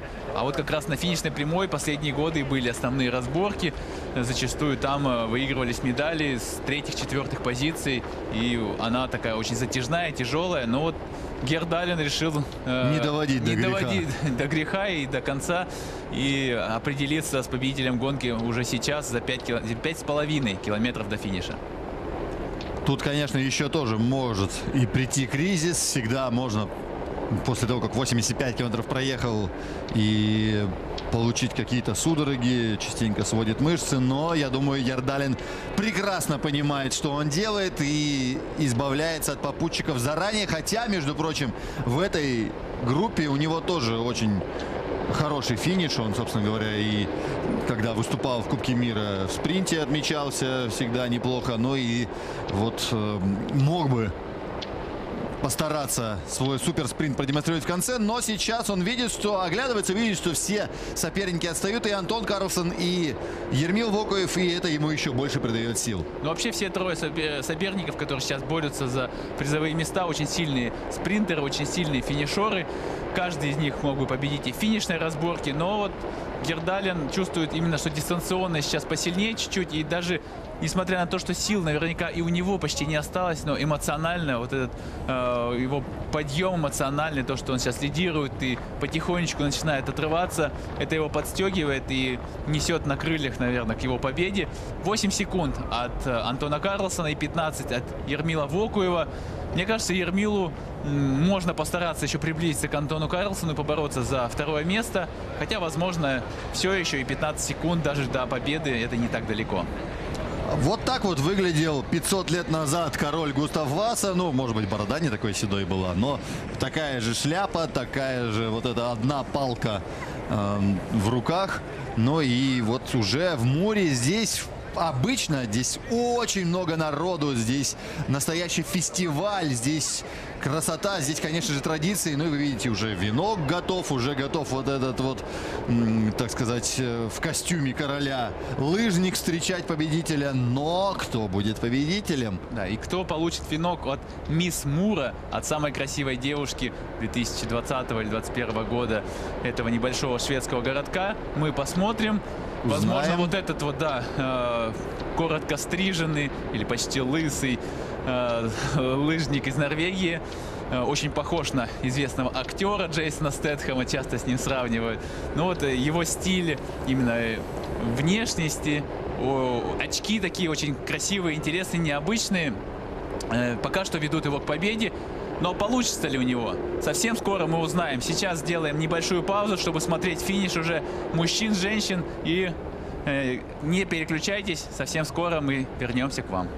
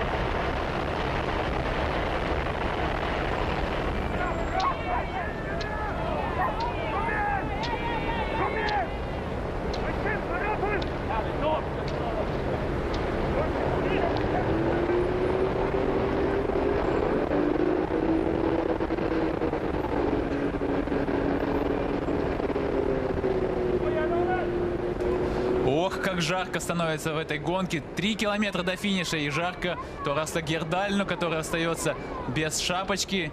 Но его темп, конечно, позволяет ему не остыть. Он э, очень активно отталкивается сейчас и преимущество его растет на глазах. Уже не видно ни Антона Карлсона, ни Ермила Вокуева, которые были совсем недалеко, менее 10 секундах позади но мчится к своей победе, похоже, к первой победе на 97-м Васа Лопат, 90-километровой гонки в Швеции, легендарном марафоне. Тор Асла Гердален, норвежский лыжник. Но Ермил Вогаев тоже здесь неподалеку, просто здесь нет трех снегоходов, но вот согласно той информации, которую мы получаем с трассы, там вот он идет уже вместе с Антоном Карлсоном. Посмотрим, когда уже мы увидим это все воочию, но в любом случае на медали сегодня так же, как и на трех предыдущих гонках Ski Classic замахивается Ермил Вогаев из Республики Коми. И, конечно же, за него болеет и вся Республика Коми, и вся страна. Ну и будем надеяться, надеется, что может быть на последних трех километрах какое-то чудо сможет здесь э, сотворить Ермил. Пока он третий, ну а лидирует тур Асли Ердален, знаменитый норвежец, который всегда славился своим вот этим экстравагантным стилем и любовью к очкам-авиаторам, ну и, наверное, и любовью к победам Его, на да. марафонах, марафонским гонкам. Да, действительно, раньше Торас Гердалин выступал в сборной Норвегии, был призером чемпионата мира в Халмин-Колине в 2011 году на марафоне. Э, Очень сильный лыжник, но в свое время перешел и попробовал себя в марафонской серии и сразу стал выступать очень успешно. Несколько сезонов подряд одерживал победу в общем зачете. Но Васалопыт никак не покорялся ему, и вот, надеюсь, он надеется сегодня мечта его сбудется уже за другую команду. Последние года он выступал за команду Рагде Эйндом, которая зачастую побеждала. А вот Ермил Вокуев за команду «Русская зима» также ни разу еще даже не выступал на Васалопыт. И с первого раза, с первой попытки Ермил похоже, что близок к тому, чтобы занять призовое место. К сожалению, все-таки вот эта информация с трассы насчет датчиков GPS не оказ- оказалась не совсем верной. Все-таки не, не смог догнать Антона. И видно по движениям сейчас чуть-чуть уже тяжело. Тяжело вот эти подъемчики даются э, Ермилу. А Ердалин выглядит посвежее чуть-чуть, хотя он тоже уже отнюдь не свеж. Тяжело всем в любом случае. Представьте, что практически 88 километров э, позади, э, 3.22, 3 часа 22 минуты уже спортсмены в пути и практически без перерыва работают, работают и работают. Насколько тяжел этот труд и остается совсем немного 2 километра. Антон Карлсон все-таки пока не может Ермил его догнать. Э, Также работает активно, также силен сегодня. И впервые, э, возможно, в своей карьере он поднимется на подиум, э, заедет в тройку сильнейших на марафонской гонке, в которых уже давно выступает, но больше считался спринтером, а сегодня на одной из самых длинных марафонских гонок пока что идет на второй позиции за 2 километра до финиша. Ну а что касается Ердалина, то он не только на Васолопе не побеждал, но он и вообще уже три года не побеждал.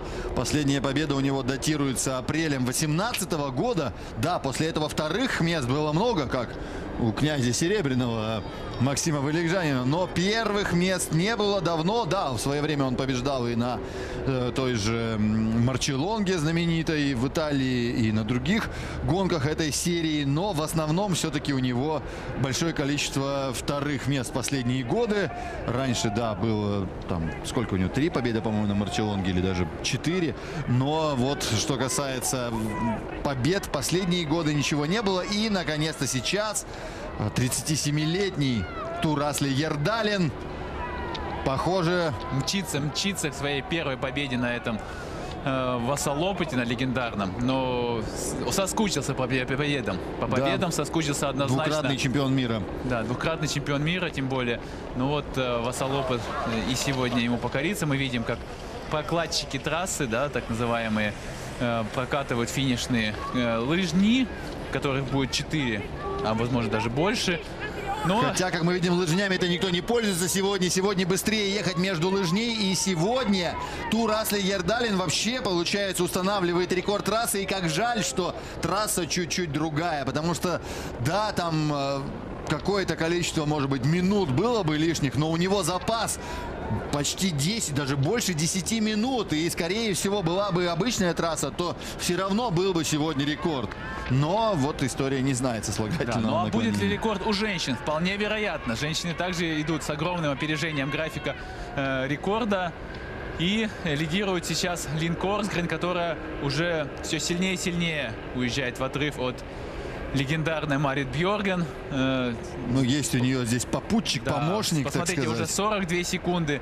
Да, Марит Бьорген, похоже, смирилась с тем, что победа ей не достанется сегодня, а Лин Корсгрен мчится к своей третьей победе на Васалопыт. И второй раз год, подряд. Второй год подряд, да, за последние четыре сезона это будет третья победа. Также ей немного остается, менее э, двух с половиной километров, а вот Тораса Гердалин уже подъезжает практически к последнему километру. Да, вот начинается заключительный километр, и сил ни у кого не остается, даже у чемпиона, но э, подъем душевных сил придает ему вот эти крупицы, которые необходимы для того, чтобы доехать заключительные метры дистанции и завоевать столь долгожданный титул. Ну и остается действительно совсем мало времени. Все понимает уже и Турас Лидердалин, и вот эти зрители, которые, по идее, здесь такие нелегальные, да, потому что вообще официально это не публичное мероприятие. В Швеции сейчас больше восьми человек собираться нельзя, но вот здесь собрались как-то так отдельно, случайно э, жители Муры, которые, конечно же, хотят приобщиться к истории и увидеть этот исторический момент. Финиш Васалопет 2021 года. Гонка проводится уже 99 лет. Уже эти 90 километров стали просто частью какого-то национального эпоса Швеции, да и вообще во всем лыжном мире. Первое воскресенье марта это самая важная дата, самая массовая, культовая, легендарная гонка завершается в Муре прямо сейчас. И победу здесь впервые в своей карьере празднует двукратный чемпион мира Тур Асли Ердален, многократный победитель Марчелонги. И вот теперь в список своих титулов он добавляет и венок на... Помимо того, что э, Турас Агирдаль ни разу не был победителем. Он даже ни разу и в тройку не заезжал. Четвертые, пятые, шестые места. Вот сейчас он преодолел небольшой мостик, очень тяжелый, когда к нему подъезжаешь, сил совсем никаких. Но он его достаточно резко преодолел с хорошими частотой, хорошей, э, с хорошими усилиями в отталкивании. И, конечно, вот заключительный поворот, 300 метров, прямая, прямая, которая принесет ему вот эту долгожданную победу. И венок на шее будет, я думаю, греть его еще много-много лет э, наверное, до конца его жизни уже. Ну и лавровый лист можно будет, да, добавлять. Запас пожизненный лавровых листьев будет после этого. Но в любом случае, главное это, конечно, вот эта история. Потому... И опять, кстати говоря, норвежец побеждает уже девятый раз подряд. Ну а мы приветствуем здесь на финише Ермила Вокуева. Судя по всему, у него сводит что-то там, наверное, пресс, либо видимо, пресс, да, скорее он всего. не может сесть со спуска уже с небольшого. Ну, конечно, просто преодолеть 90-километровую дистанцию, это э, браво и э, любому спортсмену, любому человеку, а тем более победить или заехать в тройку сильнейших среди всего мира, это колоссальный успех.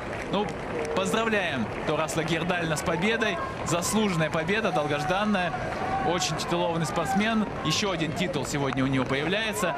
Ну а мы ждем Ермила Вокуева, который принесет нам первый подиум за много-много лет на шведском марафоне. Да, вспоминаем победу Ивана Гаранина еще под советским флагом в 77 году среди мужчин. Ну и также в 97 году, под, правда, под австрийским флагом победу одерживал Михаил Батвинов. У женщин дважды побеждала, кстати, Светлана Нагейкина.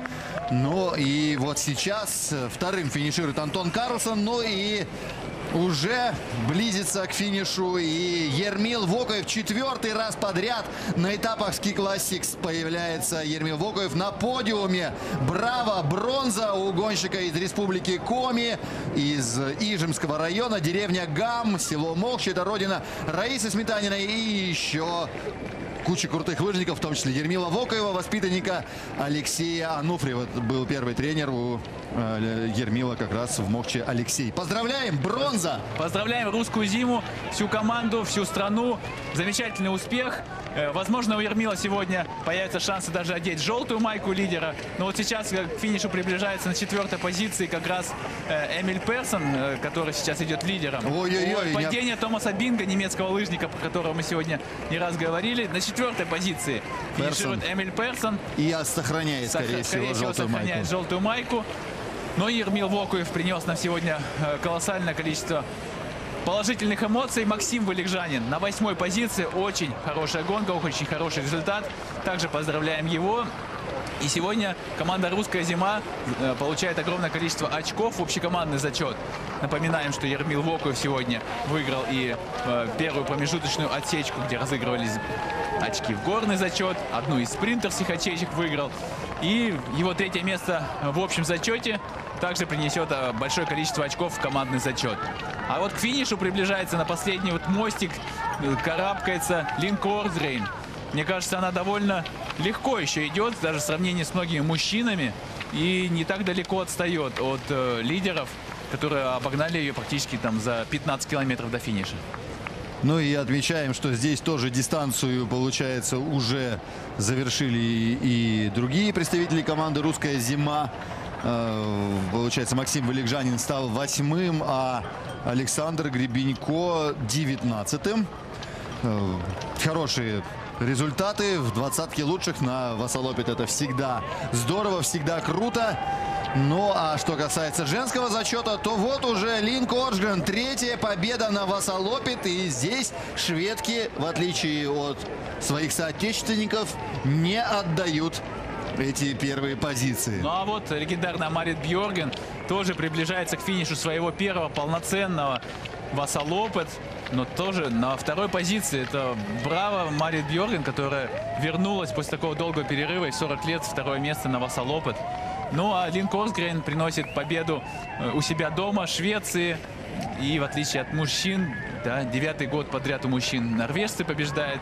Но вот э, второй год подряд у женщин побеждает Линкор же нет, пятый год подряд вообще А, шведки, да, потому что до подряд. этого и Брита. Йоханссон Норгрен брала две победы. В общем, только в шестнадцатом году последний раз шведки отдавали этот титул, этот венок лавровой победителя самой легендарной, самой массовой гонки, культовой гонки Васалопит.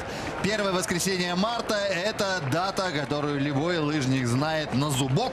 Это самая знаменитая гонка Васалопит, которая покоряется в третий раз Лине Коржгрен. Ну и аплодисментами встречаем Марит Бьорген. Все-таки это пример, пример для многих э, любителей спорта, что лыжные гонки это не только для молодых, это для всех, любого возраста. Не обязательно, конечно, э, 90 километров молотить таким темпом, как делает это Марит Бьорген, но что она творила сегодня, как, она- какую она интригу привнесла э, в этот марафон, это, конечно, низкий поклон ей за это украшение лыжных гонок любого старта. И поздравляем Марит Бьорген с этим вторым местом. Еще ждем, конечно же, бронзовую медалистку среди женщин. Сейчас на третьей позиции идет Ида Даль, но, правда, ее отставание, судя по всему, увеличивается. И в погоню за ней бросилась Теа Крокон Мурут, норвежка, которая все-таки, может быть, и отберет эту медаль. Так что еще интрига сохраняется. Ну и в любом случае сегодня мы поздравляем всех зрителей нашего телеканала, всю Россию с бронзовой медалью Ермила Вокуева из Республики Коми, который уже четвертый раз подряд на марафонах Ski Classic становится призером. Есть у него в том числе и победа на этапе в Италии, Тоблах Картина. Но вот она легендарной Васалопет поднимается в тройку призеров на этот раз Ермил Вогуев. Это действительно очень круто. Давно россиян не было в тройке лучших, как Александр отмечал. Да, ну Ермил действительно настоящая звезда этого сезона Ski Classic. Э, Каждой гонке он э, очень много доминирует, очень много э, лидирует, постоянно пытается э, быть впереди в самой гуще событий и постоянно практически поднимается на подиум.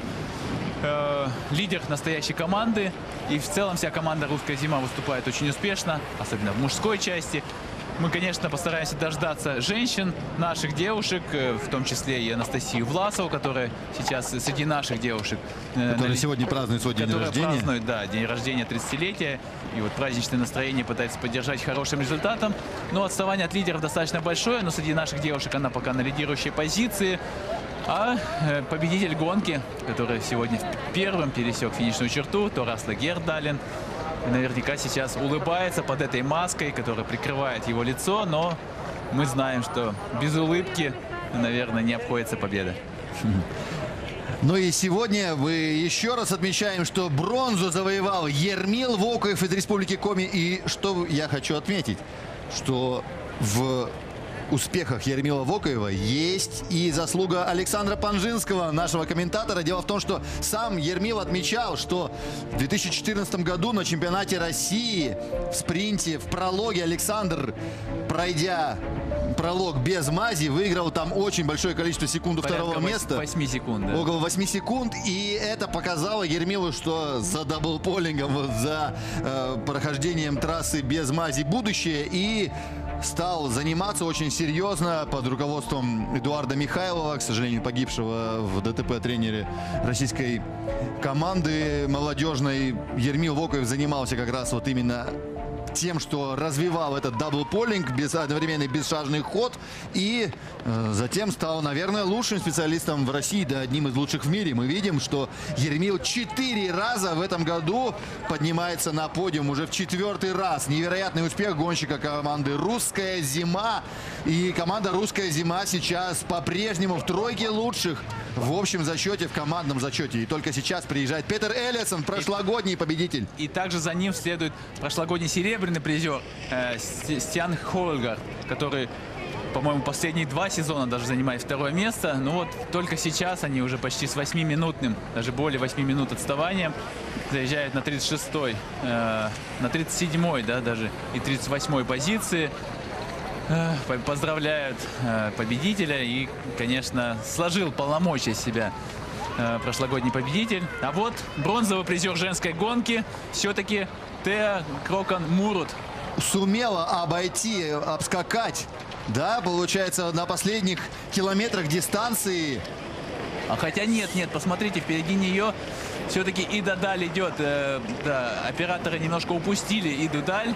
И Ида смогла, смогла удержать эту позицию, но ей было очень тяжело. Вот там Мурут уже появляется на заднем плане. Разрывы были все-таки небольшие, но и тут, кстати, Дмитрий Баграшов гонку завершил. А бронзу у девушек все-таки получает Ида Даль из команды Рамуден. Да, представитель команды Рамуден, которая в этом сезоне девушки просто потрясающе выступают, одерживают победы в каждой гонке, меняются между собой и очень массово представляет свою команду на подиуме. Т. Крауканмур на четвертой позиции. Совсем недалеко и немножко не хватило до призового места, но вот подъезжают еще девушки, уже подъезжает к финишной прямой. Наверное, не так далеко и осталось до Анастасии Власовой, которая шла на 13-й позиции. Но в любом случае 90 километров гонка позади э, у многих уже. И сейчас много-много нужно калорий. Э, восполнять, много сна для того, чтобы уже 20 марта выйти на старт очередного марафона э, в той же Швеции, э, куда был перенесен марафон Биркибайна Реннет из Норвегии. И вот в местечке Володален пройдет два марафона подряд на разных трассах, но в одном и том же месте будут финишировать и стартовать.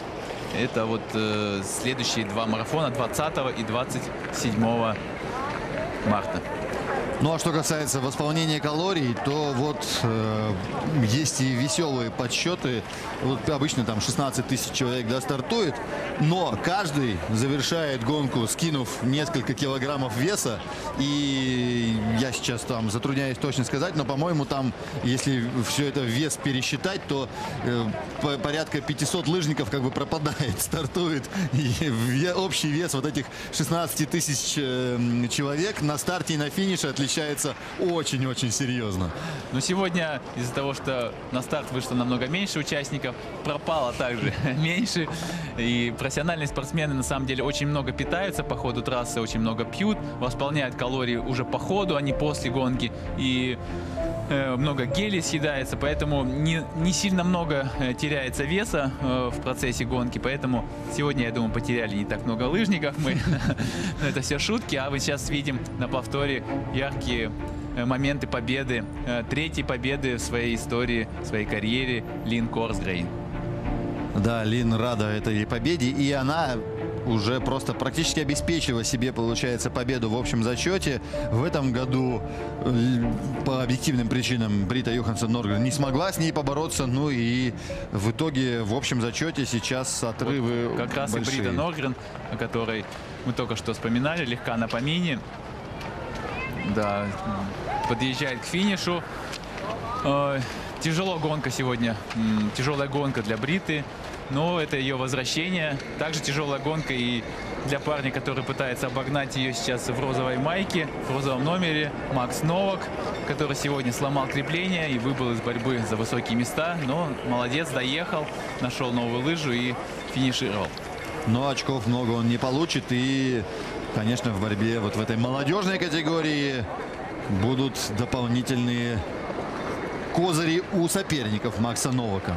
Да. Ну а Брита Йоханссон Орган, да, сейчас финиширует довольно далеко. Ну и она уступает, уступает все-таки в общем зачете много, потому что пропустила много гонок. Алина Коржган выигрывает уже Получается более 300 очков у ближайшей преследовательницы. Ею, скорее всего, остается Ида Даль, ее подруга по команде. Но разрыв увеличивается, тем более, что Ида сегодня третья, то есть тоже здесь получила заметно меньше баллов.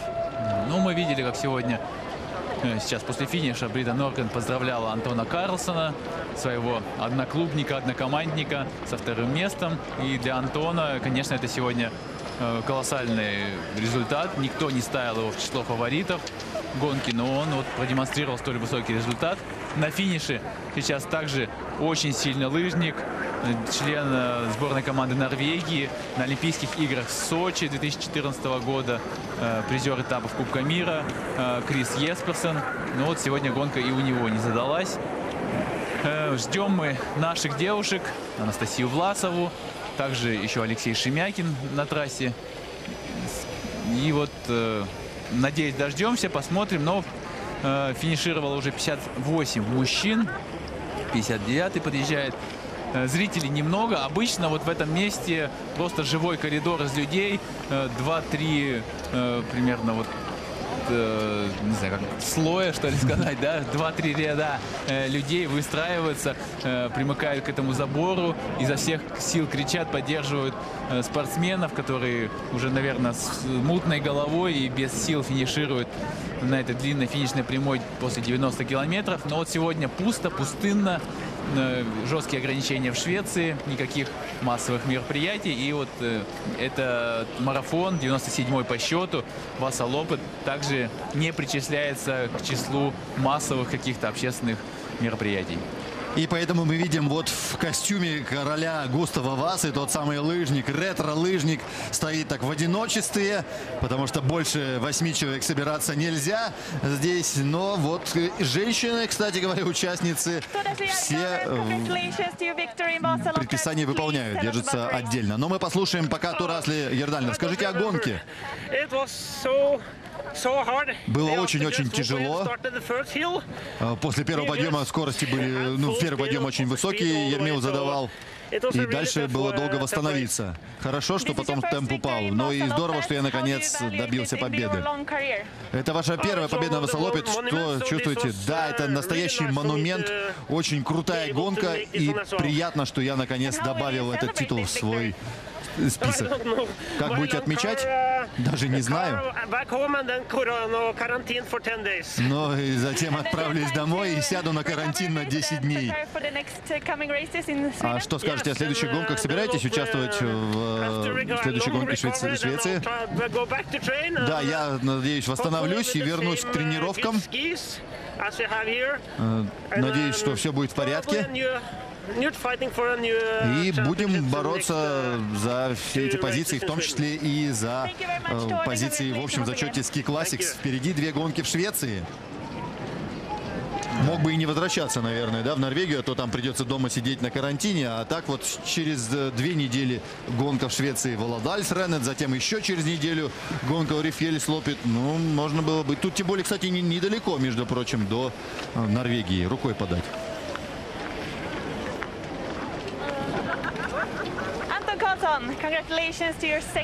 Ну что ж, мы поздравляем и за второе, со вторым местом Антона Карлсона, но я думаю, сейчас самое время подводить итоги. Впереди нас ждет биатлон и чемпионат мира по лыжным гонкам. Также продолжается сегодня полтинник. Да, возможно, мы увидим еще интервью Ермила Вокуева, э, ко- который м, сейчас подойдет. Да. Но, да, но в любом случае мы поздравляем всех с бронзовой медалью. Э, Впервые за много лет у нас есть подиум, есть э, человек, который борется на каждой гонке за призовую позицию. Поздравляем всю страну, поздравляем всех зрителей, поздравляем команду «Русская зима». За- Обязательно катайтесь на лыжах, э, перенимайте опыт наших чемпионов и любите спорт, живите здоровым образом жизни. На этом мы прощаемся. С вами для вас работали все Волод Соловьев. День на Матч ТВ продолжается. Впереди гонка преследования на Кубке мира у биатлонисток и затем марафон на чемпионате мира по лыжным гонкам в Оберсдорфе. Пока. Пока. And uh, the timing was perfect. I had an amazing body today, amazing skis. I'm so happy. I guess you will celebrate big tonight. You bet.